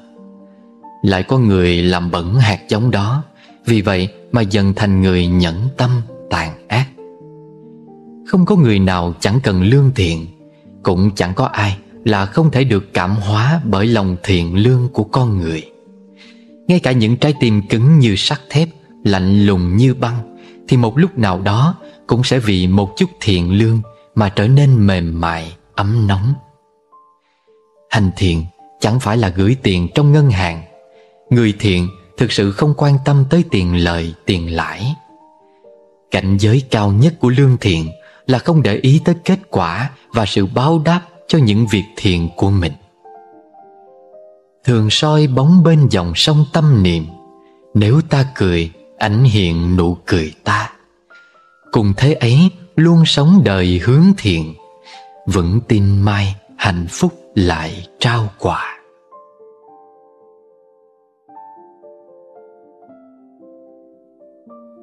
Trong cái xã hội mà ngày nay Người ta ai nấy cũng đều chạy trong cái cuồng quay Công việc, cơm áo gạo tiền. Thì không biết là mọi người có nhận ra Những nghịch lý ngày hôm nay hay không? Thời buổi này Người ta có nhà cao cửa lớn Nhưng gia đình thì bé lại hơn xưa. Lắm bạc tiền Nhưng tất cả chạy đua. Chung mái ấm mà bơ vơ tội nghiệp. Thời buổi này Sống xã giao bạc thiệp. Miệng nói cười, Lòng ngập những mưu toan. Thật khó biết ai là đá, là vàng. Niềm tin trưởng thành, Món hàng xa xỉ. Thời buổi này, Ăn nhanh, Tiêu hóa chậm. Biết tận chân trời, Nhưng chẳng biết chung quanh. Nhà ngói nhiều hơn những nhà tranh. Sao tất bật Loài người như robot. Thời buổi này, Kiến thức nhiều mà hành vi dại dột, Thành công bề ngoài mà thất bại bề trong. Sống tiện nghi nhưng vật chất quay mộng. iPhone mất kể như mù đôi mắt. Thời buổi này, Cái được nhiều hơn mất. Cái mất chính là đạo đức đã đi chơi. Xác thân to, lòng teo tóp lại rồi. Nhìn thống khổ, bao hững hờ, vô cảm. Thời buổi này, lượng nhiều mà phẩm giảm. Kiếm sống nhiều mà cuộc sống chẳng là bao. Và yêu cuồng sống vội kiểu phong trào, người hóa kiếp thiêu thân thời hiện đại. Nhiều nghịch lý nói thêm càng tê tái. Văn minh này đã đích thực văn minh. Xin nguyện cầu cho thức tỉnh hồi sinh, Rời bỏ những hư vinh mà sống thật.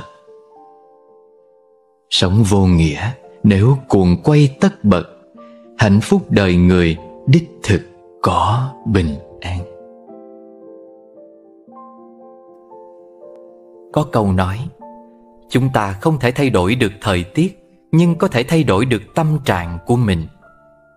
Bạn không cần phải cảm thấy phiền não Bởi trời lúc nào cũng mưa. Bởi vì trời mưa, Chúng ta có thể không cần phải đi tránh nắng. Bạn cũng không cần phải lo lắng bởi cái nắng cháy da. Bởi vì ánh mặt trời sáng rực Sẽ không khiến bạn dẫm phải vũng buồn lầy. Ai ơi, mở cánh cửa lòng Để cho trời đất mênh mông hiện vào. Đón bình minh rất ngọt ngào an lành trên mỗi tế bào thân tâm. Những món quà vô giá chẳng cần mua.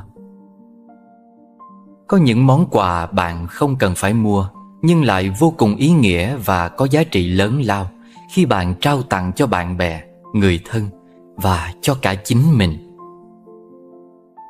Món quà của sự lắng nghe. Hãy thật sự lắng nghe Chia sẻ những nỗi đau Tâm sự vui buồn cùng người khác. Hãy lắng nghe không chỉ bằng đôi tai Mà còn bằng tất cả tấm lòng. Món quà của sự quan tâm. Hãy dành thời gian quan tâm đến người thân, bạn bè, đồng nghiệp. Hãy xem những vấn đề của họ như là của chính bạn. Hãy để mọi người cảm nhận tình cảm của bạn Qua những hành động bạn thể hiện hàng ngày.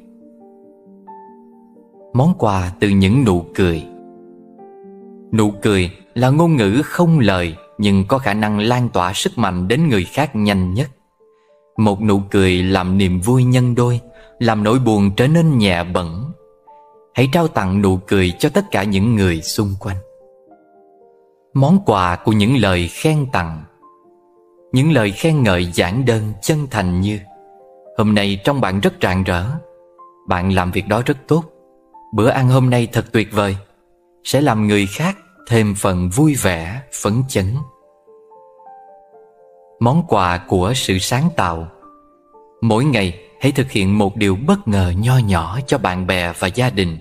Chắc chắn bạn cũng sẽ nhận được những điều bất ngờ, thú vị từ họ. Món quà của sự tĩnh lặng. Là những khoảnh khắc bạn thực sự chỉ muốn yên lặng một mình. Hãy trân trọng thời khắc quý báu này Và trao món quà của sự tĩnh lặng cho người khác đúng lúc.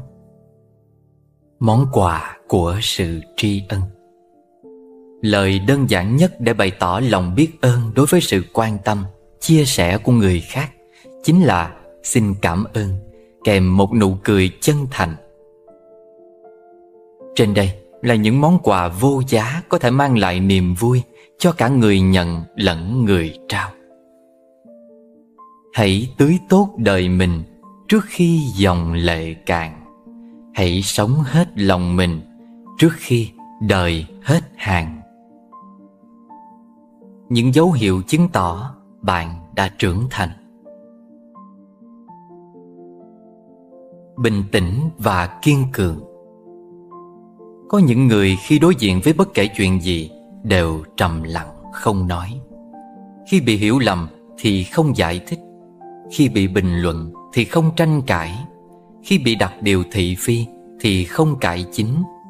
Họ im lặng không phải vì sợ hay nhu nhược, hèn yếu Mà vì muốn để thời gian chứng minh tất cả. Đôi khi im lặng giúp tâm thái người ta thoải mái. Hơn là thổ lộ dốc bầu tâm sự. Im lặng cũng là biểu hiện của sự từng trải, trưởng thành. Đau rồi thì hãy cố gắng nhẫn chịu một chút. Mệt mỏi rồi thì nên im lặng, nghỉ ngơi. Biết khoan dung và hiểu người khác. Biển có thể thu nạp trăm nghìn sân Nên mới trở nên rộng lớn. Người biết khoan dung với lỗi lầm của người khác, Thực ra cũng sẽ biết tha thứ cho chính mình. Biết buông bỏ và biết quý trọng. Người trưởng thành biết tự loại bỏ một số loại đồ vật trong hành trang trên đường đời của mình. Ví như những người bạn hư tình, giả ý, Những thú vui rượu chè vô nghĩa, Những câu chuyện phím vô dụng. Đồng thời, họ biết nắm giữ và trân quý sự tự tin. Tấm lòng lương thiện và sự khiêm tốn giản dị. Sống lý trí và nhiệt tình. Con người ta trưởng thành qua thời gian. Khi đối diện với hiện thực phủ phàng của thế giới, của xã hội Người trưởng thành sẽ nhiệt tình, kiên cường Luôn trân trọng từng phút giây của cuộc sống. Họ biết trân quý giá trị của sinh mệnh Biết rằng được sinh ra trên cõi đời này Là điều đáng trân quý biết nhường nào. Khi vui tự nhủ lòng rằng Niềm vui này chẳng thường hằng bền lâu. Vốn xưa vui bạn với sầu trong tia nắng đã in màu hạt mưa. Lúc buồn chẳng thiết đuổi xua Buồn ni rồi cũng đông đưa vô thường. Nhìn cho thấu rõ tận tường Vui, buồn, tan dưới cội nguồn chân như. Còn tâm này vốn huyễn hư, Cưỡi trên sóng bạc, khoan thư ta về. Tự tri. Nhiều lắm phù du sống một ngày, Đời mình cũng rứa, có ai hay. Diễm mộng đêm qua thành triệu phú, Thức giấc bật cười, vẫn trắng tay. Nhà dẫu trăm gian ngủ một giường Bạc vàng chất chứa ngập trong rương. Một cơn gió ác thành thiên cổ. Thần thức ngục tù trong vấn vương. Dẫu ta quen biết đầy thiên hạ, Mấy kẻ quan hoài cho nén hương. Tơ tình bao mối thành xa lạ, Mình lẻ loi đi, nghiệp dẫn đường. Vô thường một sớm làm cây chổi Quét lá mùa thu, quét mạng người. Nếu hay vạn sự làm mây nổi, Thì giờ nắm níu hoặc buông lơi. Nhiều lắm trăm năm một kiếp người, Đến rồi ai cũng phải đi thôi.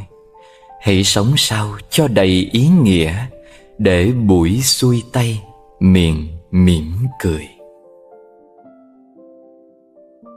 Không tha thứ là một loại ngục tù. Nhà tù là nơi giam giữ những người phạm tội. Tâm chúng ta cũng như một nhà tù Tức nơi ta giam giữ những người có tội, có lỗi với ta. Chúng ta khóa chặt họ trong đó Ta giữ kỹ chìa khóa Ta ráo riết canh cửa ngục ngày đêm. Ta tự nhủ Tôi sẽ không cho anh ta hoặc cô ta ra ngoài.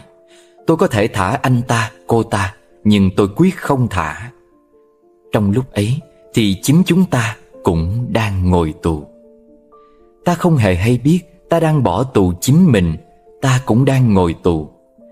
Không tha thứ Chính là một loại ngục tù là vậy.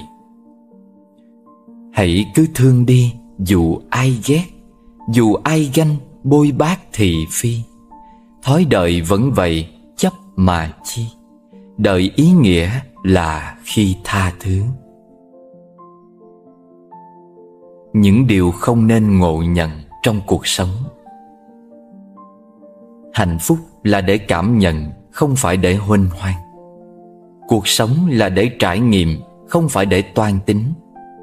Tình thương là để kết nối, Không phải để thử nghiệm. Cha mẹ là để hiếu thuận, Không phải để đòi hỏi. Bạn bè là để chia sẻ. Không phải để so bì. Người thân là để chăm sóc, Không phải để tổn thương. Công danh là để cống hiến, Không phải để tự đại. Vật chất là để sử dụng, Không phải để phô trương. Giả dối là để phá hoại, Không phải để bảo hộ.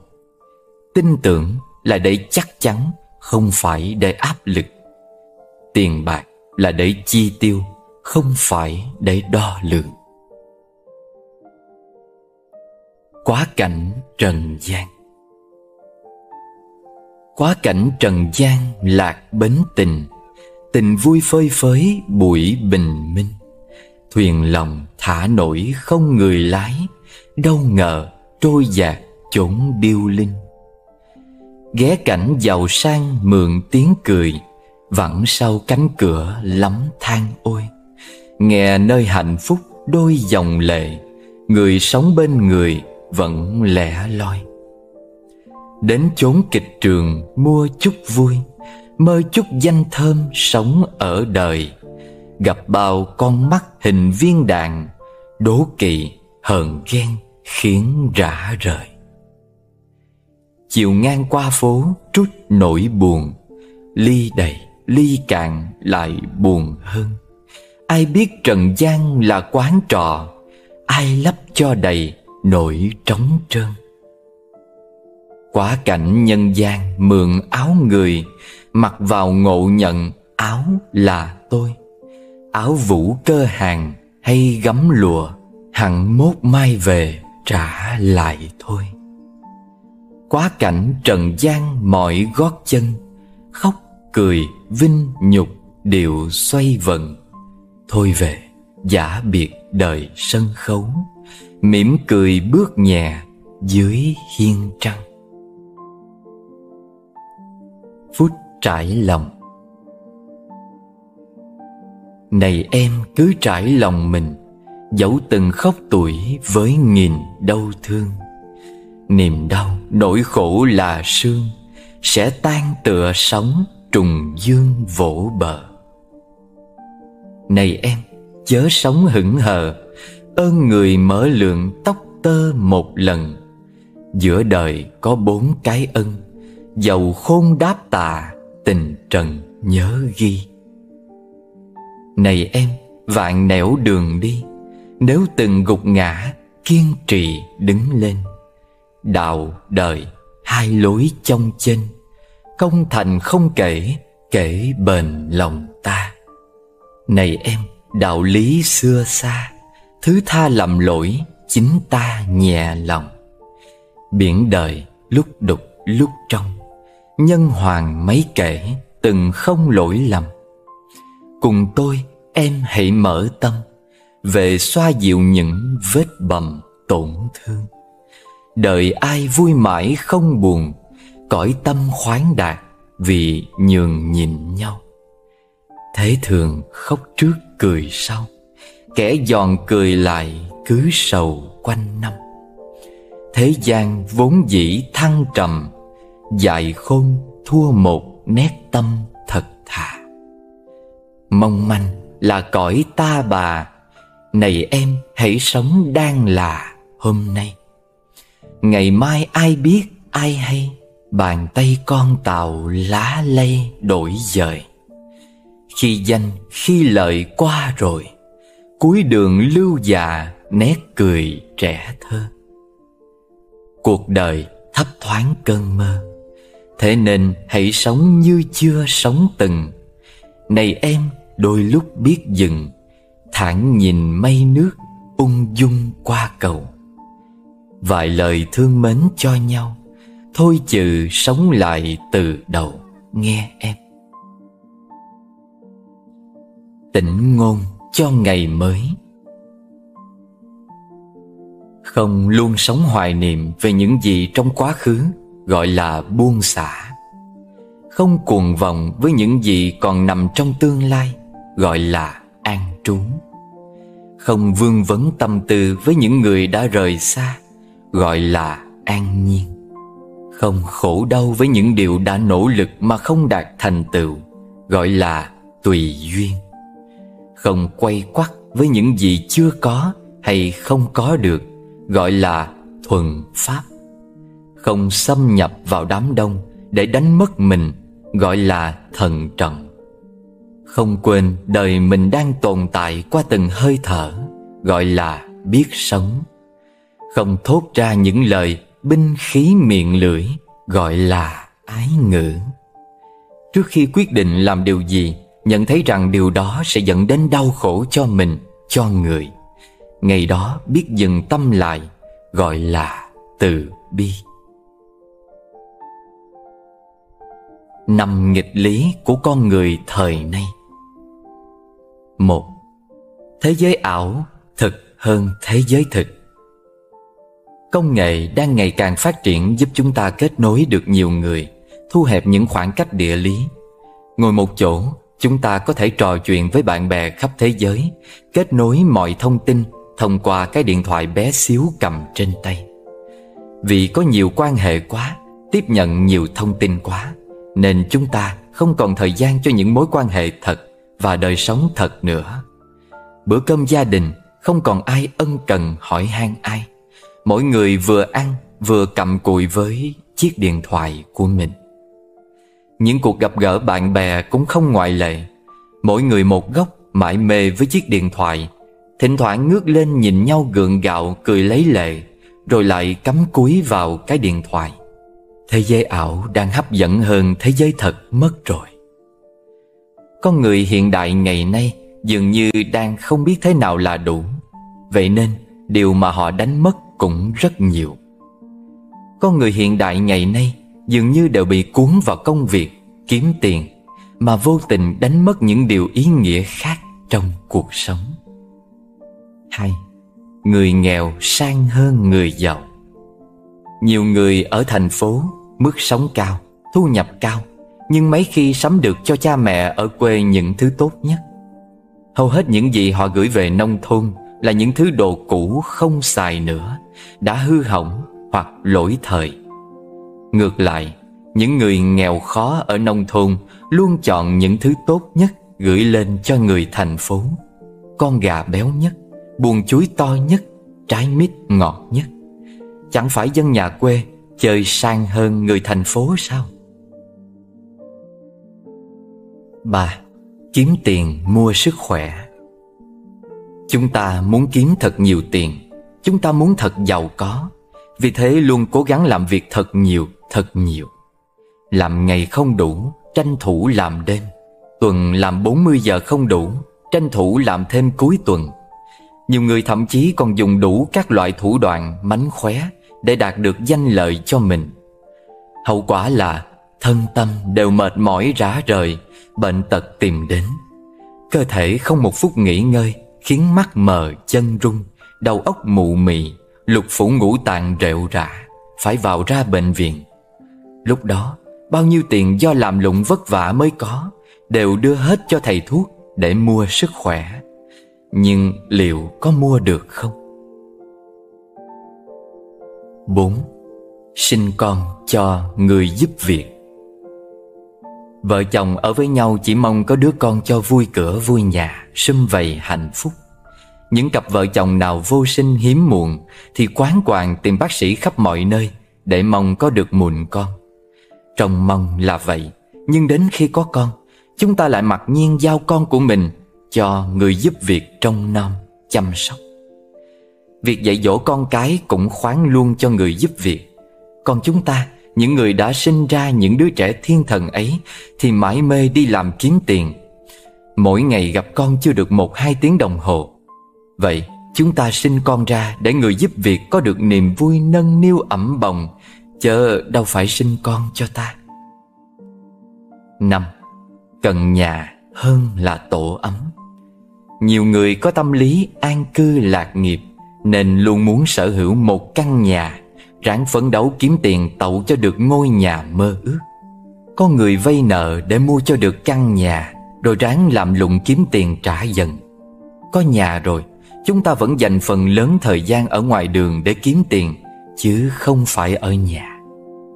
Chúng ta tiếp tục ra đường, Cày bừa vất vả ngoài đường, Để có thể đổi nhà khác to hơn, Mua sắm cho nhà nhiều vật dụng tiện nghi hơn. Lẽ nào chúng ta cần một căn nhà hơn là một tổ ấm? Liệu bạn có đang rơi vào nghịch lý nào Trong số năm nghịch lý của con người thời nay? Niềm an vui vốn dĩ Từ nội tâm yên bình. Khi lòng đầy hoan hỷ Thế giới này đẹp xinh. Trưởng thành rồi, Bạn sẽ biết cách lấy nụ cười đối diện với tất cả. Chỉ cần luôn làm tốt những việc của bản thân như Làm những việc cần làm, Nuôi dưỡng lòng chân thành, Khoan dung với mọi người, Nghiêm khắc với bản thân, Giữ gìn sự lương thiện, Đi con đường chánh hành Mỗi ngày sống trong tâm niệm biết ơn.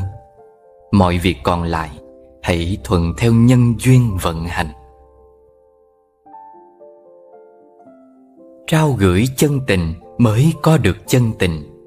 Nhưng mặt khác, Ta rất dễ bị tổn thương nặng nề Khi trao gửi chân tình Nhằm người hư tình giả dối.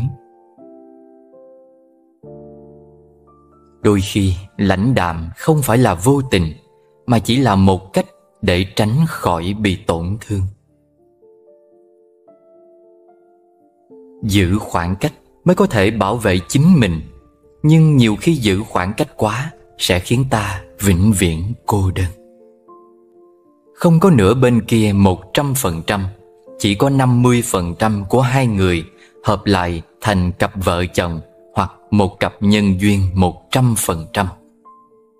Khi giao tiếp, Đừng mong muốn hết thảy mọi người đều nghe theo quan điểm của mình, Vì đó là thái độ của bản ngã Và là nguồn gốc phát sinh kiêu mạn. Người hiểu ta thì ta không cần giải thích. Người không hiểu ta Ta lại càng không cần giải thích, Bởi họ không hề muốn nghe ta. Vì thế, giải thích vĩnh viễn là thừa thải. Ngắn ngủi cùng đi một đoạn đường, Tuổi chiều tóc bạc ngắm tà dương. Mỉm cười, hai kẻ nhìn nhau gật Ừ chẳng chi ngoài sống để mà thương. Góp nhặt những bông hoa tư tưởng. Tiền xu luôn gây ra tiếng động, Còn tiền giấy luôn im lặng. Khi giá trị của bạn tăng lên, Hãy giữ cho mình luôn khiêm tốn Và nói ít đi. Cuộc sống giống như một quyển sách, Một vài chương khá buồn, Một số chương hạnh phúc Và một số chương rất thú vị. Nhưng nếu bạn chưa bao giờ thử lật một trang, Bạn sẽ không bao giờ biết được những gì ở chương tiếp theo. Đừng quá khắc khe với mình, Thậm chí mắc những sai lầm Cũng có nghĩa là bạn đang cố gắng. Khi bắt điện thoại, Bất luận trong hoàn cảnh nào, Bạn hãy cười lên Vì người bên kia sẽ cảm nhận được nụ cười của bạn. Cái lưỡi không xương Nhưng đủ cứng để làm vỡ nát một trái tim. Vì thế hãy cẩn thận với ngôn từ của bạn. Đừng bao giờ cố giải thích con người bạn với bất cứ ai. Vì những người tin bạn không cần điều đó Còn những người không thích bạn Thì sẽ không tin lời bạn đâu. Hãy ghi nhớ ba điều. Cố gắng, kiên định, tin tưởng. Cố gắng vì một tương lai tốt hơn, Kiên định với công việc, Tin tưởng vào bản thân. Mỗi một người bạn gặp hàng ngày Đều là thầy của bạn. Người thông thái dạy bạn đạo lý từ bi. Người ngang ngược dạy bạn đạo lý nhẫn nhục. Suy nghĩ tạo ra vô số vấn đề. Ấy thế mà chính nó lại cố gắng đi tìm cách giải quyết vấn đề. Những vấn đề tưởng tượng và những giải pháp tưởng tượng Cứ xoay vần mãi như vậy. Người tự biết mình là ngốc Thì không phải kẻ ngốc. Còn người tự cho mình là thông minh, Thực ra lại là người ngốc nhất Trong số những người ngốc. Vũ trụ, vạn vật Đều là nhất thể, Đều liên quan, tương hỗ với nhau. Khi bạn làm hại mặt đất, Dòng sông và các sinh linh sống trên đó. Thật ra là bạn đang tự làm hại chính mình. Khi bạn cho đi Thật ra là bạn đang làm lợi cho chính mình. Nếu bạn muốn thường xuyên vui vẻ Đừng đem niềm vui của mình đặt vào những thứ phù phiếm bề ngoài. Hãy xem tiền bạc, nhà cửa, xe cộ của bạn Đều là mượn của người khác. Hãy lợi dụng chúng thật tốt Nhưng đừng si mê chúng. Chỉ cần làm được như vậy, Bạn sẽ hưởng thụ một cuộc đời đơn giản Nhưng vui vẻ. Nếu không cẩn thận, bạn sẽ làm ầm ĩ cái việc kiếm sống của mình. Bạn luôn bận rộn, nhưng tại sao? Chỉ là để kiếm miếng ăn. Đàn gà tiếu tít tìm và mổ thức ăn, nhưng cuối cùng chỉ để bị người ta ăn thịt. Không nhẽ con người cả đời bận rộn, chỉ để chết mà thôi. Một đời luân lạc ưu phiền, tháng năm lòng nặng bao niềm âu lo. Từ đâu ai đã buộc cho, khư khư rồi lại bo bo nghiệp trần. Làm sao giữ lại